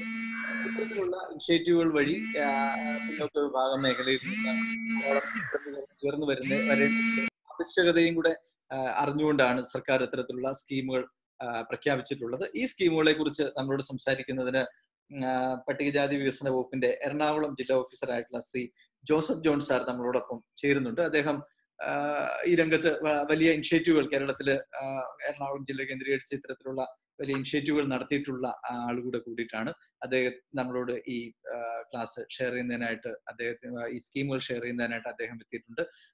അദ്ദേഹത്തെ ഞാൻ നിങ്ങൾക്ക് ഓരോരുത്തർക്കും വേണ്ടിയിട്ട് ആർദ്രവുമായി സ്വാഗതം ചെയ്യുന്നു. സാർ തുടർന്നോളൂ. സാർ കേൾക്കാമോ? കേൾക്കാമോ? കേൾക്കുന്നില്ലേ സാർ ജോസഫ് സാർ സാർ കേൾക്കുന്നില്ലേ? മ്യൂട്ടാണോ മൈക്ക് ഹലോ ആ കേൾക്കാം കേൾക്കാം. ഇപ്പോൾ കേൾക്കാം. ഓക്കെ ഓക്കെ ആ പറഞ്ഞതുപോലെ എന്റെ പേര് ജോസഫ് ജോൺ എന്നാണ്. ഞാൻ എറണാകുളം ജില്ലയിൽ പട്ടികജാതി വകുപ്പിന്റെ ജില്ലാ ഓഫീസറാണ്. കാക്കനാട് കളക്ടറേറ്റിലാണ് എന്റെ ഓഫീസ്. പട്ടികജാതി വികസന വകുപ്പിന്റെ ഈ സ്വയം തൊഴിലുമായിട്ട് ബന്ധപ്പെട്ട് സംരംഭങ്ങളുമായിട്ട് ബന്ധപ്പെട്ട് പട്ടികജാതി വികസന വകുപ്പ് നടപ്പിലാക്കുന്ന പദ്ധതികളെ പറ്റിയാണ് എന്നോട് പങ്കുവയ്ക്കുവാൻ പറഞ്ഞിരുന്നത്. എനിക്കതിനകത്ത് ഒരു കാര്യം പറയാനുള്ളത് അദ്ദേഹം പറഞ്ഞതുപോലെ രണ്ടായിട്ടാണ്. അതായത് പട്ടികജാതി വികസന വകുപ്പ് ക്ഷേമ പദ്ധതികളിൽ ഊന്നൽ കൊടുക്കുമ്പോൾ സംരംഭങ്ങളുമായിട്ട് ബന്ധപ്പെട്ട് വായ്പാ പദ്ധതികൾക്ക് നേതൃത്വം നൽകുന്നത് പട്ടികജാതി വികസന കോർപ്പറേഷനാണ്. എല്ലാ ജില്ലകളിലും പട്ടികജാതി വികസന കോർപ്പറേഷന്റെ റീജിയണൽ ഓഫീസുകളുണ്ട്. ആ ഓഫീസുകളിൽ നിന്നാണ് പ്രധാനമായിട്ടും യഥാർത്ഥത്തിൽ അവിടെ നിന്ന് ആരെങ്കിലും ഒരാളുടെ ഒരു പ്രാതിനിധ്യം ഉണ്ടായിരുന്നെങ്കിൽ ഞാൻ പറയുന്നതിനേക്കാൾ കൂടുതൽ പ്രയോജനം ഒരുപക്ഷെ കിട്ടുമായിരുന്നു. പക്ഷെ നമുക്ക് നിർഭാഗ്യവശാൽ അവരുടെ ഒരു സേവനം ലഭിക്കുന്നതിന് തടസ്സം ഉണ്ടായി. മറ്റൊരവസരത്തിൽ തീർച്ചയായിട്ടും നമുക്ക് അവരെ പങ്കെടുപ്പിക്കാം എന്ന് ഞാൻ പ്രത്യാശിക്കുകയാണ്. കാരണം ഞാൻ പറയുന്നതിനേക്കാൾ കൂടുതൽ പദ്ധതികൾ പങ്കുവെക്കാൻ പറ്റുന്നത് പട്ടികജാതി കോർപ്പറേഷനാണ് അപ്പൊ അതുകൊണ്ട് ഞാൻ ആദ്യമേ തന്നെ അതിനകത്ത് എന്റെ ഒരു ഖേദം പ്രകടിപ്പിക്കുകയാണ്. എന്നിരുന്നാലും ഇതുമായി ബന്ധപ്പെട്ട് നല്ല പദ്ധതികളിൽ സംരംഭകരാകുവാൻ ആഗ്രഹിക്കുന്ന പട്ടികജാതി വിഭാഗത്തിൽപ്പെട്ട ആളുകൾക്ക് സംരംഭകർക്ക് തീർച്ചയായിട്ടും എല്ലാ ജില്ലകളിലുമുള്ള പട്ടികജാതി വികസന കോർപ്പറേഷന്റെ ഓഫീസുകളുമായിട്ട് ബന്ധപ്പെട്ട് കഴിഞ്ഞാൽ അവരുടെ പദ്ധതികളെ പറ്റി നേരിട്ട് അറിയുവാനുള്ള സൗകര്യം ഉണ്ടായിരിക്കും പട്ടികജാതി വികസന വകുപ്പ് ഞാൻ ആദ്യം സൂചിപ്പിച്ചതുപോലെ സാമൂഹ്യ ക്ഷേമ പദ്ധതികളിലാണ് പ്രധാനമായിട്ടും ഊന്നൽ നൽകുന്നത്. ഇപ്പോ ഭൂമി ഇല്ലാത്തവർക്ക് ഭൂമി നൽകുന്നത് വീട് നൽകുന്നതും അതേപോലെ ചികിത്സയ്ക്ക് സഹായം നൽകുന്നത് വിവാഹധന സഹായം നൽകുന്നത് ഇങ്ങനെയുള്ള സാമൂഹ്യ ക്ഷേമ പദ്ധതികൾ സോഷ്യൽ വെൽഫെയർ ഇന്റർവെൻഷൻസ് ആണ് പ്രധാനമായിട്ടും ചെയ്യുന്നത്. എന്നിരുന്നാൽ തന്നെയും സംരംഭകത്വവുമായിട്ട് ബന്ധപ്പെട്ട് ഒരു പദ്ധതി ഉള്ളത് നമ്മുടെ സ്വയം തൊഴിൽ പദ്ധതിയാണ്. സ്വയം തൊഴിൽ പദ്ധതിയിൽ ചെയ്യുന്നത് വ്യക്തിഗതമായിട്ട് ഒരാൾക്കൊരു പദ്ധതി ഒരു പുതിയ സംരംഭം ആരംഭിക്കണമെങ്കിൽ മൂന്ന് ലക്ഷം രൂപ വായ്പ എടുക്കുകയും ആ വായ്പയിന്മേൽ ഒരു ലക്ഷം രൂപ അതായത് വൺ തേർഡ് മൂന്നിലൊന്ന് സബ്സിഡി നൽകുകയും ചെയ്യുന്ന ഒരു പദ്ധതിയാണ് നമുക്ക് നിലവിലുള്ള ഒരു പദ്ധതി.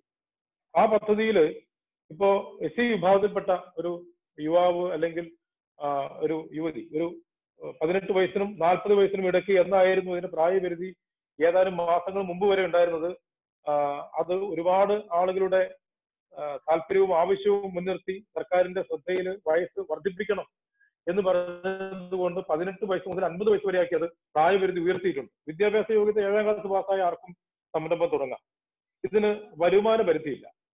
ഇതൊക്കെയാണ് അടിസ്ഥാനമായിട്ടുള്ള കാര്യങ്ങൾ നമുക്ക് അതിന്റെ ഒരു മെത്തഡോളജി എന്ന് പറയുന്നത് ആദ്യം നമുക്ക് നമ്മൾ ചെയ്യാൻ ആഗ്രഹിക്കുന്ന ഒരു പദ്ധതി ഒരു പ്രൊജക്ട് റിപ്പോർട്ട് തയ്യാറാക്കുക. അതിനുശേഷം നമ്മുടെ ഏതെങ്കിലും ഒരു ബാങ്കിന്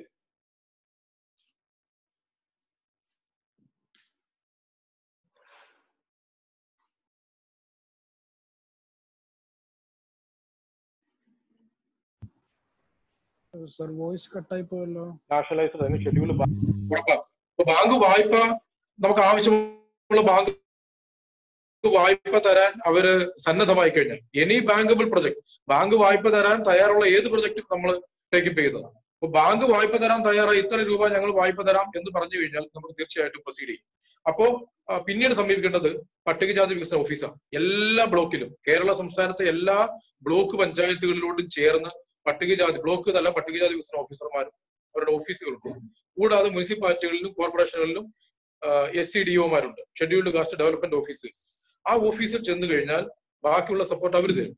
നമുക്ക് അവിടെ ജാതി സർട്ടിഫിക്കറ്റും അതുപോലെ തന്നെ വിദ്യാഭ്യാസ തെളിയിക്കുന്ന സർട്ടിഫിക്കറ്റ് ഈ പ്രൊജക്ട് റിപ്പോർട്ട് മുൻപ് ഈ രംഗത്ത് നമ്മളൊരു സബ്സിഡിയോട് കൂടി ആനുകൂല്യം കൈപ്പറ്റിട്ടില്ല ഇങ്ങനെയുള്ള സാധാരണ നിലയ്ക്ക് ആവശ്യമുള്ള സർട്ടിഫിക്കറ്റുകളെ വേണ്ടു. അപ്പൊ ഈ ബാങ്ക് തയ്യാറായിട്ടുണ്ടെങ്കിൽ ആ ബാങ്കിന്റെ ഒരു സമ്മതപത്രമോ മറ്റോ റിട്ടേൺ ആയിട്ട് ഒന്നും വേണ്ട. ആ ബാങ്ക് സമ്മതിച്ചിട്ടുണ്ടോ എന്ന് മാത്രം നമുക്ക് അറിഞ്ഞാൽ മതി. ആ പിന്നെ ആവശ്യമായ അപേക്ഷാ ഫോറവും ഈ പ്രൊജക്റ്റും അതുപോലെ തന്നെ ആവശ്യമായ സർട്ടിഫിക്കറ്റുകൾ സഹിതം നമ്മൾ എസ് സി ഓഫീസറെ സമീപിക്കുന്നു. അദ്ദേഹം അത് പരിശോധിച്ചിട്ട് ജില്ലാ പട്ടികജാതി ഓഫീസർക്ക് ആ പ്രൊജക്ട് സബ്മിറ്റ് ചെയ്യുന്നു. ജില്ലാ പട്ടികജാതി ഓഫീസർ അവിടെ അത് പരിശോധിച്ചതിന് ശേഷം ഈ പറഞ്ഞ നിർദ്ദേശിക്കപ്പെട്ട ബാങ്കിലേക്ക് ഇത് അയച്ചു കൊടുക്കും. മൂന്ന് കോപ്പികളാണ് നമ്മൾ അപേക്ഷ വാങ്ങുന്നത്. ഒന്ന് ബ്ലോക്കിൽ തന്നെ വെക്കുന്നു രണ്ടെണ്ണം ജില്ലാ ഓഫീസിൽ കഴിച്ചു തരുന്നു ജില്ലാ ഓഫീസിൽ നിന്ന് ഒരെണ്ണം ബാങ്കിൽ കഴിക്കുന്നു. ബാങ്ക് അത് പരിശോധിച്ചിട്ട് ഈ സംരംഭകനെ അറിയിക്കും. അപ്പൊ അദ്ദേഹം അവിടെ ചെന്ന് ബാങ്കുമായി സംസാരിച്ച് ആ ലോൺ മൊബിലൈസ് ചെയ്യും ആ ലോൺ അക്കൗണ്ടിലേക്ക് വരുന്നു. ലോൺ അക്കൗണ്ടിൽ വന്നു കഴിഞ്ഞാൽ ഉടനെ സംരംഭം ആരംഭിക്കുക എന്നുള്ളതാണ്. സംരംഭം ആരംഭിക്കുക. ആരംഭിച്ചതിന് ശേഷം അത് ബാങ്കിനെയും ഒപ്പം തന്നെ എസ് സി ഓഫീസറെയും അറിയിക്കുക അപ്പോൾ അവർ ബാങ്ക് സംരംഭം ആരംഭിച്ചതായിട്ടും ബാങ്ക് ലോൺ ലഭിച്ച സംരംഭം ആരംഭിച്ചതായിട്ടും നന്നായിട്ട് പ്രവർത്തിക്കുന്ന റിപ്പോർട്ട് ജില്ലാ ഓഫീസിലേക്ക് തരുന്നു. നമ്മൾ ഇവർക്ക് എലിജിബിൾ സബ്സിഡി ഈ ബാങ്കിലേക്ക് നൽകുന്നു. മൂന്ന് ലക്ഷം രൂപയാണെന്നുണ്ടെങ്കിൽ പരമാവധി സബ്സിഡി ഒരു ലക്ഷം രൂപയാണ്.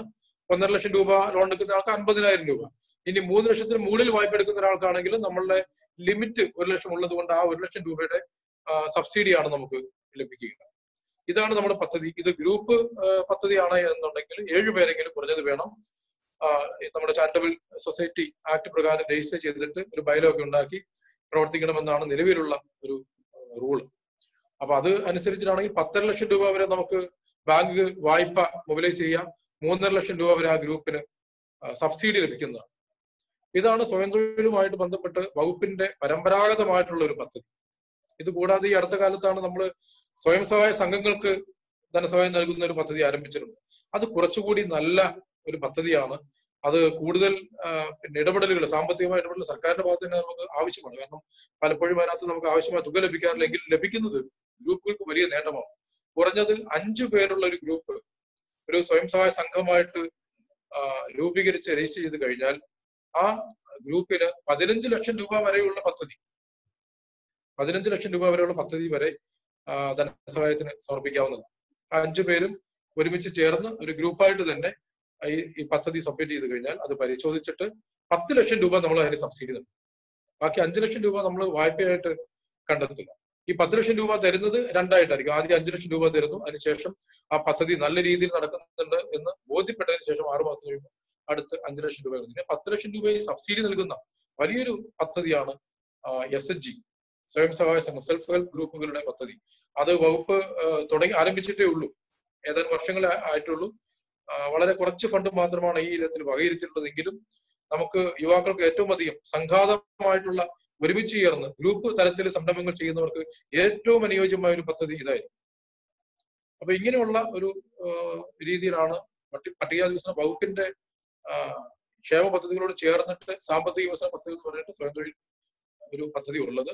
ബാക്കി ഭൂരിഭാഗവും ഏറ്റവും അധികം പദ്ധതികൾ നടപ്പിലാക്കുന്നത് പട്ടികജാതി വികസന കോർപ്പറേഷനാണ്. എല്ലാ ജില്ലയിലും പട്ടികജാതി വികസന കോർപ്പറേഷൻ ഓഫീസുകളുണ്ട്. അവർ വായ്പ തരുന്നു. ആറ് ശതമാനം മാത്രമുള്ള പലിശ നിരക്കിലാണ് നമുക്ക് വായ്പ ലഭ്യമാകുന്നത്. അതുകൊണ്ട് തീർച്ചയായിട്ടും നമുക്ക് ഇനി ഒരവസരത്തിൽ പട്ടികജാതി കോർപ്പറേഷന്റെ സാന്നിധ്യം തീർച്ചയായിട്ടും അവരുടെ പദ്ധതികളെ പറ്റിയുള്ള ഒരു സെഷൻ ഉൾപ്പെടുത്തുവാൻ ശ്രമിക്കുന്നതാണ്. ഇപ്രാവശ്യം നമ്മൾ ശ്രമിച്ചെങ്കിലും അത് ചെറിയ ചില സാങ്കേതിക തടസ്സങ്ങൾ മൂലം നടക്കാതെ വന്നതാണ്. ഇതാണ് എനിക്ക് പൊതുവായിട്ട് ഈ വകുപ്പിന്റെ പദ്ധതികളെ പറ്റി പറയുവാനുള്ളത്. സാറിനോട് ഇത്തരത്തിലുള്ള സംശയങ്ങൾ ചോദിക്കാനുണ്ടെങ്കിൽ നമുക്ക് ഈ സമയം അതിന് ഉപയോഗിക്കാം. വളരെ വേഗം.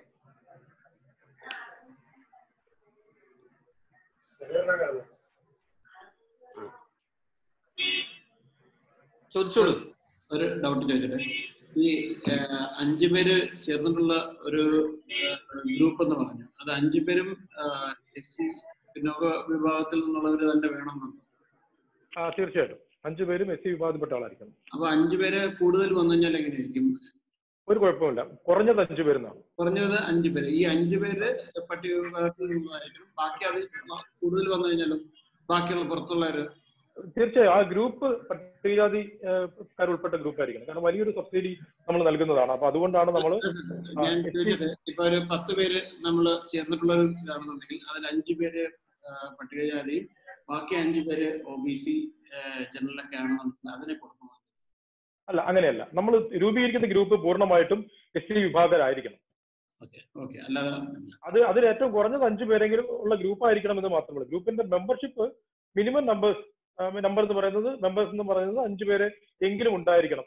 പക്ഷെ അഞ്ചാണെങ്കിലും പത്താണെങ്കിലും അത് എസ് സി വിഭാഗത്തിൽപ്പെട്ട ആളുകളായിരിക്കും. ഓക്കെ സാറേ ഈ അഞ്ചു പേരും രജിസ്ട്രേഷൻ എടുക്കുന്നു പറയണല്ലോ. അത് ഏത് ടൈപ്പ് രജിസ്ട്രേഷൻ ആണ്? ഞാൻ ഈ പറഞ്ഞ എസ് എച്ച് ജി ആണോ ചോദിക്കുന്നത്? S S G S H S H G ആണെന്നുണ്ടെങ്കിൽ അത് നമുക്ക് ബ്ലോക്ക് തലത്തിൽ കുടുംബശ്രീ ആയിട്ട് ബന്ധപ്പെട്ട് പുരുഷ സ്വയം സഹായ സംഘം എന്നുള്ള നിലയിൽ രജിസ്റ്റർ ചെയ്യാവുന്നതാണ്. അതല്ലാന്നുണ്ടെങ്കിൽ ഞാൻ ആദ്യം പറഞ്ഞ പോലെ ഈ ചാരിറ്റബിൾ സൊസൈറ്റീസ് ആക്ട് അനുസരിച്ച് നമുക്ക് രജിസ്ട്രേഷൻ നടത്താവുന്നതാണ്. ശരി ശരി ശരി sir thank you sir hello sir hello പറയൂ സാർ ചാരിറ്റബിൾ സൊസൈറ്റീസ് ആക്ട് അനുസരിച്ച് എങ്ങനെ രജിസ്റ്റർ അതിന്റെ പ്രോസസ്സ് എങ്ങനെയാണെന്നുള്ളത് അതിന്റെ ഗൈഡൻസ് എല്ലാം അത് നമുക്ക് അത് നമുക്ക് നമ്മുടെ ഈ രജിസ്ട്രേഷൻ ഡിപ്പാർട്ട്മെന്റ് ആയിട്ട് ബന്ധപ്പെട്ടിട്ടാണ് നമ്മൾ ചെയ്യാറുള്ളത്. നമ്മളെല്ലാം ചെയ്യുന്നത് രജിസ്ട്രേഷൻ ഡിപ്പാർട്ട്മെന്റ് അവിടെ അതിനുവേണ്ടി പ്രത്യേകം ഒരു വിങ് ഉണ്ട്. നമ്മൾ ഇങ്ങനത്തെ സൊസൈറ്റികൾ സംഘങ്ങളൊക്കെ രജിസ്റ്റർ ചെയ്യുന്നതിനുള്ള ഒരു പ്രത്യേക വിങ് ഉണ്ട്. അതിന് നമ്മളൊരു ബയലോ ഉണ്ടാവണം. അങ്ങനെയുള്ള ചില നടപടിക്രമങ്ങളുണ്ട്. അത് അവിടെ നേരിട്ട് ബന്ധപ്പെട്ടിട്ട് അവരുടെ രജിസ്ട്രേഷൻ അവർ കിട്ടിയാലാണ് നമ്മൾ പ്രൊസീഡ് ചെയ്യുന്നത്. എല്ലാ. ജില്ലകളിലും ഇവരുടെ ഓഫീസുകളുണ്ട് പാർട്ട്ണർഷിപ്പ് രജിസ്ട്രേഷൻ ആണെങ്കിൽ ഇതിന് നമുക്ക് പറ്റുമോ എന്നുള്ളത്. ചാരിറ്റബിൾ സൊസൈറ്റി ആക്ട് തന്നെ വേണമെന്നുണ്ടോ. ഇല്ല പാർട്ട്ണർഷിപ്പ് രജിസ്ട്രേഷൻ ആണെങ്കിൽ പറ്റുമോ ഇല്ല നമ്മളിപ്പോ നിലവിൽ നമ്മൾ അംഗീകരിച്ചിരിക്കുന്ന നമ്മുടെ സർക്കാർ ഉത്തരവിൽ പറയുന്നത് ചാരിറ്റബിൾ സൊസൈറ്റി പ്രകാരമുള്ള ഒരു രജിസ്ട്രേഷനാണ് അതിനേക്കാൾ വളരെ സിമ്പിൾ ആണ് ഇത്. കുടുംബശ്രീ അല്ലെങ്കിൽ നമ്മുടെ ബ്ലോക്ക് നമ്മുടെ ബ്ലോക്ക് തല ഓഫീസുകളിൽ കുടുംബശ്രീയുമായിട്ട് ബന്ധപ്പെട്ടിട്ടുള്ള പുരുഷ സ്വയം സഹായ സംഘം എന്ന് പറയുന്നത്. വളരെ സിമ്പിൾ ആയിട്ടുള്ള ഒരു കാര്യമാണ്. അപ്പൊ നമ്മളിവിടെ സഹായം കൊടുത്തിരിക്കുന്ന ഭൂരിഭാഗവും അത്തരത്തിലുള്ള സ്വയം സഹായ സംഘങ്ങൾക്കാണ്. പുരുഷ സ്വയം സഹായ സംഘം എന്നുള്ള നിലയിൽ രജിസ്റ്റർ ചെയ്യാവുന്നതാണ്. അതുപോലെ നടപടിക്രമങ്ങൾ ഒരുപാട് കുറവുണ്ടാവും thank you sir okay sir ഒരു ഫാമിലിയിലുള്ളവർക്കാണോ അതോ പല ഫാമിലിയിൽ നിന്നുള്ള ആൾക്കാരുടെ ജനം പല ഫാമിലിയാണ് നമ്മൾ പ്രോത്സാഹിപ്പിക്കുന്നത്. ഒരു ഫാമിലി എന്ന് പറയുമ്പോൾ നമ്മൾ ഈ കാണുന്ന അല്ലെ നമ്മൾ ഈ പദ്ധതിയുടെ അർത്ഥതലങ്ങളിൽ ഒരുപാട് വ്യത്യാസം വരും.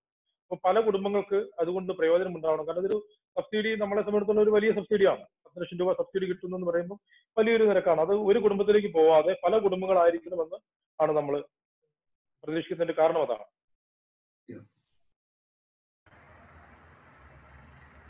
അഞ്ചു മണിക്ക് ഉണ്ട്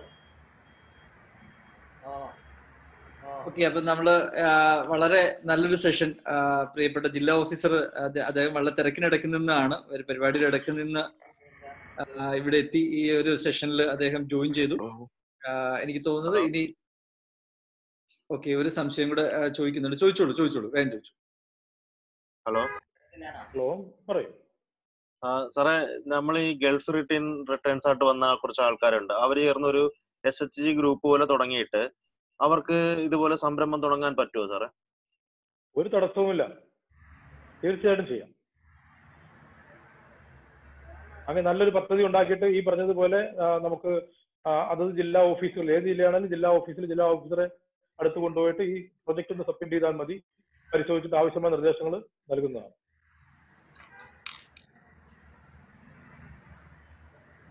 ഹലോ? കേൾക്കാൻ കഴിയുന്നുണ്ടല്ലോ. ഞാൻ വിട്ടു ഒരു കാര്യം കൂടി ഞാനൊന്ന് പറയാം. നമ്മൾ സ്വയം തൊഴിൽ സംരംഭവുമായിട്ട് ബന്ധപ്പെട്ടിട്ടല്ലെങ്കിലും നമ്മൾ വിദേശത്തെ ഒരു കാര്യം പറഞ്ഞപ്പോഴാണ്. വിദേശത്ത് പോകുന്നതിന് ഏതെങ്കിലും തൊഴിലുമായിട്ട് ബന്ധപ്പെട്ട് വിദേശത്ത് പോകുന്നതിന് നമുക്കൊരു ജോബ് വിസ കിട്ടിയിട്ട് വിദേശത്ത് പോകുന്നതിന് ഡിപ്പാർട്ട്മെന്റ് ധനസഹായം നൽകുന്നുണ്ട്. ആർക്കും ലസി വിഭാഗത്തിൽപ്പെട്ട ഒരാൾക്ക് വിദേശത്ത് ഒരു ജോലി കിട്ടി. അപ്പൊ അവിടെ വിദേശത്ത് പോകാനായിട്ടാണെങ്കിൽ ആ വിസ ജോബ് വിസ സബ്മിറ്റ് ചെയ്ത് കഴിഞ്ഞാൽ ജാതി സർട്ടിഫിക്കറ്റ് വരുമാന സർട്ടിഫിക്കറ്റ് ഒക്കെ വെച്ചിട്ട് നമ്മൾ ഒരു ലക്ഷം രൂപ ആനുകൂല്യം നൽകുന്നതാണ്. തിരിച്ചടക്കേണ്ടാത്ത പൈസയാണ്. പൂർണമായിട്ടും സബ്സിഡിയാണ്. ഈ വിദേശത്ത് പോകുന്നതിന് വേണ്ടിയിട്ട് അറുപതിനായിരം രൂപ ആദ്യം കൊടുക്കും. അവിടെ ചെന്ന് ജോലിയിൽ രജിസ്റ്റർ ചെയ്ത് ജോയിൻ ജോയിൻ ചെയ്ത് ആ റിപ്പോർട്ട് നമുക്ക് സബ്മിറ്റ് ചെയ്ത് കഴിയുമ്പോൾ നമ്മൾ ശേഷിക്കുന്ന നാൽപ്പതിനായിരം രൂപയും നൽകുന്നതാണ്. പൂർണമായിട്ടും ഒരു ലക്ഷം രൂപ സബ്സിഡിയാണ്. വിദേശത്ത് ജോലി കിട്ടുന്ന ഒരു എസ് സി യുവാവിന് ലഭിക്കുന്ന ഒരു ആനുകൂല്യമാണ്. ഞാൻ ഇടയ്ക്ക് ഒന്ന് ചേർത്ത് പറഞ്ഞു എന്ന് മാത്രം. എന്തായാലും ഇത്തരത്തിലൊരു അവസരം ലഭിച്ചത് വളരെ സന്തോഷമാണ്. ഒരു ചോദ്യം കൂടി സാറേ. Okay okay. സാറേ ടെക്നോളജി ഡെവലപ്മെന്റ് ഇപ്പൊ സ്കിൽ ഡെവലപ്മെന്റ് അഡീഷണൽ സ്കിൽ ഡെവലപ്മെന്റിന് ഹയർ സ്റ്റഡീസിന് പോവുകയാണെങ്കിൽ ഇപ്പൊ ഒരു സംരംഭകന് ഹയർ സ്റ്റഡീസിന് പോവുകയാണെങ്കിൽ അതിലെന്തെങ്കിലും സബ്സിഡി എന്തെങ്കിലും ഗ്രാൻസ് എന്തെങ്കിലും കിട്ടാനുള്ള സാധ്യതയുണ്ടോ? നമ്മൾ ഹയർ സ്റ്റഡി നൽകുന്ന അതായത് പഠനത്തിന് നൽകുന്നതും തൊഴിലിന് നൽകുന്നതും രണ്ടും രണ്ടായിട്ടാണ്. പഠനത്തിന് നൽകുന്നത് വലിയ ഒരു സ്കീം തന്നെ ഡിപ്പാർട്ട്മെന്റിനുണ്ട് വിദേശത്ത് പഠിക്കാൻ പോകുന്നത്. പക്ഷെ ആ പഠിക്കാൻ പോകുന്നത് ഒരു പി ജി കോഴ്സ് ആയിരിക്കും. അല്ല സാർ ഒരു ഞാൻ ഉദ്ദേശിച്ച ഒരു സംരംഭകനാണെങ്കിൽ ഒരു സ്പെഷ്യലൈസ് സ്കില്ല് ഒരു അതിന് നിലവിൽ നിലവിൽ അതിന് നമുക്ക് പദ്ധതിയില്ല പക്ഷെ പഠനം എന്ന് പറഞ്ഞ പദ്ധതി ഉണ്ടെങ്കിലും ഇങ്ങനെ ഒരു ടെക്നിക്കൽ ഒരു പിന്നെ കൂടുതൽ മെച്ചപ്പെടുത്തുന്നതിന് വേണ്ടിയിട്ട് പഠിക്കാൻ വേണ്ടി പോകുന്ന ഒരു ഹ്രസ്വ പഠനത്തിന് വേണ്ടിയിട്ട് പ്രത്യേകം ഒരു ധനസഹായം നൽകുന്ന ഒരു പദ്ധതി ഇപ്പം നിലവിലില്ല. സർ നേരത്തെ പറഞ്ഞത് ഗൾഫിൽ പോകുന്ന ആൾക്കാർക്ക് കൊടുക്കുന്നു പറഞ്ഞു. അപ്പൊ അതിന് ക്വാളിഫിക്കേഷൻ എന്തെങ്കിലും മിനിമം ക്വാളിഫിക്കേഷൻ മിനിമം ക്വാളിഫിക്കേഷൻ പത്താം ക്ലാസ് ആണ് ഏത് തൊഴിലും ആവാം. നമുക്ക് ജോബ് വിസ സബ്മിറ്റ് ചെയ്ത് കഴിഞ്ഞാൽ നമ്മൾ ധനസഹായം നൽകുന്നതാണ്. Okay. Thank you okay.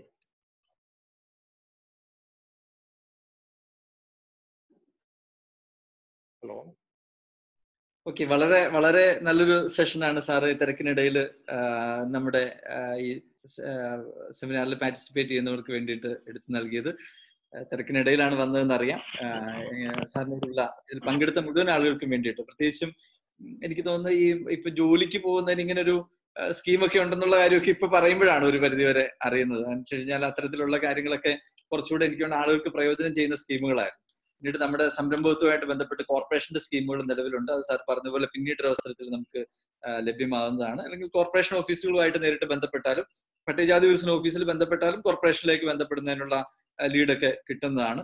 എന്തായാലും ഇത്തരത്തിലുള്ള സംരംഭങ്ങളും ഗ്രൂപ്പ് സംരംഭങ്ങളും പ്രത്യേകിച്ച് ജി എൽ ജിയോ അല്ലെങ്കിൽ എസ് എച്ച് ജിയോ പോലുള്ള സംരംഭങ്ങളൊക്കെ വളർന്നു വരികയും കൂട്ടായ്മയിലൂടെ ഒരു അതിജീവനം സാധ്യമാക്കുകയും ചെയ്യുന്ന ഒരു വ്യവസ്ഥിതിയിലേക്കും കൂടെ കൂടെ നമ്മൾ മാറിക്കൊണ്ടിരിക്കുന്ന ഈ കാലഘട്ടത്തിലാണ് സാറിന്റെ ഇത്തരത്തിൽ വളരെ വളരെ പ്രയോജനപ്രദമായിട്ടുള്ള ഒരു സെഷൻ തന്ന പ്രിയപ്പെട്ട ജോൺ സാ ആ, ജോസഫ് ജോൺ സാറിനോടുള്ള എല്ലാ നന്ദിയും സ്നേഹവും നിങ്ങൾക്ക് എല്ലാവർക്കും വേണ്ടിയിട്ട് ഒരിക്കൽ കൂടി അറിയിക്കുന്നു. Thank you sir thank you okay thank you thank you thank you Norka റൂട്ട്സിലെ Rashmikanth മേഡത്തിന് കേൾക്കാമോ? മേഡം ലൈനിൽ ഓക്കെ ആണോ ഹലോ ഓക്കെ അല്ലേ? ഓക്കെ ആണ് ഓക്കെ ആണ് ഓക്കെ ആണ് ഓക്കെ ആണ് മേഡത്തിനെ നേരത്തെ മുതൽ ട്രൈ ചെയ്തുകൊണ്ടിരിക്കുന്നു എനിക്ക് തോന്നുന്നത് നമ്മുടെ ഒരു തൊണ്ണൂറ്റി അഞ്ചോളം പാർട്ടിസിപ്പൻസ് ഉണ്ടായിരുന്നു. അതിൽ പലരും വിദേശത്ത് നിന്ന് തിരിച്ചു വന്നവരുമായിരുന്നു. അപ്പൊ മാഡത്തിന്റെ ക്ലാസ് അതുകൊണ്ട് ഞങ്ങൾ ആദ്യം തന്നെ പ്ലാൻ ചെയ്തതാണ് ടെക്നിക്കൽ പ്രോബ്ലം കാരണം നമ്മളൊക്കെ ഈ സാങ്കേതിക വിദ്യയിൽ ഊന്നി ഇത്തരത്തിലുള്ള പ്ലാറ്റ്ഫോമുകളെ പരിചയിച്ചു വരുന്നതേ. അപ്പൊ അതിന്റെ ചില എററുകളൊക്കെ നമുക്ക് സംഭവിക്കുന്നുണ്ട്. എങ്കിൽ പോലും മാഡം റീജോയിൻ ആയി. നോർക്ക റൂട്ട്സ് എനിക്ക് തോന്നുന്നത് ഈ കാലഘട്ടത്തിൽ ഏറ്റവും കൂടുതൽ ചർച്ച ചെയ്യപ്പെട്ട ഒരു സ്ഥാപനം കൂടെ കൂട്ടിയിട്ടാണ് നോർക്ക. അപ്പൊ നോർക്കയുടെ വിവിധ ആയ പദ്ധതികൾക്ക് കൂടുതൽ പ്രസക്തമാവുന്ന ഒരു കാലഘട്ടവും കൂടെ കൂട്ടിയിട്ടാണ് ഈ പുനരധിവാസവും ആ, അതിജീവനവും ഒക്കെ ആയിട്ട് ബന്ധപ്പെട്ടിട്ടുള്ള നോർക്കയുടെ വിവിധ സ്കീമുകൾ പദ്ധതികൾ ഒക്കെ ആയിട്ട് മാഡം നമ്മളോടൊപ്പം ചേരുന്നുണ്ട്. പ്രിയപ്പെട്ട രശ്മികാന്ത് മാഡത്തെ ഞാൻ നിങ്ങൾക്ക് ഓരോരുത്തർക്കും വേണ്ടിയിട്ട് ഹാർദവുമായി ഈ പ്രോഗ്രാമിലേക്ക് സ്വാഗതം ചെയ്തു. Good evening to all first എന്നെ sorry for the inconvenience technically error ആദ്യം തന്നെ ഉണ്ടായിരുന്നു. എനിക്ക് നിങ്ങൾ ഉദ്ദേശിച്ച ടൈമിൽ എത്താൻ പറ്റിയില്ല. റിയലി സോറി നോർക്ക പ്രധാനമായും N D P R E M എന്ന് പറയുന്ന ഒരു പദ്ധതിയാണ് മടങ്ങി വന്ന പ്രവാസികൾക്ക് വേണ്ടിയിട്ട് നമ്മൾ നടപ്പാക്കി വരുന്നത്. അത് ഈ കോവിഡ് നയന്റീനോട് സംബന്ധിച്ചല്ല രണ്ടായിരത്തി പതിമൂന്ന് മുതൽ തന്നെ ഗവൺമെന്റ് ഇംപ്ലിമെന്റ് ചെയ്തു വരുന്ന ഒരു പ്രോഗ്രാമാണ് N D P R M അതിന്റെ പദ്ധതി പേര് സൂചിപ്പിക്കുന്ന പോലെ തന്നെ Norka department project for return emigrants എന്നാണ് എൻ ഡി പി ആർ എമ്മിന്റെ ഫുൾ ഫോം അതായത് തിരിച്ചെത്തിയ മടങ്ങിയെത്തിയ പ്രവാസികളുടെ ഏഹ് സംരംഭകരാക്കുന്നതിനും അവർക്ക് അതിനുവേണ്ട മൂലധന സബ്സിഡി നൽകുന്നതിനും വേണ്ടി നോർക്ക നോർക്ക ഗവൺമെന്റ് നടപ്പിലാക്കി വരുന്ന പദ്ധതിയാണ് എൻ ഡി പി എം. അതിൽ മെയിൻ ആയിട്ട് പറയാന്ന് വെച്ചാൽ മിനിമം രണ്ട് വർഷമെങ്കിലും ഒരേ സ്ഥലത്ത് ഉണ്ടായിരിക്കുകയും അതിനുശേഷം നാട്ടിൽ ഫൈനൽ എക്സിറ്റ് അടിച്ച് മടങ്ങി വന്ന പൂർണമായും മടങ്ങി വന്ന ഒരു പ്രവാസിക്കാണ് ഈ സ്കീം യോഗ്യതയുള്ളത് അപ്ലൈ ചെയ്യാനായിട്ടുള്ളത്. അത് ആദ്യം നോർക്കയുടെ online Norka Root W W Norka Roots dot O R G എന്ന സൈറ്റിൽ ഓൺലൈൻ രജിസ്ട്രേഷൻ ആണ് നിങ്ങൾ ഫസ്റ്റ് തന്നെ ചെയ്യേണ്ടത്. അത് നമുക്ക് മെയിൻ ആയിട്ട് പറയുകയാണെങ്കിൽ ഇതൊരു ആറ് ഏഴ് സ്റ്റേജ് ആയിട്ടാണ് നമ്മൾ ഇത് ചെയ്യുന്നത്. അതായത് ആദ്യം നിങ്ങൾ ഒരു ഓൺലൈൻ രജിസ്റ്റർ ചെയ്യും നോർക്കയുടെ സൈറ്റിൽ W W Norka Root dot O R G എന്നുള്ള സൈറ്റിൽ N D P R M Norka department project for return emigrants. അതായത് രണ്ട് വർഷം വിദേശത്ത് താമസിച്ച് നാട്ടിൽ പൂർണമായും മടങ്ങി എത്തിയ ഒരു പ്രവാസിക്ക്. അത് നമ്മൾ പറയുമ്പോൾ ഇപ്പം ഒന്നുമില്ലെങ്കിൽ രണ്ടു വർഷം കഴിഞ്ഞ് പൂർണമായി ഫൈനൽ എക്സിറ്റ് അടിച്ച് വന്നിരിക്കണം. അല്ലെങ്കിൽ മടങ്ങി വന്ന് ആറു മാസം കഴിഞ്ഞ ഒരു വ്യക്തിയാണ് നമ്മൾ ഈ മടങ്ങി വന്ന പ്രവാസി എന്നുകൊണ്ട് ഉദ്ദേശിക്കുന്നത്. ആദ്യം നിങ്ങൾ രജിസ്റ്റർ ചെയ്ത് കഴിഞ്ഞാൽ നമ്മൾ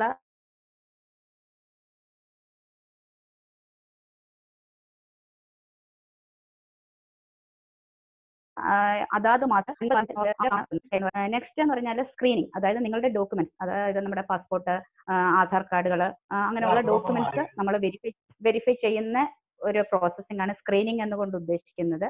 പിന്നെ നമ്മൾ ഈ എൻ ഡി പി ആർ എന്ന് പറഞ്ഞ പദ്ധതിക്ക് നമ്മൾ നോർക്ക അല്ല നമ്മൾ ബാങ്ക് നമ്മൾ പതിനഞ്ചോളം ധനകാര്യ സ്ഥാപനങ്ങളുമായിട്ട് ചേർന്നാണ് ഈ പദ്ധതി നടപ്പിലാക്കി വരുന്നത്.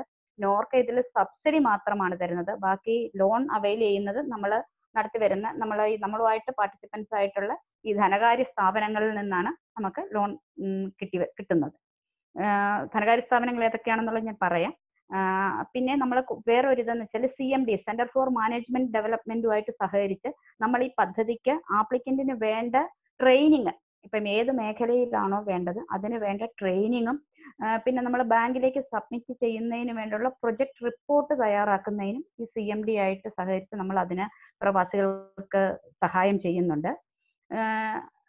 നമ്മുടെ ഇപ്പൊ ഈ സ്ക്രീനിങ് കഴിഞ്ഞു കഴിഞ്ഞാൽ അടുത്ത ഇത് ആവശ്യം ട്രെയിനിങ് ആവശ്യമുള്ള പ്രവാസികൾക്ക് നമ്മൾ നൽകുന്ന സി എം ഡി നടത്തുന്ന ട്രെയിനിങ് ആണുള്ളത് പിന്നെ ഉള്ളത് നമ്മൾ നിങ്ങളുടെ ഈ ട്രെയിനിങ് കഴിഞ്ഞ് കഴിയുമ്പോഴത്തേക്ക് സ്ക്രീനിങ് കഴിഞ്ഞ് കഴിയുമ്പോൾ നിങ്ങളുടെ ഡോക്യുമെന്റ് വെരിഫൈ ചെയ്ത് നിങ്ങൾ ഈ മടങ്ങി വന്ന ഒരു പ്രവാസിയാണോ രണ്ട് വർഷം വിദേശവാസമുള്ള ഒരാളാണോ എന്നുള്ളതെല്ലാം വെരിഫൈ ചെയ്ത് നിങ്ങൾ അതിന് യോഗ്യരാണെങ്കിൽ നമ്മൾ നിങ്ങളെ ഏത് ബാങ്കിലേക്ക് അതായത് നമ്മുടെ ലിസ്റ്റിൽ ഞാൻ പറഞ്ഞു പതിനഞ്ചോളം ബാങ്കുകളാണുള്ളത് അതിൽ പതിനഞ്ചോളം ധനകാര്യ സ്ഥാപനങ്ങളാണുള്ളത് അതിൽ മൂന്ന് കോർപ്പറേഷനും പന്ത്രണ്ട് ബാങ്കുകളുമാണ് നമുക്ക് നിലവിലുള്ളത്.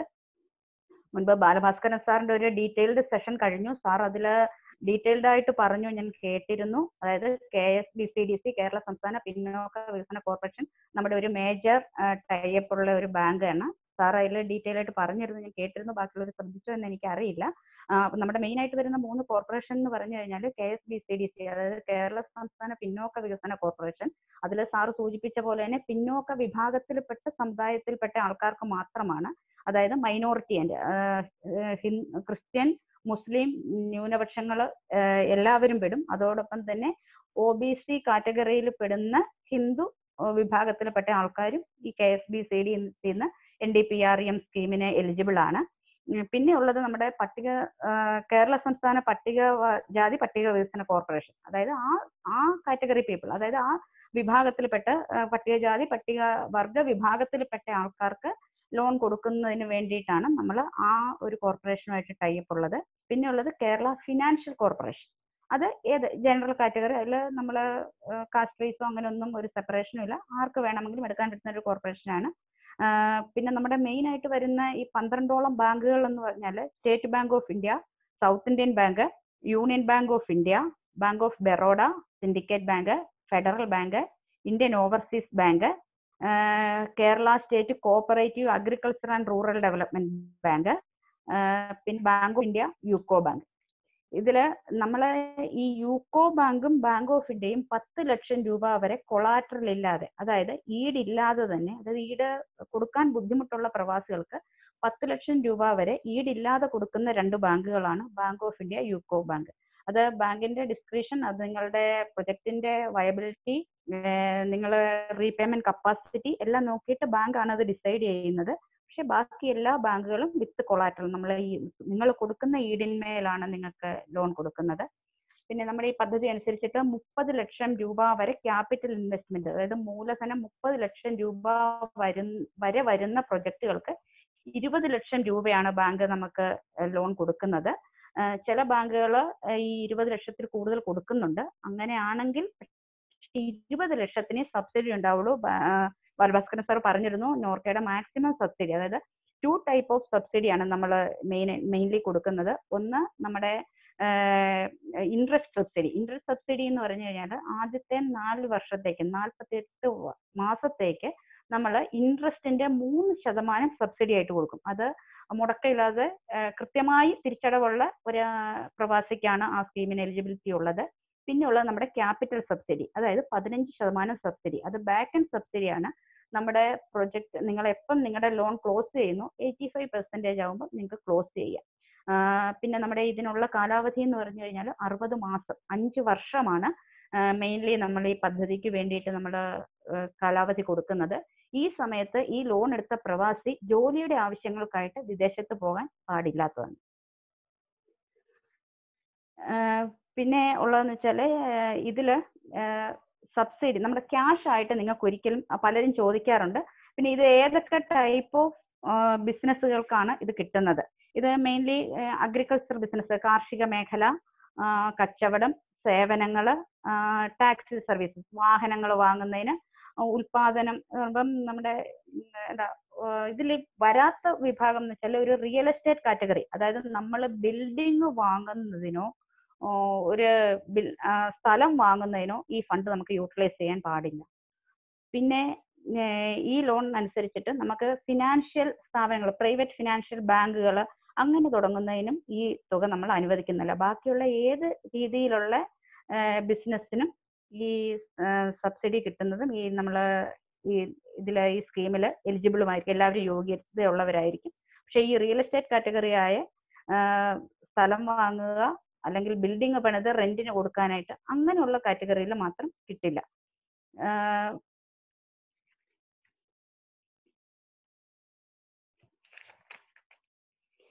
ഇത് ഇതിൽ അപ്ലൈ ചെയ്യുന്നതിന് വേണ്ടിയിട്ട് നോർക്കയുടെ സൈറ്റ് ഞാൻ നേരത്തെ പറഞ്ഞിരുന്നു W W Norka Roots dot O R G. അതിൽ മെയിൻലി വേണ്ടത് നമ്മുടെ ഒരു പ്രൊജക്ട് റിപ്പോർട്ട് നമ്മുടെ പ്രൊജക്ട് എന്താണോ നിങ്ങൾ ചെയ്യാൻ ഉദ്ദേശിക്കുന്നത് ആ പ്രൊജക്റ്റിനെ കുറിച്ചൊരു ബ്രീഫായിട്ട് നിങ്ങളൊരു ജസ്റ്റ് ഒരു ഇത് എഴുതിയിട്ട് എന്താണ് നിങ്ങളുടെ പ്രൊജക്ട് ചെയ്യാൻ ഉദ്ദേശിക്കുന്നത്? ആ പ്രൊജക്ട് റിപ്പോർട്ട് വേണം. പാസ്പോർട്ട്. നിങ്ങളുടെ രണ്ട് വർഷത്തെ വിദേശവാസം തെളിയിക്കുന്ന പാസ്പോർട്ട് നമ്മുടെ Aadhaar card PAN card ration card നിങ്ങളുടെ ഒരു ഫോട്ടോ. ഇത്രയാണ് നമുക്ക് ഓൺലൈൻ അപ്ലൈ ചെയ്യുന്നതിന് വേണ്ട കാര്യങ്ങൾ. ഓൺലൈൻ അപ്ലൈ ചെയ്ത് കഴിഞ്ഞാൽ നമ്മൾ ഈ പറഞ്ഞ പോലെ സ്ക്രീനിങ് കാര്യങ്ങൾ ചെയ്തു തരും. പിന്നെ നമ്മൾ ബാങ്കിലേക്ക് ഈ സ്ക്രീനിങ് കഴിഞ്ഞ് കഴിയുമ്പം ബാങ്കിലേക്ക് നിങ്ങളുടെ ലെറ്റർ നമ്മൾ നിങ്ങൾ ഈ പറഞ്ഞ ഞാൻ പറഞ്ഞ ഈ ലിസ്റ്റ് ഓഫ് ഇത്രയും ബാങ്കുകൾ പറഞ്ഞു. ആ ബാങ്കുകളുടെ ഏത് ബ്രാഞ്ചിലേക്കാണോ നിങ്ങൾക്ക് വേണ്ടത്. പിന്നെ ബാങ്കിൽ നിന്ന് ലോൺ എടുക്കുന്ന ഒരു വ്യക്തി എവിടെയാണോ നിങ്ങൾ ബിസിനസ് സ്റ്റാർട്ട് ചെയ്യുന്നത് അതിനടുത്തുള്ള ബാങ്കുകളിൽ നിന്ന് ലോൺ എടുക്കുക. പിന്നെ K S B C D C ആണെങ്കിൽ നിങ്ങൾ താമസിക്കുന്ന സ്ഥലം ഏത് ജില്ലയാണോ അവിടുത്തെ K S B C D C അത് പിന്നോക്ക വിഭാഗം ന്യൂനപക്ഷ സമുദായങ്ങൾ മാത്രമേ അതിൽ ഉൾപ്പെടുകയുള്ളൂ. അങ്ങനെയുള്ളവർ ആ നിങ്ങൾ എവിടെയാണോ ഏത് സ്ഥലത്താണോ താമസിക്കുന്നത് ആ സ്ഥലത്തെ K S B C D സിയുമായിട്ട് ബന്ധപ്പെടുകയാണ് ചെയ്യേണ്ടത്. ബാങ്കുകളാണെങ്കിൽ ബാങ്കുകളിൽ നിന്നാണ് നിങ്ങൾ ലോൺ എടുക്കാൻ ഉദ്ദേശിക്കുന്നതെങ്കിൽ ഏത് സ്ഥലത്താണോ നിങ്ങളുടെ പ്രൊജക്ട് സ്റ്റാർട്ട് ചെയ്യാനുള്ളത് അതിനടുത്ത് ഈ പറഞ്ഞ ലിസ്റ്റ് ഓഫ് ബാങ്കുകളിൽ നിങ്ങൾ പറയുക. നിങ്ങളപ്പം നമ്മുടെ ഈ ക്ലാസ് കഴിഞ്ഞ് നമ്മൾ സ്ക്രീ സ്ക്രീനിങ്ങിന് വരുമ്പം ഒരു വൺ വീക്ക് ഡ്യൂറേഷൻ നിങ്ങൾക്ക് തരുന്നുണ്ട്. അതായത് നിങ്ങളുടെ ബാങ്ക് നിങ്ങൾ നിങ്ങളുടെ പ്രൊജക്റ്റ് ബാങ്കിൽ ചെന്ന് പറയുന്നതിനും ബാങ്കിനെ അത് കൺവിൻസ് ചെയ്യിക്കുന്നതിനും വേണ്ടിയിട്ടാണ് നമ്മൾ ആ ഒരു ടൈം തരുന്നത്. അതിനകം നിങ്ങൾ ബാങ്കിൽ ചെന്ന് നിങ്ങൾ ഫൈനൽ സ്ക്രീനിങ്ങിന് വരുമ്പം ഏത് ബാങ്കിന്റെ ഏത് ബ്രാഞ്ചിലേക്കാണ് വേണ്ടതെന്ന് പറയുന്നു. നമ്മളത് ബാങ്കിലേക്ക് നമ്മൾ നിങ്ങളുടെ ഈ സ്കീമിന് എലിജിബിൾ ആണ്. നോർക്ക ഇതിന് സബ്സിഡി തരാൻ ബില്ലിംഗ് ആണ് എന്നുള്ള ഒരു ഇൻഫർമേഷൻ ബാങ്കിനെ അറിയിക്കുന്നു. അതിനുശേഷമുള്ള സ്റ്റേജ് എന്ന് വെച്ചാൽ ഈ ആപ്ലിക്കന്റ് ബാങ്കിൽ അത് ബാങ്കിന് ലെറ്റർ അയക്കുന്നതിനോടൊപ്പം തന്നെ ആപ്ലിക്കന്റിനും ഒരു ലെറ്റർ നമ്മൾ കിട്ടും. നിങ്ങൾക്ക് കിട്ടുന്ന കോപ്പിയുമായിട്ട് നമ്മുടെ ഈ സ്ക്രീനിങ് കഴിയുമ്പോൾ ഒരു വിത്തിൻ ടു വീക്സ് നിങ്ങൾക്ക് അത് കിട്ടിയിരിക്കും. അപ്പൊ നിങ്ങൾ ആ ലെറ്ററുമായിട്ട് കൺസേൺ ബാങ്കിന്റെ ബ്രാഞ്ചിൽ ചെന്നിട്ട് നിങ്ങൾ സംസാരിച്ച് ക്ലിയർ ചെയ്ത് കഴിഞ്ഞു.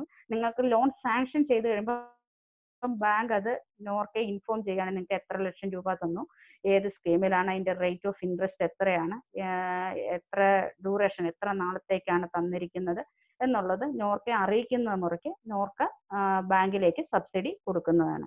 പിന്നെ ഈ പദ്ധതിയിൽ പ്രകാരം ക്യാഷ് ആയിട്ട് നിങ്ങളുടെ കയ്യിൽ ഒരു കാരണവശാലും കിട്ടില്ല. നിങ്ങൾ ഏത് പ്രൊജക്റ്റ് ആണോ ചെയ്യാൻ ഉദ്ദേശിക്കുന്നത് ആ പ്രൊജക്റ്റിൽ നിങ്ങളുടെ പർച്ചേസിന് എഗൈൻസ്റ്റ് ആയിട്ട് മാത്രം ചെക്ക് ആണ് കൊടുക്കുന്നത്. ക്യാഷ് ആയിട്ട് കയ്യിൽ കിട്ടില്ല.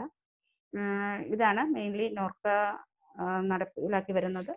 പദ്ധതി ഇതാണ്. ഈ അതായത് പുനരധിവാസം എന്ന സ്കീം അനുസരിച്ച് നോർക്ക ഈ പദ്ധതിയാണ് നടപ്പിലാക്കി വരുന്നത്.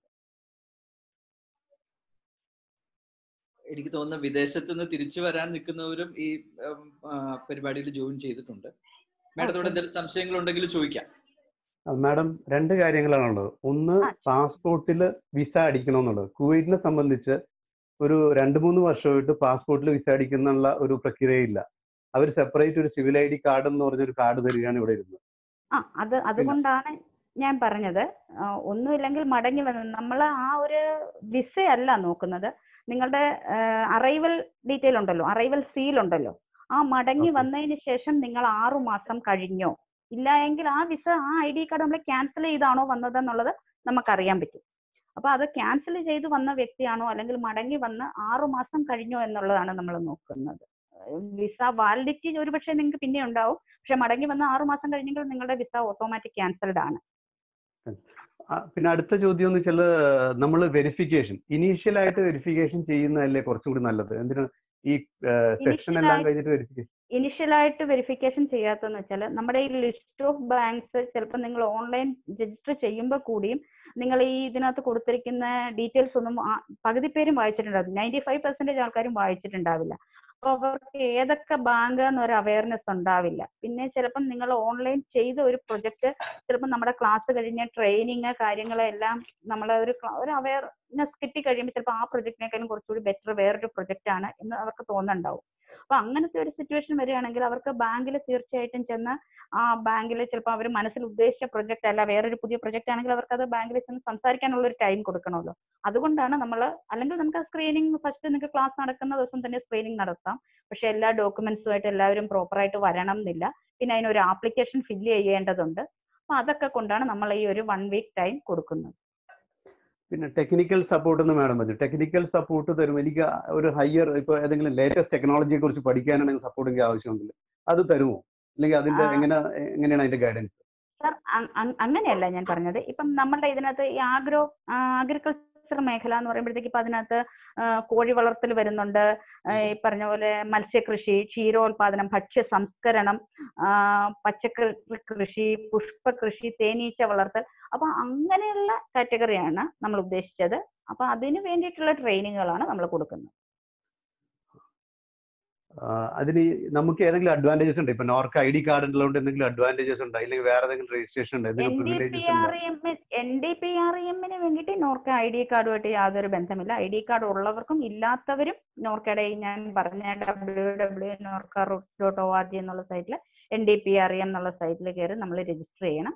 അതിൽ നമ്മൾ ഐ ഡി ഉണ്ടെന്നോ ഐ ഡി ഇല്ലാന്നോ ഉള്ളതിൽ നമുക്ക് മെജോറിറ്റി അങ്ങനെ നമ്മൾ ഒരു ഇത് കൊടുക്കുന്നില്ല. ആർക്കും ഉള്ളവർക്ക് ചെയ്യണ്ടെന്നോ ഇല്ലാത്തവർക്കെന്നോ അങ്ങനെ ഒരു പ്രത്യേകത ഇപ്പൊ ഈ നോർക്ക ഈ ലോൺ അവൈൽ ചെയ്യുമ്പോഴത്തേക്കും ഈ നമ്മുടെ പെൻഷൻ നോർക്ക പെൻഷൻ കിട്ടുമ്പോൾ അതിലെന്തെങ്കിലും പ്രിവിലേജ് അതെന്തെങ്കിലും പ്രശ്നങ്ങളുണ്ടോ? ഇത് രണ്ടും പെൻഷൻ വാങ്ങിക്കാൻ സർ പാടില്ലെന്നോ? സർ പെൻഷൻ നോർക്കല്ല ആക്ച്വലി. നോ അത് പ്രവാസി ക്ഷേമനിധി ബോർഡ് എന്ന് പറയുന്നത് വേറൊരു ക്ഷേമനിധി ബോർഡാണ്. നോർക്ക് ഒരിക്കലും പെൻഷൻ സ്കീം നോർക്കയുടെ അല്ല. അത് വേറെ ഡിപ്പാർട്ട്മെന്റ് ആണ് ക്ഷേമനിധി ബോർഡാണ് അത്. പ്രവാസി ക്ഷേമനിധി ബോർഡ്. അതിലങ്ങനെ വേറെ ഇഷ്യൂസ് ഒന്നും വരില്ല അതായത് നിങ്ങൾ ഈ ലോൺ എടുക്കുന്ന പീരീഡ് ഈ അഞ്ച് വർഷത്തേക്ക് വിദേശത്ത് ജോലിക്കായിട്ട് പോകാൻ പാടില്ല എന്നുള്ളൊരു കണ്ടീഷൻ മാത്രമേ ഉള്ളൂ. പിന്നെ നമ്മുടെ ഈ സ്കീം അനുസരിച്ചിട്ട് അറുപത് വയ ബാങ്കുകളാണെങ്കിൽ അറുപത് വയസ്സ് വരെയാണ് age. K S B C D C ആണെങ്കിൽ അറുപത്തി അഞ്ച് വയസ്സ് വരെയാണ്. അത് ബാലഭാസ്കർ സാർ നേരത്തെ പറഞ്ഞിരുന്നു. അതുകൊണ്ടാണ് ഞാൻ വീണ്ടത് മറ്റു ബിസിനസ്സുകൾ വിദേശത്ത് ചെയ്യുന്നതിൽ കുഴപ്പമില്ല. നമുക്ക് അവിടെ ഇത് തുടങ്ങിയിട്ട് വേറെ ബിസിനസ് വിദേശത്ത് ചെയ്യുന്നതിൽ കുഴപ്പമൊന്നെങ്കിലും ഉണ്ടോ? നമ്മൾ കംപ്ലീറ്റ്ലി എക്സിറ്റ് അടിച്ചു പോകുന്ന ഒരാളാണല്ലോ. അതായത് നമ്മുടെ നാട്ടിൽ മടങ്ങി എത്തി ഇവിടെ നമുക്ക് പ്രത്യേകിച്ച് ഒരു വരുമാനം ഇല്ലാത്ത ഒരു വ്യക്തിയുടെ എന്താ പറയുക മൂലധന സബ്സിഡി കൊടുത്ത് അവരെ പ്രവ- പ്രവാസി സംരംഭരാക്കുക എന്നുള്ളതാണ്. അതിൽ വേറെ വിദേശത്ത് ഒരു ബിസിനസ് ഉള്ള ഒരാൾക്ക് ഇവിടെ ഇങ്ങനെ തുടങ്ങുന്ന ഞാനൊരു ഞാനൊരു അവിടെ ഞാനൊരു മാനുഫാക്ചറിംഗ് യൂണിറ്റ് തുടങ്ങി. അതിന്റെ എക്സ്പോർട്ട് സെഷൻ അതിൽ ഇതിൽ യു എയിൽ ഞാൻ അതിന്റെ ഒരു ബിസിനസ് ബ്രാഞ്ചസ് തുടങ്ങി. അല്ലെങ്കിൽ അവിടെ ഒരു സെയിൽസ് സർവീസ് തുടങ്ങി. അപ്പൊ എനിക്കൊരു ബിസിനസ് ഉണ്ട്. അതുകൊണ്ട് പ്രശ്നങ്ങൾ ഉണ്ടാവും ബിസിനസ് ചെയ്യാൻ പാടില്ല എന്നുള്ളതാണ് സാർ എന്ന് വെച്ചാൽ ഇപ്പൊ സാർ അവിടെ ഒരു പദ്ധതി ഉണ്ടെങ്കിൽ എന്ന് വെച്ചാൽ സാർ അതിന്റെ സാറിന്റെ ബിസിനസ് പർപ്പസിനായിട്ട് സാർ പോവേണ്ടി വരുന്നുണ്ടല്ലോ. അല്ല ഞാനിപ്പോ ഒരു സോളാർ പാനൽ മാനുഫാക്ചറിംഗ് ബിസിനസ് ആണ് തുടങ്ങുന്നത്. അപ്പൊ ഈ മാനുഫാക്ചറിങ് ഈ സോളാർ പാനൽ അവിടെ എക്സ്പോർട്ട് ചെയ്ത് അവിടുത്തെ സെയിൽസ് ചെയ്യാനും അവിടുത്തെ അത് മാർക്കറ്റ് ചെയ്യാനും എനിക്ക് അവിടെ. കംപ്ലീറ്റ്ലി കേരളത്തിലായിരിക്കണം. അതായത് നമ്മുടെ ഈ നിങ്ങൾ ഏത് ബിസിനസ് ആണോ സ്റ്റാർട്ട് ചെയ്യുന്നത് അത് കേരളത്തിൽ തന്നെ ആയിരിക്കണം. കേരളത്തിന് വെളിയിലോ വിദേശത്തോ ചെയ്യുന്ന ഒരു ബിസിനസ്സിന് നമ്മൾ സബ്സിഡി അലോ ചെയ്യുന്നുണ്ട്. അല്ല കേരളത്തിലാണ് മാനുഫാക്ചറിംഗ് യൂണിറ്റ്. നമുക്കിത് സെയിൽ ചെയ്യും എക്സ്പോർട്ട് ചെയ്യുന്നതിൽ അതിൽ ഇഷ്യൂ വരുന്നില്ല. ഇല്ല അതിൽ ഇഷ്യൂ വരുന്നില്ല. Okay thanks okay thank you hello ആർക്കെങ്കിലും മാഡത്തോട് ഹലോ പറയൂ. ഹലോ പറഞ്ഞോളൂ. ഹലോ മാഡം ഹലോ ആ സാർ പറഞ്ഞോളൂ. മാഡം നമുക്കിങ്ങനെ പ്രവാസി ഇപ്പൊ തിരിച്ചു വന്ന പ്രവാസികളെല്ലാം കൂടി ചേർന്ന് ഒരു ഗ്രൂപ്പായിട്ട് ഒരു പത്തോ പന്ത്രണ്ടോ പേരോ ചേർന്ന ഗ്രൂപ്പായിട്ട് എന്തെങ്കിലും സംരംഭം തുടങ്ങാൻ നോർക്ക ഹെൽപ്പ് ചെയ്യുന്നുണ്ടോ?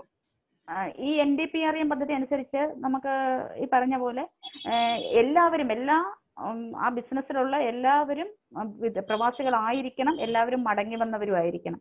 നമ്മൾ ഈ ആ അതായത് രണ്ടു വർഷം വിദേശത്തുണ്ടായിരിക്കണം. എക്സിറ്റ് അടിച്ച് വന്നവരായിരിക്കണം. അങ്ങനെ ഗ്രൂപ്പായിട്ട് നിങ്ങൾക്ക് ഒരു ബിസിനസ് സ്റ്റാർട്ട് ചെയ്യാം. പക്ഷെ എല്ലാവരും ഈ കണ്ടീഷൻസ് ഉള്ളവരായിരിക്കണം. അപ്പൊ ഈ ഗ്രൂപ്പായിട്ട് നമ്മൾ ചെയ്യുമ്പോൾ ഈ സെയിം ഡബ്ല്യൂ ഡബ്ല്യൂ നോർക്ക അതിൽ തന്നെയാണോ നമ്മൾ രജിസ്റ്റർ ചെയ്യേണ്ടത്? അവിടുന്നാണോ എന്നിട്ട് നോർക്ക അതെ ഓരോ ഓരോരുത്തരും ഇൻഡിവിജ്വൽ ആയിട്ടാണ് ചെയ്യുന്നത്. പിന്നെ നമ്മൾ അത് ലെറ്റർ ബാങ്കിലേക്ക് അത് ഫോർവേഡ് ചെയ്യുമ്പോൾ അത് നമ്മൾ ഇൻഫോം ചെയ്ത് കൊടുക്കുകയാണ് ചെയ്യുന്നത്. അതെ. അതുപോലെ മാഡം നേരത്തെ പറഞ്ഞല്ലോ പിന്നോക്ക വിഭാഗത്തിന്റെ ഒരു നോർക്ക സ്കീം വഴി കിട്ടുമെന്ന് പറഞ്ഞല്ലോ. അപ്പൊ അതിന് കൊളാട്ടറിൽ കൊടുക്കേണ്ടത് ഞാൻ ബാങ്കിൽ അന്വേഷിച്ചപ്പോൾ കൊളാട്ടറിൽ കൊടുക്കേണ്ടത് ആറ് സെന്റ് സ്ഥലമുള്ളവർക്കേ അത് കൊടുക്കുള്ളൂ എന്ന് പറഞ്ഞു. അത് എല്ലാ ബാങ്കിലും അതെ സർ എന്ന് വെച്ചാൽ മിനിമം നമ്മൾ അഞ്ച് സെന്റോ അതിൽ കുറവുള്ളതോ ആണെങ്കിൽ ഹലോ കിട്ടാനായിട്ട് ബുദ്ധിമുട്ടുണ്ടാവാറുണ്ട് മറ്റേ യൂക്കോ ബാങ്കിൽ നിന്ന് ടെൻ ലാക്സ് വരെ without any collateral UCO UCO ബാങ്കും ബാങ്ക് ഓഫ് ഇന്ത്യയും വിത്തൗട്ട് കൊളാറ്ററൽ ടെൻ ലാക്സ് വരെ കൊടുക്കുന്നുണ്ട് അത് നിങ്ങളുടെ പ്രൊജക്ടിന്റെ വയബിലിറ്റി നോക്കിയിട്ടാണ്. അതായത് നമ്മൾ ചെയ്യുന്ന ബിസിനസിന്റെ വിജയസാധ്യത എത്രത്തോളം ഉണ്ടെന്ന് നോക്കിയിട്ടാണ് കൊടുക്കുന്നത്. ബാങ്ക് ഓഫ് ഇന്ത്യയും യൂക്കോ ബാങ്കും പത്ത് ലക്ഷം രൂപ വരെ ജാമ്യം ഈടില്ലാതെ കൊടുക്കുന്നുണ്ട്.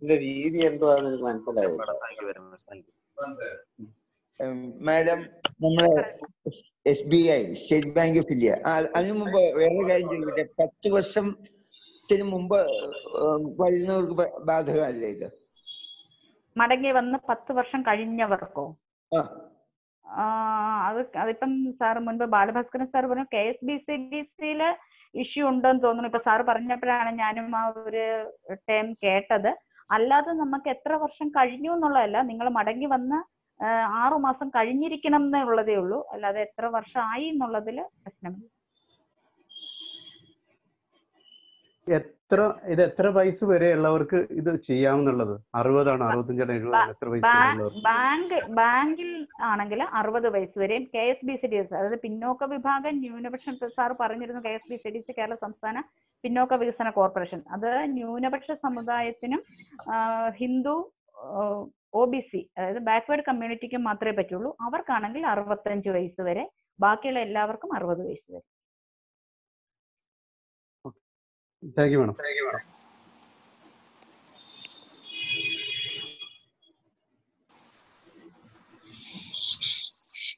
നോർക്കയുടെ സ്കീമുകൾ നോർക്കയുടെ സ്കീമുകളെ കുറിച്ച്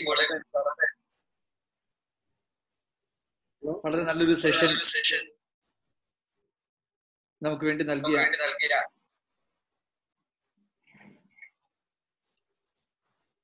ഓക്കെയാണ്? സൗണ്ട് സാർ വോയിസ് ക്ലിയർ അല്ല. ഓക്കെ ഓക്കെ ഇപ്പൊ ക്ലിയർ ആണോ? ആ ഇപ്പൊ ക്ലിയർ ആണ് ക്ലിയർ ആണ്. നോർക്കയുടെ വിവിധ പദ്ധതികളെ കുറിച്ച് ഇതിൽ നമ്മൾ മാഡം പറഞ്ഞു വന്നതിൽ നിന്ന് എനിക്ക് തോന്നുന്നു നേരത്തെ നോർക്ക എന്ന് പറയുന്നത് ഈ ഒരു ബിസിനസിനെ പ്രൊമോട്ട് ചെയ്യാൻ വേണ്ടി ഉണ്ടാക്കിയ ഒരു സ്ഥാപനമല്ല പ്രവാസികൾക്ക് പുനരധിവാസമാണ് ശരിക്കും അതിൽ അതിൽ നോർക്കയുടെ ഒരു വൺ ഓഫ് സ്കീമാണ് ഇത് പറഞ്ഞത് പുനരധിവാസ പദ്ധതി മാത്രമാണ് ഞാൻ ഇവിടെ പറഞ്ഞത്.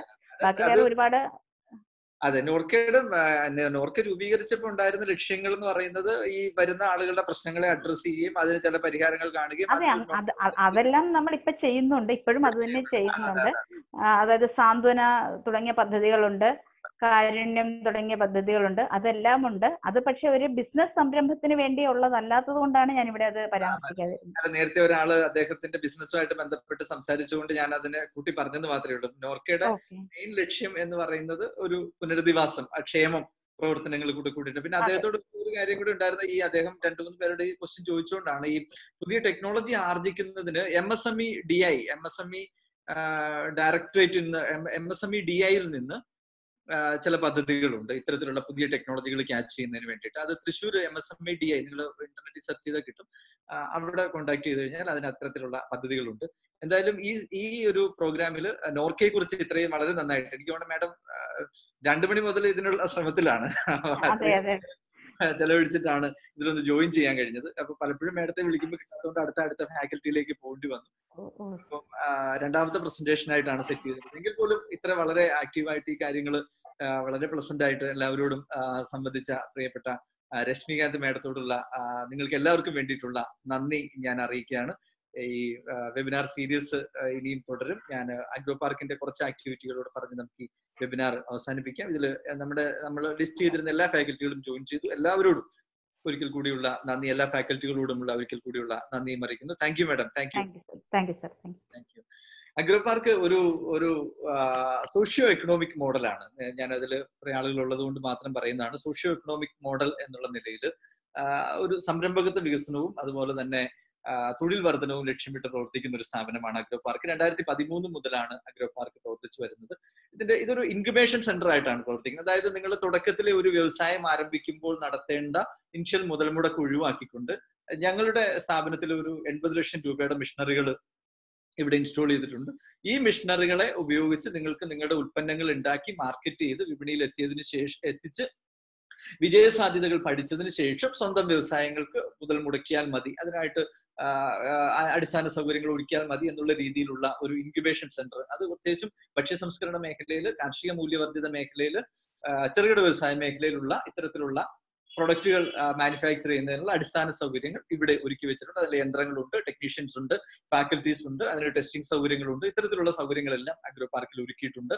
അപ്പൊ ആദ്യത്തെ സമയത്ത് തന്നെ ഇത്തരത്തിലുള്ള സ്കീമുകൾ പ്രയോജനപ്പെടുത്തി വലിയ ഇൻവെസ്റ്റ്മെന്റുകൾ നടത്തി ഒരു അപകട സാധ്യതയിലേക്ക് പോകുന്നതിന് മുൻപ് ഒരു ഇത്തരത്തിലുള്ള ചില പഠനങ്ങൾ നടത്തിയതിനു ശേഷം വിപണി സാധ്യത പഠിച്ചതിന് ശേഷം മുന്നോട്ട് പോവുക എന്നുള്ളതാണ് ഈ ട്രയൽ പ്രൊഡക്ഷൻ ഫെസിലിറ്റി എന്നുള്ള അഗ്രോ പാർക്കിന്റെ ഇൻക്യുബേഷൻ ഫെസിലിറ്റിയിലൂടെ ഉദ്ദേശിക്കുന്നത്.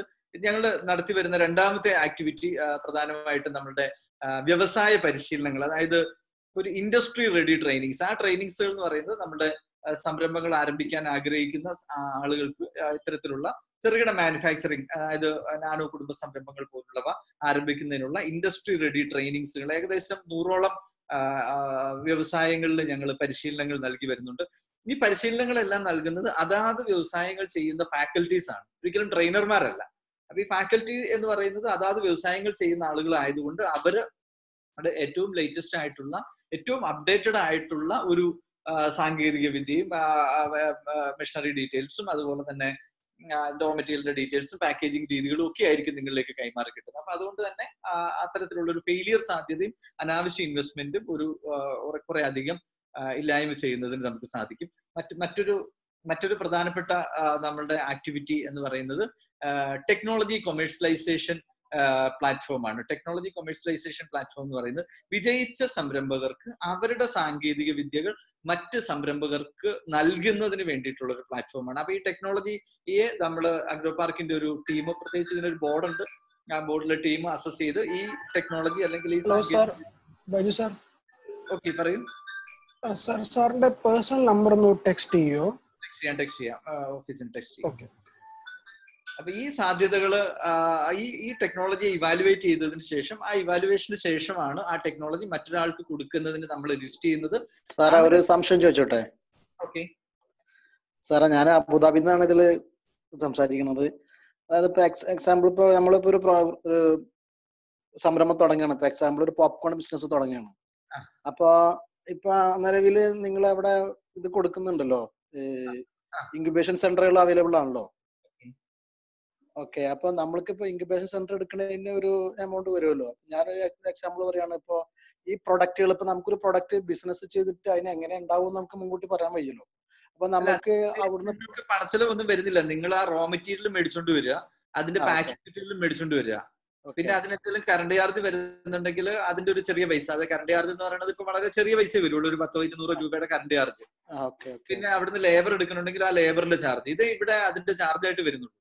ഓക്കെ അത്രേ ഉള്ളൂ അല്ലെ? അല്ലാണ്ട് വലിയൊരു എമൗണ്ട് ആയിട്ട് വരുന്നില്ല അപ്പൊ ഞാൻ ഉദ്ദേശിക്കുന്നത് എന്താ പറഞ്ഞാൽ നമുക്ക് പ്രൊഡക്റ്റ് ആയിട്ട് കിട്ടിക്കഴിഞ്ഞാൽ ആ പ്രൊഡക്റ്റ് നമുക്ക് മാർക്കറ്റിൽ കൊണ്ടുപോയിട്ട് അത് എങ്ങനെയുണ്ട്? അത് ആയിട്ട് മേടിക്കുന്നതിന് അഗ്രോ പാർക്കിന്റെ സേവനം ആവശ്യമില്ല. നിങ്ങൾ ഏതെങ്കിലും പിന്നെ പോപ്കോൺ മാനുഫാക്ചർ ചെയ്യുന്ന വേറെ ആളുകളുടെ നമ്പർ തപ്പിട്ട് അവർ ഡിസ്ട്രിബ്യൂഷൻ എടുത്താൽ മതി. ഇത് ഇൻക്യുബേഷൻ സെന്റർ എന്ന് പറയുന്നത് ഇതിന്റെ പെയിൻ എല്ലാം ഒരു എന്റർപ്രണർ എടുത്ത് അവർ ഈ ബിസിനസ് പഠിക്കുകയും കൂടെ ചെയ്യുവാണ്. ഇൻക്യുബേഷൻ സെന്റർ വഴി ചെയ്യും ഒരു ഡിസ്ട്രിബ്യൂഷന് വേണ്ടി ആ സമയത്ത് ആ സമയത്ത് നമ്മൾക്ക് നമ്മളേതായ പ്രൊഡക്റ്റ് നെയിമും കാര്യങ്ങളൊക്കെ നമുക്ക് ആഡ് ചെയ്തിട്ട് തന്നെ ചെയ്യാൻ പറ്റുമല്ലോ ചെയ്യണം ചെയ്യണം. നിങ്ങളുടെ ബ്രാൻഡ് നെയിമിൽ ചെയ്ത് നിങ്ങൾ മാർക്കറ്റ് ചെയ്ത് നോക്കി നിങ്ങൾക്ക് സക്സസ് ആണ്. ഇതേ ബ്രാൻഡ് നെയിമിൽ തന്നെ നിങ്ങളുടെ കമ്പനി നിങ്ങളുടെ സ്ഥലത്ത് സ്റ്റാർട്ട് ചെയ്യാൻ പറ്റും. ഓക്കെ അതാണ് ഇൻക്യുബേഷൻ സെന്ററിൽ ചെയ്യുന്നത്. Okay okay. Very very thanks അപ്പോൾ ഞാൻ പറഞ്ഞു വന്നത് ഈ ടെക്നോളജി കൊമേഴ്സ്യലൈസേഷൻ നമുക്ക് ചോദ്യങ്ങൾ അവസാനമാക്കാം നമുക്ക് ഞാൻ പറഞ്ഞു തീർത്തോട്ടെ. വളരെ പെട്ടെന്ന് തീർക്കാം. ഈ ടെക്നോളജി കൊമേഴ്സ്യലൈസേഷൻ പ്ലാറ്റ്ഫോം വഴി ഏകദേശം നമ്മളൊരു ഇരുപത്തഞ്ചോളം ആളുകളുടെ ടെക്നോളജീസ് സെയിൽ ചെയ്യുന്നുണ്ട്. നേച്ചർ വാഷ് ഉണ്ട് സോൾവൻ സിമെന്റ് ഉണ്ട് അതുപോലെ തന്നെ കൂളന്റ് ഉണ്ട്. ഇങ്ങനെ പലരും ചെയ്തുകൊണ്ടിരിക്കുന്ന തിന്നർ നിർമ്മാണമുണ്ട്. ഇതിന്റെയൊക്കെ ടെക്നോളജികൾ അവൈലബിൾ ആണ്. അപ്പൊ ആ ടെക്നോളജി ആ ടെക്നോളജി ഡെവലപ്പ് ചെയ്ത് അല്ലെങ്കിൽ അതിപ്പോ നിലവിൽ ചെയ്തുകൊണ്ടിരിക്കുന്ന ടെക്നോളജി അറിയാവുന്ന ആൾക്ക് നമ്മളൊരു പേയ്മെന്റ് കൊടുത്തുകൊണ്ട് അദ്ദേഹത്തിന്റെ അദ്ദേഹത്തിന് ടെക്നോളജി നമ്മൾ വാങ്ങുന്നു. അപ്പം അദ്ദേഹം അതിനൊരു വൺ ഇയർ ബാക്ക് സപ്പോർട്ടും നമുക്ക് ചെയ്തു തരും. അതാണ് അതിന്റെ ഒരു ടെക്നോളജി പ്ലാ കൊമേഴ്സ്യലൈസേഷൻ പ്ലാറ്റ്ഫോം എന്ന് പറയുന്നത്. അതുപോലെ തന്നെ നമുക്ക് മറ്റൊരു ആക്ടിവിറ്റി ആയിട്ട് വരുന്നത് നമ്മളുടെ M S M E clinic ആണ്. M S M E clinic എന്ന് പറയുന്നത് നമ്മൾ നിലവിൽ ഓണ്ടർപ്രൈസുകൾ പ്രൈസുകൾ ചെയ്തുകൊണ്ടിരിക്കുന്ന ആളുകൾക്ക് അവരുടെ സംരംഭങ്ങളുടെ കുറവുകൾ പരിഹരിക്കാൻ. ഇപ്പൊ ഒരു അച്ചാർ ഉണ്ടാക്കുന്ന ഒരു കമ്പനിയാണ് അവർക്ക് അച്ചാർ കേടായി പോകുന്നു. അതിനൊരു പരിഹാരം തേടാൻ ഇടമില്ല. അതിനുള്ള പരിഹാരം നമുക്ക് ഈ M S M E clinic വഴി ലഭിക്കും. അത് പൂർണമായിട്ട് സൗജന്യമാണ്. അപ്പൊ അതിൽ ആ M S M E clinic എല്ലാം രണ്ടാം ശനിയാഴ്ചയാണ് നടക്കുന്നത്. ഇവിടെ അതിൽ ഫുഡ് ടെക്നോളജിസ്റ്റ് ഉണ്ടാവും കെമിസ്റ്റ് ഉണ്ടാവും പാക്കിംഗ് എക്സ്പെർട്ട് ഉണ്ടാവും. ഇത്തരത്തിലുള്ള ആളുകളുടെ ഒരു നിര ഉണ്ടാവും. അപ്പൊ നിങ്ങളുടെ പ്രശ്നങ്ങൾ നേരത്തെ രജിസ്റ്റർ ചെയ്ത് കഴിഞ്ഞാൽ ആ ടീമിന് ഇത് അയച്ചു കൊടുക്കുകയും അവരൊരു സൊല്യൂഷൻ കണ്ട് ഈ M S M E clinic വഴി നിങ്ങൾക്ക് ലഭിക്കുകയും ചെയ്യും. വളരെ ചെറുകിടക്കാരായിട്ടുള്ള ആളുകളുടെ ഇത്തരത്തിലുള്ള ചെറിയ ചെറിയ പ്രശ്നങ്ങളെ പരിഹരിക്കുക എന്നുള്ളതാണ് എം എസ് എം ഇ ക്ലിനിക്കിന്റെ ലക്ഷ്യം. അതുപോലെ തന്നെ നമ്മളുടെ മറ്റൊരു പ്രധാനപ്പെട്ട മേഖലയാണ് നമ്മുടെ മിഷണറികൾ നമുക്ക് എന്റർപ്രൈസുകൾ സെറ്റ് ചെയ്യുന്നതിന് ആവശ്യമായിട്ടുള്ള മിഷണറികളെല്ലാം തന്നെ നിങ്ങൾക്ക് അഗ്രോ പാർക്കിൽ നിന്ന് അതിന്റെ installation trial run supply installation trial run എല്ലാം അഗ്രോ പാർക്കിൽ നിന്ന് എന്റെ ഒരു ഡിവിഷൻ തന്നെ അതിന് വേണ്ടിയിട്ടുണ്ട്.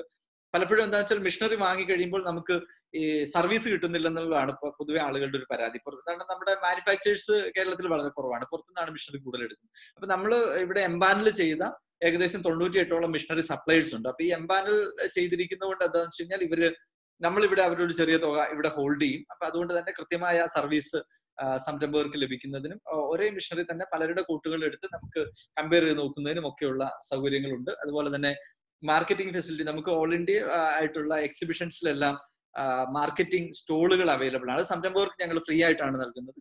നിങ്ങളുടെ നിങ്ങളുടെ യാത്രാ ചെലവുകളും നിങ്ങളുടെ താമസ സൗകര്യവും മാത്രം നിങ്ങൾ ഒരുക്കിയാൽ മതി. അത് ഇന്ത്യയ്ക്ക് പുറത്തുള്ള സ്റ്റോളുകളുണ്ട് ഇന്ത്യയുടെ അകത്തും ഉണ്ട് പല സ്റ്റേറ്റുകളിലായിട്ട് വരും. കോവിഡിന് ശേഷമുള്ള കാര്യങ്ങൾ ഇനിയിപ്പോ എങ്ങനെയാവും അറിയില്ലെങ്കിൽ പോലും ഇതിന് മുൻപ് അത് ചെയ്തിരുന്നു. അത്തരത്തിലുള്ള ഒരു ഇനിഷ്യേറ്റീവ് നമ്മൾ സ്റ്റാർട്ട് ചെയ്ത് പോകുന്നുണ്ട്. ഇത് കൂടാതെ നമ്മുടെ ഇവിടെ ലിസ്റ്റ് ചെയ്ത് ഏകദേശം അറുന്നൂറോളം ഡിസ്ട്രിബ്യൂട്ടേഴ്സിന്റെ ഒരു എംപാനലിന്റെ ലിസ്റ്റ് ഉണ്ട്. എക്സ്പോർട്ടേഴ്സിന്റെ ഒരു പത്തഞ്ഞൂറ് പേരുടെ ലിസ്റ്റ് ഉണ്ട്. അപ്പൊ ഇത്തരത്തിലുള്ള ഈ ഡാറ്റകളൊക്കെ നമ്മുടെ ഉൽപ്പന്നത്തെ മാർക്കറ്റ് ചെയ്യുന്നതിന് വേണ്ടിയിട്ട് സംരംഭകർക്ക് ഫ്രീ ആയിട്ട് ലഭിക്കുന്നതാണ്. ഇത് കൂടാതെ നമ്മൾ ഏകദേശം ഇവിടെ നമ്മുടെ വെബ്സൈറ്റിലൊക്കെ പബ്ലിഷ് ചെയ്തിരിക്കുന്ന പോലെ ഒരു നൂറോളം പ്രൊജക്റ്റുകൾക്കുള്ള സപ്പോർട്ടുകൾ ഇവിടുന്ന് കിട്ടുന്നുണ്ട്. നമുക്ക് ഏത് പ്രൊജക്റ്റ് ആയാലും അതിന്റെ technology training machinery packaging raw materials even അതിന്റെ രജിസ്ട്രേഷൻ ലൈസൻസ് ലോൺ അടക്കം ഇതിന് ഒരു ഒരു കംപ്ലീറ്റ് പാക്കേജ് ആണ്. ഇവിടെ ഒരു വ്യവസായങ്ങൾക്കായിട്ട് നിങ്ങൾ സമീപിച്ചു കഴിഞ്ഞാൽ പിന്നെ പല സ്ഥലത്ത് ഇതിനു വേണ്ടി നിങ്ങൾ അലയേണ്ടുന്ന ഒരു ആവശ്യമില്ല. അത് ഇങ്ങനെ ഒരു ഒരു ഒരു കോൺസെപ്റ്റിലേക്ക് വന്നത് തന്നെ ഞങ്ങളൊക്കെ തൊണ്ണൂറ്റിയേഴിൽ വ്യവസായത്തിൽ വന്നപ്പോൾ അനുഭവിച്ചിട്ടുള്ള അതേ ബുദ്ധിമുട്ടുകൾ ഇപ്പോഴും നിലനിൽക്കുന്നു എന്നുള്ളത് കൊണ്ട് കൂടെ കൂടിയിട്ടാണ്. അപ്പൊ വരുന്ന ആളുകൾക്ക് ഒരു പുതിയ ഇനിഷ്യേറ്റീവ് വരുമ്പോൾ അവരെ കേരളം സംരംഭകം സംരംഭകത്വം എന്നുള്ള വാക്കുകൾ വാക്കുകൾ പോലും ഉച്ചരിക്കാൻ തുടങ്ങിയത് അടുത്ത കാലത്താണ്. അതിനു മുമ്പെല്ലാം നമ്മുടെ പഠിപ്പിക്കലുകളിലും നമ്മുടെ വിദ്യാഭ്യാസത്തിലും എല്ലാം ജോലി പഠിച്ചൊരു ജോലി നേടുക എന്നുള്ള ഒരു കാഴ്ചപ്പാടിൽ മാത്രം വളർന്നു വന്നൊരു ഒരു ജനതയെ ഇപ്പോൾ ഇപ്പോ കാലത്തെങ്കിലും നമ്മളത് തിരിച്ചറിയുന്നുണ്ട്. നമുക്ക് സ്വന്തം കാലിലുള്ള നിലനിൽപ്പ് അനിവാര്യമായിരുന്നു. നമ്മുടെ ഗൾഫ് നാടുകളും നമ്മുടെ അന്യനാടുകളും എല്ലാം അരക്ഷിതമാകുമ്പോൾ സ്വന്തം നാട്ടിലേക്ക് മടങ്ങി വരുമ്പോൾ ഇവിടെ ഒരു വേരുകൾ നമുക്ക് ഉണ്ടായിരുന്നെങ്കിൽ എന്ന് നമ്മൾ ചിന്തിച്ചു പോകുന്ന ഒരു കാലഘട്ടം കൂടെ കൂടിയിട്ടാണ്.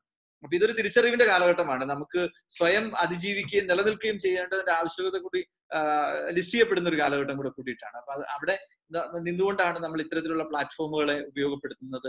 അതുപോലെ തന്നെ നമുക്ക് ക്രിയേറ്റീവ് ഏഞ്ചൽസ് എന്ന് പറഞ്ഞൊരു നിക്ഷേപക കൂട്ടായ്മ അത് തദ്ദേശീയരായിട്ടുള്ള നിക്ഷേപകർ തദ്ദേശീയരായിട്ടുള്ള വ്യവസായങ്ങളിൽ പണം മുടക്കുന്നതിന് വേണ്ടിയിട്ടുള്ള ഒരു ഏഞ്ചൽ ഫണ്ടിങ് പ്ലാറ്റ്ഫോംസ് ആണ്. പ്രത്യേകിച്ചും സ്റ്റാർട്ടപ്പ് മേഖലയിൽ വരുന്ന ആളുകൾക്കൊക്കെ ചെറിയ ചെറിയ ഇൻവെസ്റ്റ്മെന്റുകൾ ചില പല പല ഇന്നോവേറ്റീവ് ഐഡിയകൾക്കും ബാങ്കുകൾ ഫണ്ട് ചെയ്തൊന്നും വരില്ല. അപ്പൊ അത്തരത്തിലുള്ള ആളുകളെയൊക്കെ സഹായിക്കുന്നതിന് വേണ്ടിയിട്ടുള്ള തദ്ദേശീയരായിട്ടുള്ള ഇൻവെസ്റ്റേഴ്സിന്റെ ഒരു കൂട്ടായ്മയാണ് angel funding creative angels creative ഏഞ്ചൽസിന്റെ ഒരു ഓൺലൈൻ പിച്ചിങ് സെഷൻ നമ്മൾ അടുത്ത തന്നെ അത് സ്റ്റാർട്ട് ചെയ്യുന്നുണ്ട്. അത് ഉടനെ ഉണ്ടാവും. അത് നിങ്ങളെ അറിയിക്കുന്നതായിരിക്കും. ഇത് കൂടാതെ നമുക്ക് തീരം എന്ന പേരിൽ ഒരു സോഷ്യോ നമ്മുടെ ഒരു സാമൂഹ്യ ഉത്തരവാദിത്ത പരിപാടി കൈനഗരി കേന്ദ്രീകരിച്ച് നടന്നു വരുന്നുണ്ട്. അവിടുത്തെ ഒരു വില്ലേജിനെ മൊത്തം അഡോപ്റ്റ് ചെയ്തിട്ട് അവിടെയുള്ള ആളുകളെ ഒരു സ്വയം പര്യാപ്തതയിലേക്ക് പോകാൻ അവരെ തൊഴിലുകൾ പഠിപ്പിക്കുകയും കൂട്ടായ്മകൾ ഉണ്ടാക്കിയും ഞങ്ങൾ ഒരു നാട്ടുചന്തയൊക്കെ കേരളത്തിലെ ആദ്യത്തെ സ്വകാര്യ നാട്ടുചന്ത എന്ന് തന്നെ പറയാം. അവിടെ ഒരു നാട്ടുചന്തയൊക്കെ ആരംഭിച്ചു. അവിടെ ടൂറിസ്റ്റുകളെ കൊണ്ടുവരികയും അവിടുത്തെ ആളുകളെ ചില അഡീഷണൽ സ്കിൽസുകൾ കൊടുത്തുകൊണ്ടുള്ള ചില പദ്ധതികൾ ആവിഷ്കരിക്കുകയും ഒക്കെ ചെയ്തു. ഒരു വർഷമായിട്ട് നടന്നു വരുന്നുണ്ട്. സി എം ഐ ആയിട്ട് ചേർന്ന് കൈനഗരി ചാവർ ഭവനുമായിട്ട് ചേർന്നിട്ടാണ് ആ പ്രദേശത്ത് ആ പദ്ധതികൾ കോർഡിനേറ്റ് ചെയ്തു പോകുന്നത്. കുട്ടനാടാണ് കൈനഗരി. ഞാൻ കൂടുതൽ വിസ്തീരിച്ച് പറയുന്നില്ല. നമ്മൾ പിറവം കേന്ദ്രീകരിച്ചിട്ട് പിറവം മണ്ഡലത്തിലെ ഉണർവ് എന്ന പേരിൽ ഒരു സാമൂഹ്യ അതിജീവന പദ്ധതിയും കൂടെ നടപ്പാക്കി വരുന്നുണ്ട്. പിറവം എം എൽ എയുടെ സാമൂഹ്യ അതിജീവന പദ്ധതിയുടെ കോർഡിനേഷൻ അഗ്രോ പാർക്ക് ചെയ്തു വരുന്നു. ഇത്തരത്തിൽ ഒരു ഒരു ഒരു പ്ലാറ്റ്ഫോമിലാണ് അഗ്രോ പാർക്കിന്റെ പ്രവർത്തനങ്ങൾ മുന്നോട്ട് പോയിക്കൊണ്ടിരിക്കുന്നത്. നമുക്കറിയാം ഇതിന്റെ രണ്ടായിരത്തി പതിമൂന്ന് മുതലാണ് പ്രവർത്തിച്ചു വരുന്നത്. പല എണ്ണൂറ്റി ഇരുപത്തി ആറോളം നമ്മുടെ ഇൻഡസ്ട്രിയൽ ട്രെയിനിങ്സുകൾ കഴിഞ്ഞു. ഏകദേശം ഒരു ആയിരത്തി അറുന്നൂറ് ആയിരത്തി എഴുന്നൂറ് സംരംഭകരെ നമുക്ക് സൃഷ്ടിക്കാൻ കഴിഞ്ഞു എന്നുള്ളതാണ് അതിലൊരു പ്രധാനപ്പെട്ട കാര്യം. ഇതിന്റെ ഔട്ട്കം എന്ന് പറയുന്ന ഏറ്റവും വലിയ ഔട്ട്കം അതാണ്. ഞങ്ങളുടെ industrial estate recent joint launch ചെയ്തു. കേരളത്തിലെ ആദ്യത്തെ സ്വകാര്യ വ്യവസായ പാർക്കാണ്. അഗ്രോ പാർക്ക് ഇൻഡസ്ട്രിയൽ എസ്റ്റേറ്റ് കൂത്താട്ടുകുളത്താണ്. പതിമൂന്ന് ഏക്കറിൽ രണ്ട് ലക്ഷം square feet built up area ഉണ്ട്. നിലവിൽ അത് ഒരു കൊറോണ ഐസൊലേഷൻ സെന്റർ ആയിട്ട് നോട്ടിഫൈ ചെയ്തിരിക്കുന്നുണ്ട്. ഫെബ്രുവരി ഇരുപത്തഞ്ചിനാണ് ലോഞ്ച് ചെയ്തത്. മറ്റ് പ്രവർത്തനങ്ങൾ അവിടെ തുടങ്ങിയിട്ടില്ല. ഇതിനുശേഷം അതിന്റെ പ്രവർത്തനങ്ങളും ആരംഭിക്ക മുന്നോട്ട് പോകുന്നതാണ്. ഇത്തരത്തിലുള്ളൊരു ആക്ടിവിറ്റികളിലൂടെയാണ് അഗ്രോ പാർക്ക് മുന്നോട്ട് പോയിക്കൊണ്ടിരിക്കുന്നത്. എനിക്ക് തോന്നുന്ന ഒരു സംരംഭക രംഗത്ത് നിങ്ങൾക്ക് മടി കൂടാതെ കടന്നു വരാം. ഇവിടെ മറ്റു യാതൊരു തരത്തിലുള്ള ഇത്തരത്തിലുള്ള പ്രശ്നങ്ങളും അല്ലെങ്കിൽ ഒരു ആശങ്കയും ഇല്ലാതെ നിങ്ങൾക്ക് കടന്നു വരാൻ പറ്റുന്ന ഒരു സ്ഥാപനമാണ് അഗ്രോ പാർക്ക്. ആ തരത്തിലാണ് ഞങ്ങൾ ഇതിനെ മോൾഡ് ചെയ്തിട്ടുള്ളത്. അപ്പൊ അതുകൊണ്ട് തന്നെ ഇതിൽ പങ്കെടുത്ത എല്ലാവരോടുമുള്ള എന്റെ നന്ദി അറിയിക്കുന്നു. നമ്മുടെ അടുത്ത വെള്ളിയാഴ്ചത്തെ വെബിനാർ സെഷൻ നമ്മുടെ ഒരു അറുപത് സംരംഭങ്ങളെ സംബന്ധിച്ചിട്ടുള്ള ഒരു സെഷൻ ആയിരിക്കും അത് അടുത്ത വെള്ളിയാഴ്ചയാണ് നടക്കുന്നത്. അതിൽ ഇത്തരത്തിലുള്ള നാനോ വീടുകൾ ആരംഭിക്കാൻ കഴിയുന്ന സംരംഭങ്ങളെയാണ് നമ്മൾ കൂടുതലായിട്ട് ഫോക്കസ് ചെയ്യുന്നത്. നിങ്ങൾക്ക് എന്തെങ്കിലും ക്വസ്റ്റ്യൻസ് എന്നോട് ചോദിക്കാന്നുണ്ടെങ്കിൽ ഈ സമയത്ത് ഹലോ സാർ സംശയം ചോദിച്ചോട്ടെ? ആ പറയൂ പറയൂ. സാർ അത് നമ്മൾ ഇപ്പൊ അഗ്രോ പാർക്കിൽ ആദ്യമായിട്ട് വരുന്ന സംരംഭം എന്തെങ്കിലും വല്ല രജിസ്ട്രേഷൻ ഫീസ് അങ്ങനെ എന്തെങ്കിലും വാങ്ങിക്കുന്നുണ്ടോ? ഒന്നുമില്ല. ഒന്നുമില്ല ഒരു രജിസ്ട്രേഷൻ ഫീസും ഇല്ല. ഇവിടെ ഡെയിലി പത്ത് മുപ്പത് പേര് വരുന്നുണ്ട്. ആരോടും ഒരു പൈസയും മേടിക്കുന്നില്ല. അങ്ങനെയൊന്നുമില്ല അത് ആരോ ഞാൻ എന്റെ ഒരു കുടുംബത്തിൽ ഒരാളെ പറഞ്ഞു വെച്ചപ്പോ അല്ല അവിടെ കോൾ ചെയ്തപ്പോ ഒരു അയ്യായിരം രൂപയുടെ എന്തോ കാര്യം പറഞ്ഞു. അപ്പൊ അത് അത് വരുന്നത് ചില ചില ട്രെയിനിങ്സുകൾ സൗജന്യമാണ്. ചില ട്രെയിനിങ്ങുകൾക്ക് ആ വരുന്ന ഫാക്കൽറ്റിക്ക് നമ്മൾ ഫീ കൊടുക്കേണ്ടി വരും. ഞാൻ പറഞ്ഞല്ലോ ഞങ്ങളുടെ ഫാക്കൽറ്റികളെല്ലാം അതായത് എന്റർപ്രൈസുകൾ ചെയ്യുന്ന ആളുകളാണ്. അപ്പൊ ചില ട്രെയിനിങ്സിന് ഫീസ് ഉണ്ട് ചില ട്രെയിനിങ് ഫ്രീ ആയിട്ടുള്ളതുണ്ട്. ചിലപ്പോൾ അങ്ങനെ ഏതെങ്കിലും ട്രെയിനിങ് ചോദിച്ചപ്പോഴായിരിക്കും അത് പറഞ്ഞത്. വരുന്നതിനോ അന്വേഷിക്കുന്നതിനോ ഇവിടെ കണ്ടുപോകുന്നതിനോ പലവട്ടം വരുന്നതിനോ ഒന്നും അങ്ങനെ ഫീസുകളൊന്നും അല്ലെ ഏതെങ്കിലും ഇത്തരത്തിലുള്ള ട്രെയിനിങ് ഏതെങ്കിലും പർട്ടിക്കുലർ ട്രെയിനിങ്സിന് ചോദിച്ചപ്പോഴായിരിക്കും ഫീസ് ഹലോ സാർ എന്റെ പേര് നിസാം. ഓക്കെ കുവൈറ്റിൽ നിന്നാണ്. സാർ ഒരു റിക്വസ്റ്റിന് വേണ്ടിയാണ്. അതായത് ഈ ടൈം എന്ന് പറയുന്നത് നമുക്ക് മുസ്ലിംസിന് വെള്ളിയാഴ്ച പ്രാർത്ഥനയുടെ ടൈമാണ് എസ്പെഷ്യലി ഗൾഫ് ദുബായ് കുവൈറ്റ് പോലുള്ള സ്ഥലങ്ങളിൽ നമുക്കൊരു ഒരു മണി ടൈമിലാണ് പ്രാർത്ഥന വരിക. ഈ ടൈം ഒന്നും മാറ്റാൻ പറ്റില്ല. ഇപ്പൊ ഇത്രയും ദിവസം പള്ളികൾ അടവായതുകൊണ്ട് നമുക്ക് അത്ര ഒരു പ്രോബ്ലം വന്നില്ല ടൈം നോക്കിയാണ് ഈ രണ്ടു മണി വെച്ചത്. എനിക്ക് ഗൾഫ് ടൈമായിട്ട് ഇത്തിരി മാച്ചിങ് അല്ലാതെ വരുന്നുണ്ടെന്ന് തോന്നുന്നല്ലേ അതെ നമുക്ക് ആ പ്രാർത്ഥന ടൈം വരുന്നോണ്ട് ഒരു ചെറിയ പ്രശ്നവും വരുന്നുണ്ട്. ഇന്ത്യൻ ടൈം നമുക്ക് കേരള ഇന്ത്യൻ ടൈമിൽ എത്ര മണിക്ക് സ്റ്റാർട്ട് ചെയ്താൽ നിങ്ങൾക്ക് അതായത് നമുക്ക് ഗൾഫ് കൺട്രീസിൽ കുവൈറ്റ് സൗദി ഒക്കെ രണ്ടര മണിക്കൂർ ബാക്കിലേക്കാണ് ദുബായ് ഒമാനൊക്കെ ഒന്നര മണിക്കൂർ ബാക്കിലേക്കാണ് ഓക്കെ ഓക്കെ. അല്ലെങ്കിൽ പിന്നെ രാവിലെ ഹോസ്റ്റ് ചെയ്യേണ്ടി വരും. വെള്ളിയാഴ്ച വെള്ളിയാഴ്ച രാവിലെ കംഫർട്ട് ആണ് സർ ഓക്കെ അപ്പൊ ഇനി മുതൽ അങ്ങനെ ഞങ്ങൾ ശരിക്കും ഈ രണ്ടു മണി വെച്ചത് നിങ്ങൾ പ്രാർത്ഥനയൊക്കെ കഴിഞ്ഞ് ഒന്ന് സ്വസ്ഥമാവട്ടെ എന്ന് വിചാരിച്ചിട്ടാണ്. നമ്മൾ ഇത് ചിന്തിച്ചില്ല കേട്ടോ. സോറി നമുക്ക് അടുത്തതിൽ പരിഗണിക്കാം. ചിലപ്പോൾ രാവിലെ വെക്കാം.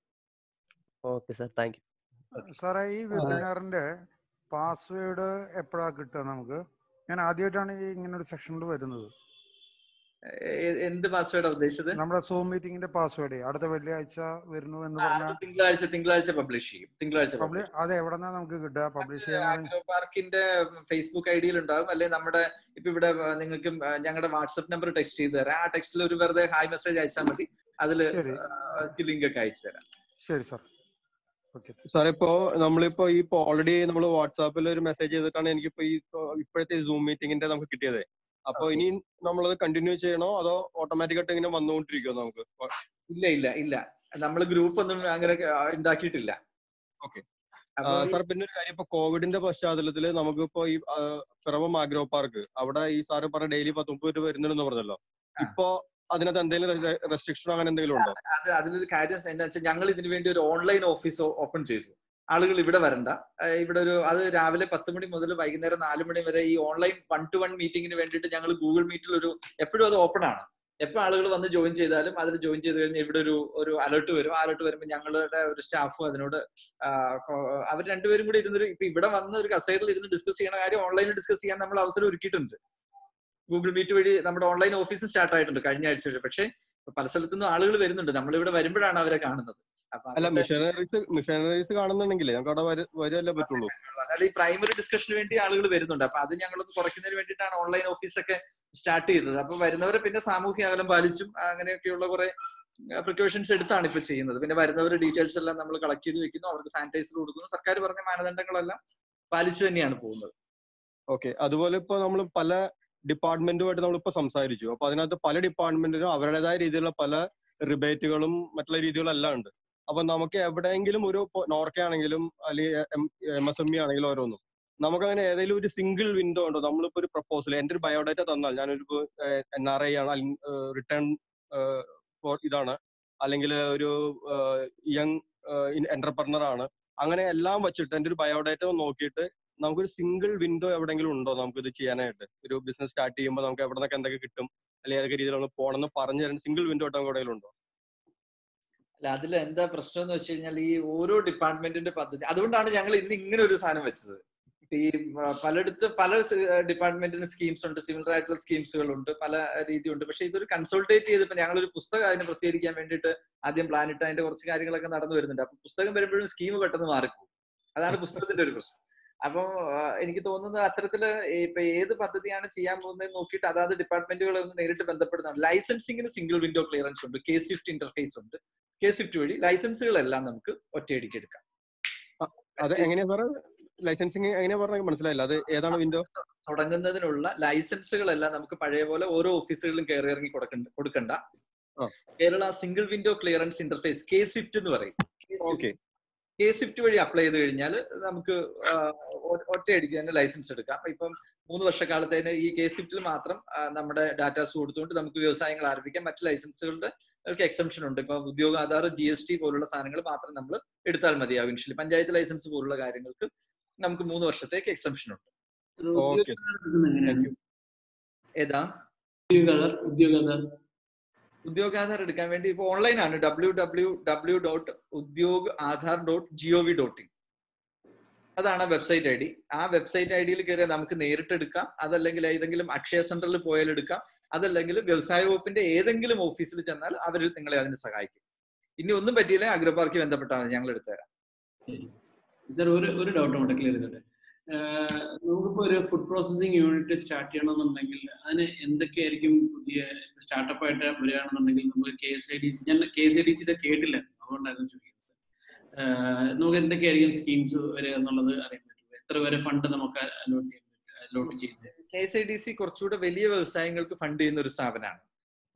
കുറച്ചുകൂടെ ഈസി. വ്യവസായ വകുപ്പിന്റെ നമ്പർ ഇതിനകത്തുണ്ട്. കേൾക്കുന്നോ? കേൾക്കാമോ? നമ്മുടെ ശ്രീരാജ് സാറിന്റെ നമ്പർ ഞാൻ ഇതിനകത്ത് ടെസ്റ്റ് ചെയ്തിട്ടുണ്ട്. വ്യവസായ വകുപ്പിന്റെ ഒരാൾ ക്ലാസ് എടുത്തിരുന്നു. വ്യവസായ വികസന ഓഫീസർ ക്ലാസ് എടുത്തിരുന്നു. വ്യവസായ വകുപ്പിന്റെ സ്കീമുണ്ട് നമ്മൾ താമസിക്കുന്ന സ്ഥലത്ത് വ്യവസായ ഓഫീസിൽ ചെന്നാലും അവിടെ P M E G P ഉണ്ട്. മുദ്രയ്ക്ക് വേണ്ട സഹായങ്ങളുണ്ട്. ബാങ്കുകളിൽ നിന്ന് മുദ്ര ലോൺസ് ഉണ്ട്.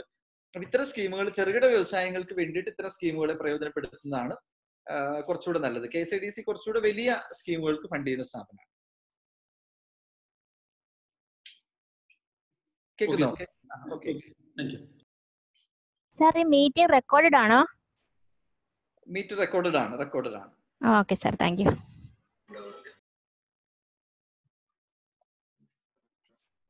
hello പറയൂ പറയൂ പറയൂ. സാറേ കേക്കണ്ട? കേക്കാം കേക്കാം ആ അപ്പൊ സാറിന് ആദ്യമായിട്ട് തന്നെ എല്ലാ ഈ ഇപ്പോ നാലാമത്തെ വെബിനാറിന്റെ എല്ലാ ചുക്കാൻ പിടിച്ചതിനൊക്കെ ഏറ്റവും വലിയൊരു താങ്ക്സ് പറയേണ്ടതായിരുന്നു ഓക്കെ പിന്നെ ഇതിൽ നമുക്കിപ്പോ അതിൽ ഒക്കെ ആ സ്വിഫ്റ്റിന്റെയും എല്ലാ കാര്യങ്ങളുടെയും ലൈസൻസിന്റെയും വായ്പയുടെയും അതിന്റെ എല്ലാം ഒരുവിധം ഇപ്പൊ ഞാൻ ഇപ്പൊ ഗൾഫിൽ നിന്ന് വിളിക്കുന്നത് ഇവിടുന്ന് വരാണെങ്കിൽ തന്നെ ഉള്ള എല്ലാ സംഭവങ്ങളുടെയും ഒരു ഐഡിയ കിട്ടിപ്പോ പക്ഷെ അതുപോലെ തന്നെ നമ്മളിപ്പോ ഫേസ്ബുക്ക് ആയാലും വേറെ ഇതിലൂടെ ആയാലും ഇപ്പോ ഓരോ കാര്യങ്ങൾ നമുക്കിത് വേറെ നെഗറ്റീവായിട്ട് വരുന്ന കാര്യങ്ങളല്ലോ? ഇപ്പൊ സംരംഭം ചെയ്തിട്ട് ഇപ്പൊ ഫാം ആയാലും മീൻ വളർത്തുന്നതായാലും വിഷം കലക്കി അല്ലെങ്കിൽ പിടിച്ചുകൊണ്ടുപോയി അല്ലെങ്കിൽ ഫാമിന് ഇപ്പൊ ഒരു സംരംഭകൻ എന്ന് പറഞ്ഞ പേജിൽ ഇപ്പൊ ലാസ്റ്റ് ഇപ്പൊ ഞാൻ കണ്ടു. ഒരാൾ ഇതേമാതിരി കാസിഫ്റ്റ് വഴിയാണ് അവർക്ക് കിട്ടിയിരിക്കുന്നത്.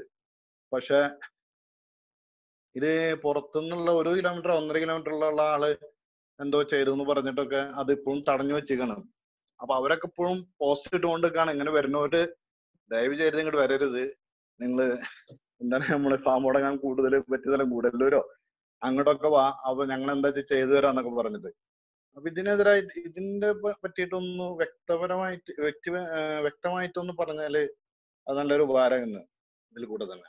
അല്ല ഇതിൽ എന്താന്ന് വെച്ച് കഴിഞ്ഞാൽ ഈ ഈ നെഗറ്റീവ് അല്ലെങ്കിൽ ഇത്തരത്തിലുള്ള പ്രശ്നങ്ങൾ എല്ലാ നാട്ടിലും ഉണ്ട്. തമിഴ്നാട്ടിൽ പോയി പ്രസ് തുടങ്ങിയ എന്റെ ഒരു സുഹൃത്തിന്റെ അനുഭവം ഞാനത് പറഞ്ഞ ഒത്തിരി ഉണ്ട്. ഇവിടെ നല്ല പ്രശ്നം നടത്തിക്കൊണ്ട് നാളെ പ്രസ്സും എടുത്ത് തമിഴ്നാട്ടിൽ ചെന്ന് അവിടെ ചെന്നപ്പോ ഇവിടെ നമ്മൾ ഒരു രാഷ്ട്രീയ പാർട്ടി വന്നിട്ട് അയ്യായിരം രൂപയെ പിരിവിക്കുള്ളായിരുന്നു അവിടെ അയാളോട് ചോദിച്ചത് അഞ്ചു ലക്ഷം രൂപ അഞ്ചു ലക്ഷം രൂപ കൊടുത്തില്ലെങ്കിൽ അട്രോസിറ്റിക്ക് അയാളെ കേസ് എടുത്ത് ജയിലിലിടുന്നു. പറയും അട്രോസിറ്റി എന്ന് പറഞ്ഞാൽ ജാതി പേര് വിളിച്ച് ആക്ഷേപിച്ചു എന്നുള്ള വകുപ്പാണ്. ഇതൊക്കെ അവിടെ അയാൾ അത് പൊളിച്ചുകൊണ്ട് വീണ്ടും തിരിച്ച് നമ്മുടെ നാട്ടിലേക്ക് വന്നു. ഇതൊക്കെ കോട്ടയത്ത് സംഭവിച്ച കാര്യമാണ്.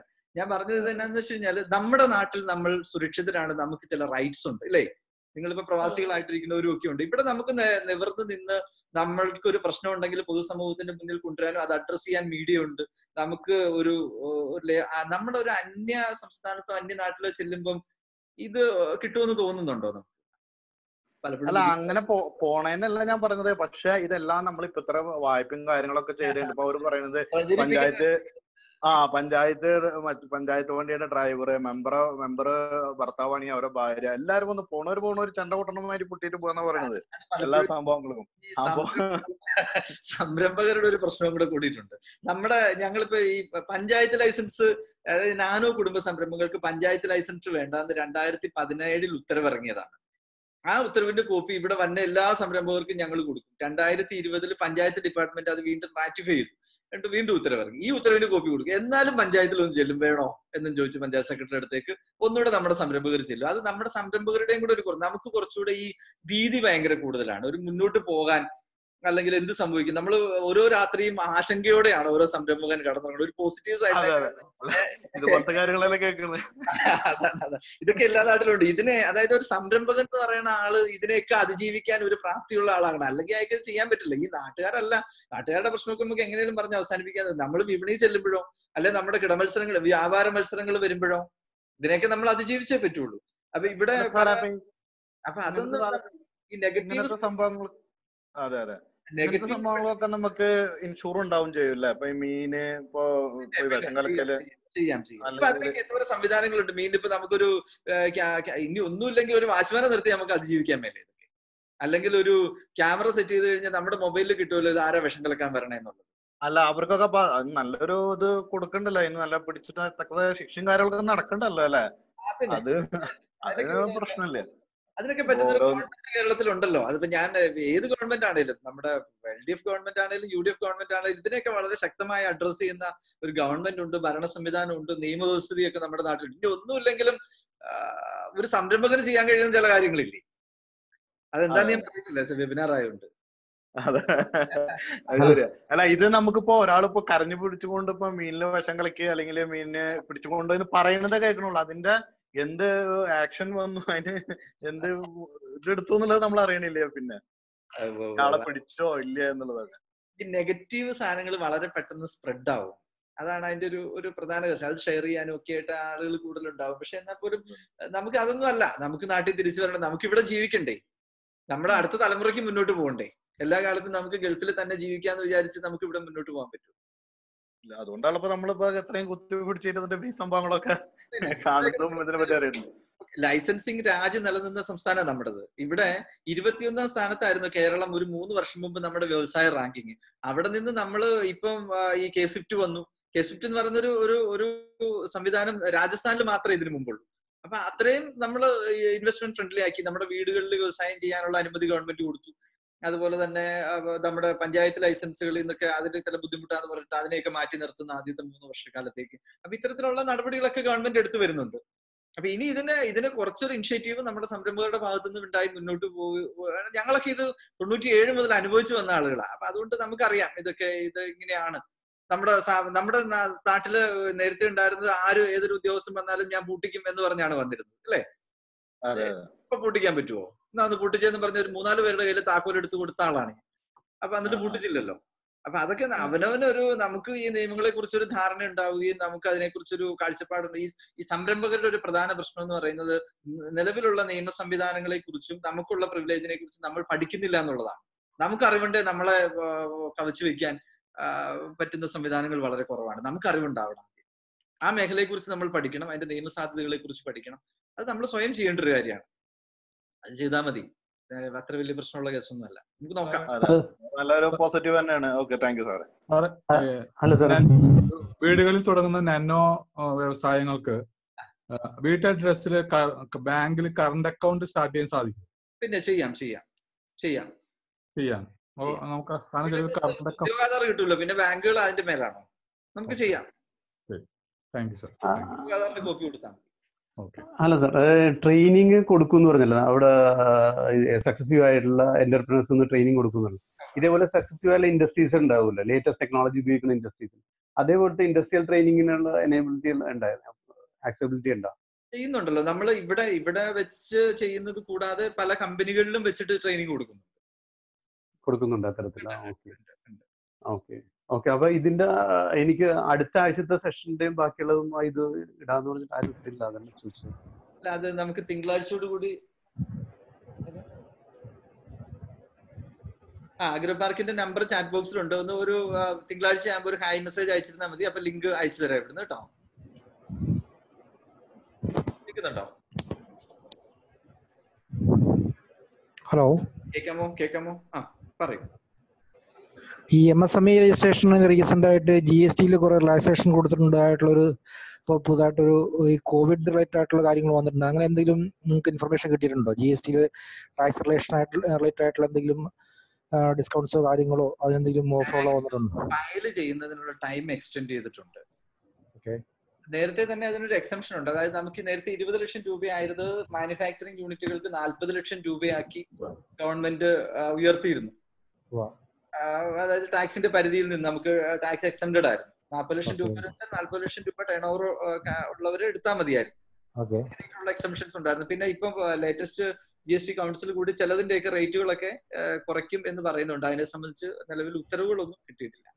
എം എസ് എം ഇ നമ്മൾ സർവീസ് സെക്ടറിന് രജിസ്ട്രേഷൻ എടുക്കാന്നുള്ള ഇത് പറയുന്നുണ്ടല്ലോ. നേരത്തെ നമ്മൾ നേരത്തെ മാനുഫാക്ചറിങ് യൂണിറ്റ് മാത്രമേ ഉണ്ടായിരുന്നുള്ളൂ. ഇപ്പോൾ സർവീസ് സെക്ടർ ആർക്കും അങ്ങനെ ചെയ്യാമെന്നുള്ളൊരു ഒരു ഇത് വന്നിട്ടുണ്ട്. പക്ഷെ അതുമായിട്ട് ബന്ധപ്പെട്ട് നിങ്ങൾ എന്തെങ്കിലും ട്രെയിനിങ് കാര്യങ്ങൾ കൊടുക്കുന്നുണ്ടോ? സർവീസ് മേഖലയായിട്ട് ബന്ധപ്പെട്ട്? മാനുഫാക്ചറിങ് അല്ലാതെ?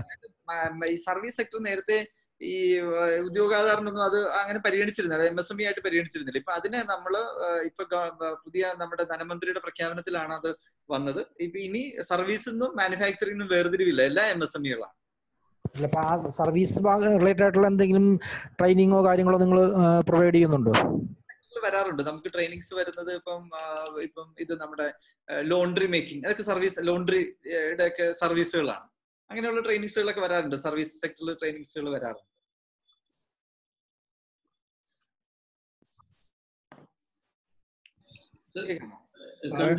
കൺസൾട്ടിങ് വരുന്നതിനും വരുന്നുണ്ടോ സർ?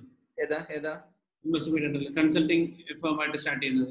അതും സർവീസ് ഇൻഡസ്ട്രി ആണ്. ഇപ്പൊ സർവീസിനെല്ലാം ഇപ്പൊ കൊണ്ടുവന്നു ഇതിനകത്തേക്ക്. എം എസ് എം ഇയിൽ കൊണ്ടുവന്നിട്ടുണ്ട്. ഓക്കെ കൺസൾട്ടിങ് സർവീസ് ആയിരുന്നല്ലോ. അതെ അതെ അതിനെ കൂടി ഇതിൽ ഉൾപ്പെടുത്തിയിട്ടുണ്ട്. ഹലോ സാറേ ഈ സൂം ഈ സൂം മീറ്റിംഗിന്റെ അത് ഫേസ്ബുക്ക് ഇപ്പൊ ചാറ്റ് ബോക്സിലുള്ള ഫേസ്ബുക്കിൽ ഈ സൂം മീറ്റിംഗ് റെക്കോർഡഡ് വേർഷൻ ഉണ്ടാവും അല്ലേ ഉണ്ടാവും ഉണ്ടാവും ഉണ്ടാവും. കുറച്ച് മിസ് ആയിട്ടുണ്ട്. ഓക്കെ അപ്ലോഡ് ചെയ്യാം. താങ്ക് യു നമ്മുടെ പഴയ മീറ്റിംഗിന്റെ ഒക്കെ ലൈവ് ടെലികാസ്റ്റ് ഉണ്ടായിരുന്നു. അത് പിന്നെ എന്തോ ടെക്നിക്കൽ പ്രോബ്ലം കൊണ്ടാണ് ലൈവ് കിട്ടുന്നത് ലൈവ് കഴിഞ്ഞ പ്രാവശ്യത്തേക്ക് ലൈവ് ഉണ്ട്.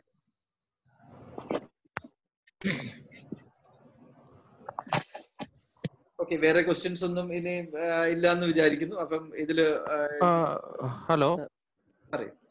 സാറേ നമ്മൾ നമ്മൾ ഹോസ്റ്റൽ നടത്തുവാണ് ഇവിടെ. ഓക്കെ ഓക്കെ അത് നമ്മൾ ഇപ്പൊ ഒന്നിലും ഇതുപോലെ രജിസ്റ്റർ ചെയ്തിട്ടില്ല. ലൈക്ക് ഇപ്പൊ സർവീസ് സെക്ടറിലാണോ വരുന്നത്? എങ്ങനെയാണ് അതിന്റെ കാരണം നമുക്ക് ഇപ്പൊ ലോൺ ഒന്ന് എക്സ്റ്റ് ഇതൊന്ന് എക്സ്റ്റെൻഡ് ചെയ്യാൻ വേണ്ടിയിട്ട് ബിസിനസ് എക്സ്റ്റെൻഡ് ചെയ്യാൻ വേണ്ടി ലോൺ എടുക്കാൻ നോക്കുന്നുണ്ട്. അപ്പൊ നമ്മൾ എന്താ ചെയ്യേണ്ടത്? ലോൺ എടുക്കാനായിട്ട് നമ്മൾ ഇതിനിപ്പോ നമുക്ക് സർവീസ് സെക്ടറും കൂടി ഇത് സർവീസ് സെക്ടറാണല്ലോ വരുന്നത് ഇൻക്ലൂഡ് ചെയ്തിട്ടുണ്ട്.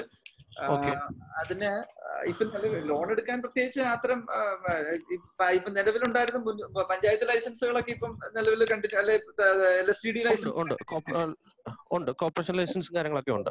പ്രധാനമായിട്ടും അത് മതി. അത് വെച്ചിട്ട് നമുക്ക് ഇപ്പൊ നിലവിലുള്ള ഏത് ബാങ്കിലാണോ അക്കൗണ്ട് ഒക്കെ ഉള്ള ആ ബാങ്കിനെ തന്നെ സമീപിച്ച് അവർ ഹെൽപ്പ് ചെയ്യും. പ്രശ്നമില്ല അതിനകത്ത്. ഓക്കെ. അതിൽ നമുക്ക് ഈ പി എം എസ് സിയോ എം എസ് എം ഇയോ അങ്ങനെ എന്തെങ്കിലും പി എം ഇത് എറണാകുളമാണ് സാർ. എറണാകുളം നമ്മുടെ കാക്കനാടുള്ള ജില്ലാ വ്യവസായ കേന്ദ്രമുണ്ട്. കാക്കനാട് സിവിൽ സ്റ്റേഷന്റെ ഓപ്പോസിറ്റ് ആണ് okay okay. District industry centre അവിടെ ചെന്നിട്ട് അവിടെ ഒരു ഹെൽപ് ഡെസ്ക് ഉണ്ട്. അവരെ കണ്ടു കഴിഞ്ഞാൽ അവർ അതിനുള്ള ഏർപ്പാടുകൾ ചെയ്തു ചെയ്തു. Okay sir. Thank you. Hello sir ഒരു സജഷൻ നമുക്കൊരു വാട്സപ്പ് ഗ്രൂപ്പ് നിങ്ങളുടെ നേതൃത്വത്തിൽ ഇതുപോലെ ഇൻട്രസ്റ്റഡ് ആയിട്ടുള്ള ആൾക്കാരെ ആക്കിയിട്ട് ഒരു ഗ്രൂപ്പ്. എന്താണെന്ന് വെച്ച് ഞങ്ങൾക്കൊക്കെ സ്റ്റാഫ് വളരെ പരിമിതമാണ്.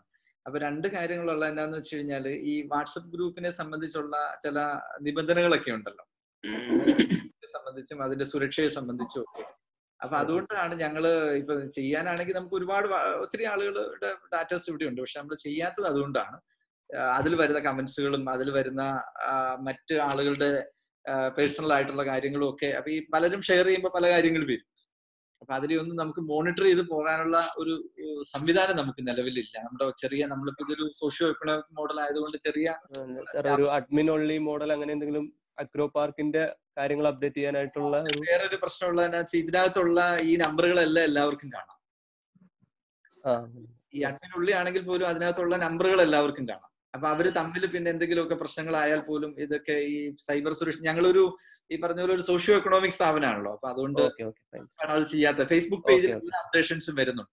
ഓക്കെ ഫൈൻ ആ, സാറേ ഇതിപ്പോ ഇപ്പൊ പറഞ്ഞ ഇദ്ദേഹം പറഞ്ഞില്ലേ വാട്സാപ്പ് ഗ്രൂപ്പിന്റെ അപ്പൊ ഈ ഗ്രൂപ്പിലുള്ള മെമ്പേഴ്സിനെ കാണാത്ത രീതിയിൽ അത് ഇൻഡിവിജ്വൽ മെസ്സേജ് പോകുന്ന രീതിയിൽ ഒരു സെറ്റിംഗ് ഉണ്ടെന്ന് ഞാൻ കേട്ടു. കാരണം സ്കൂളുകളുടെ വാട്സാപ്പ് ഗ്രൂപ്പുകളിൽ ഈ പറഞ്ഞ പോലെ അത് ബ്രോഡ്കാസ്റ്റിംഗ് മെസ്സേജ് ആയിട്ടാ പോകും പോകുന്ന ബ്രോഡ്കാസ്റ്റിംഗ് അപ്പൊ അങ്ങനത്തെ ഒരു രീതിയാണെങ്കിൽ ഈ പറഞ്ഞ പോലെ ആരും അങ്ങോട്ടും അങ്ങോട്ടും ഇങ്ങോട്ടും കാണില്ല. ഉപകാരമുള്ള ഒരു ഇതായിരിക്കും. പിന്നെ അതുപോലെ സാറേ ഇപ്പൊ ഈ സാറ് പറഞ്ഞില്ലേ വീട്ടിൽ വീടുകൾ തുടങ്ങാവുന്ന വ്യവസായങ്ങളെന്ന്.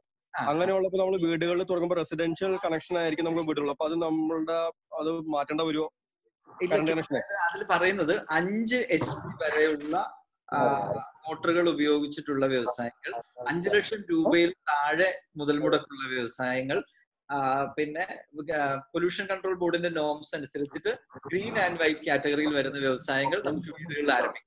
ഈ അഞ്ച് എച്ച് പി വീട്ടിൽ നിന്ന് കണക്ട് ചെയ്യാൻ പറ്റില്ല സിംഗിൾ ഫേസിന് ഒരു ത്രീ എച്ച് പി വരെയൊക്കെ നമുക്ക് അതിൽ കണക്ട് ചെയ്യാൻ പറ്റും. അത് അലൗഡ് ആണ് ഇപ്പൊ. അതിന് ഇലക്ട്രിസിറ്റി ആക്ട് ഒക്കെ നേരത്തെ ഓക്കെ സർ താങ്ക് യു ഈ വീടുകളിൽ തുടങ്ങുന്ന വ്യവസായത്തിന്. ഒരു ഫുഡ് ഇപ്പൊ ഞാൻ വേപ്പിലയുടെ സാധനങ്ങൾ ഒരു ഒരു പ്രൊഡക്ഷൻ നടത്തുന്നുണ്ട്.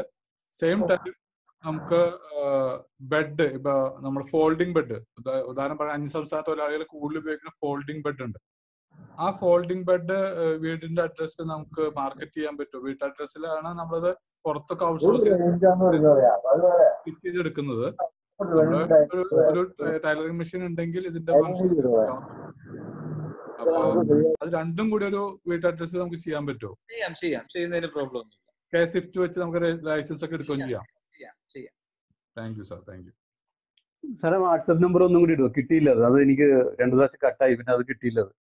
ഒന്നും കൂടി ഇടുക അടുത്ത ഇതിനുള്ള ചെയ്യുന്നുണ്ട് ഇപ്പൊ ഇടും. ആ okay. Okay thank you.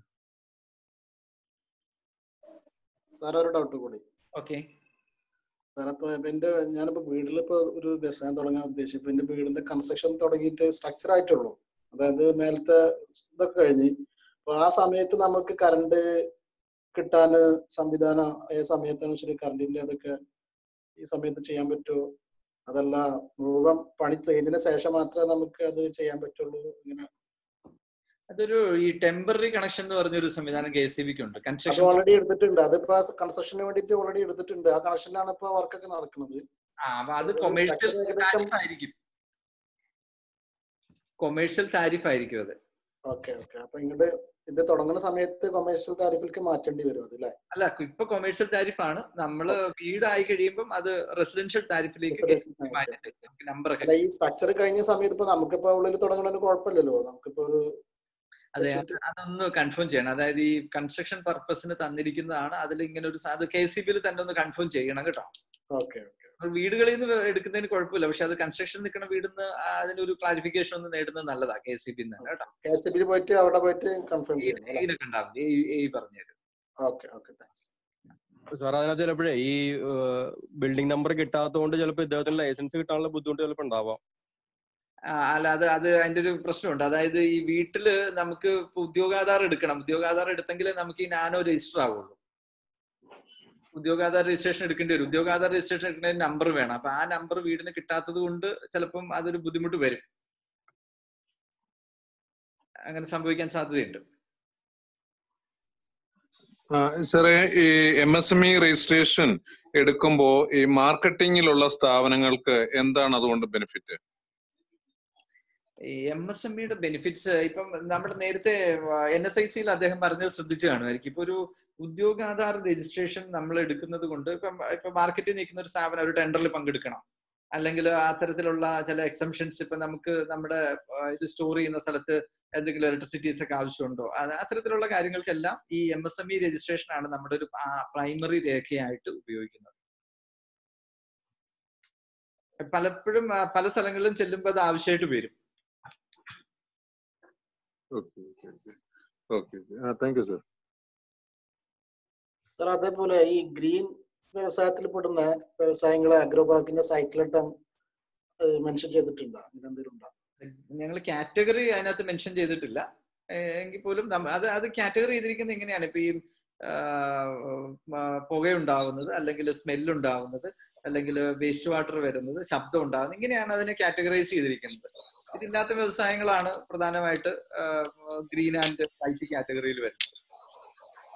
Pollution control ബോർഡിന്റെ വെബ്സൈറ്റ് ഒന്ന് സെർച്ച് ചെയ്ത് കഴിഞ്ഞാൽ അതിനകത്ത് ആ കാറ്റഗറികൾ ഓരോ വ്യവസായങ്ങളെ കുറിച്ചുള്ള പേരുകളല്ല മറ്റ് കുറച്ച് കാറ്റഗറികൾ കാണാൻ. വ്യവസായ വകുപ്പിന്റെ സൈറ്റിൽ സന്ദർശിക്കുന്നു. പൊല്യൂഷൻ കൺട്രോൾ ബോർഡിന്റെ site. Sorry pollution control. Okay thank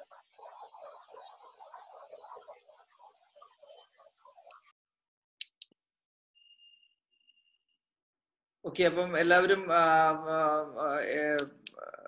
ഇത്തരം കാര്യങ്ങളിൽ നമുക്ക് കൂടുതൽ നമുക്ക് ഓൺലൈൻ ഓഫീസ് ഇപ്പൊ പുറത്തുള്ളവർക്കാണെങ്കിലും ഓൺലൈൻ ഓഫീസ് വഴി ബന്ധപ്പെടാം. അതിനുള്ള സംവിധാനങ്ങളുണ്ട്. നിങ്ങൾ നാട്ടിലെത്തുമ്പോൾ നമുക്ക് പറ്റുന്നവർക്ക് നേരിൽ കാണാം. ഇതിനൊക്കെയുള്ള സൗകര്യങ്ങളുണ്ട്.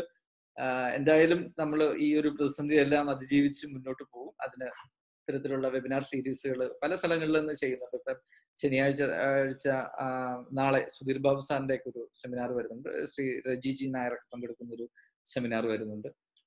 അങ്ങനെ പല കാറ്റഗറിയിലുള്ള ഇത്തരം സെമിനാറുകളൊക്കെ വരുന്നുണ്ട്. ഒക്കെ നിങ്ങൾ പ്രയോജനപ്പെടുത്തുക. നമുക്ക് ഇത്തരത്തിലുള്ള സംരംഭങ്ങളും ഒക്കെ ആയിട്ട് മുന്നോട്ട് പോകാം. പങ്കെടുത്ത ഈ ടെലികാസ്റ്റിംഗ് അല്ല ബ്രോഡ്കാസ്റ്റിംഗ് ലിസ്റ്റിനെ കുറിച്ച് ഞങ്ങൾ ഗൗരവമായിട്ട് ചിന്തിക്കുന്നുണ്ട്. അപ്പൊ അത് തീർച്ചയായിട്ടും അങ്ങനെ ഒരു സജഷൻ പറഞ്ഞ് ഞങ്ങൾ ആദ്യമൊക്കെ ഇതിനോട് വിമുഖത കാണിച്ചിരുന്ന ഒരാളുകളാണ്. ഇത്തരത്തിലുള്ള ഗ്രൂപ്പുകൾ ഉണ്ടാക്കി ചെയ്യുന്നതിനെ സംബന്ധിച്ച്. എന്തായാലും ഇത് ഇത്തരം കാര്യങ്ങൾ ആയിരിക്കും നല്ല നിർദ്ദേശങ്ങൾക്കും താങ്ക്സ് ഇതിൽ പങ്കെടുത്ത എല്ലാവർക്കും ഒരിക്കൽ കൂടെ നന്ദി രേഖപ്പെടുത്തുന്നു. എല്ലാവർക്കും നന്ദി നമസ്കാരം. Thank U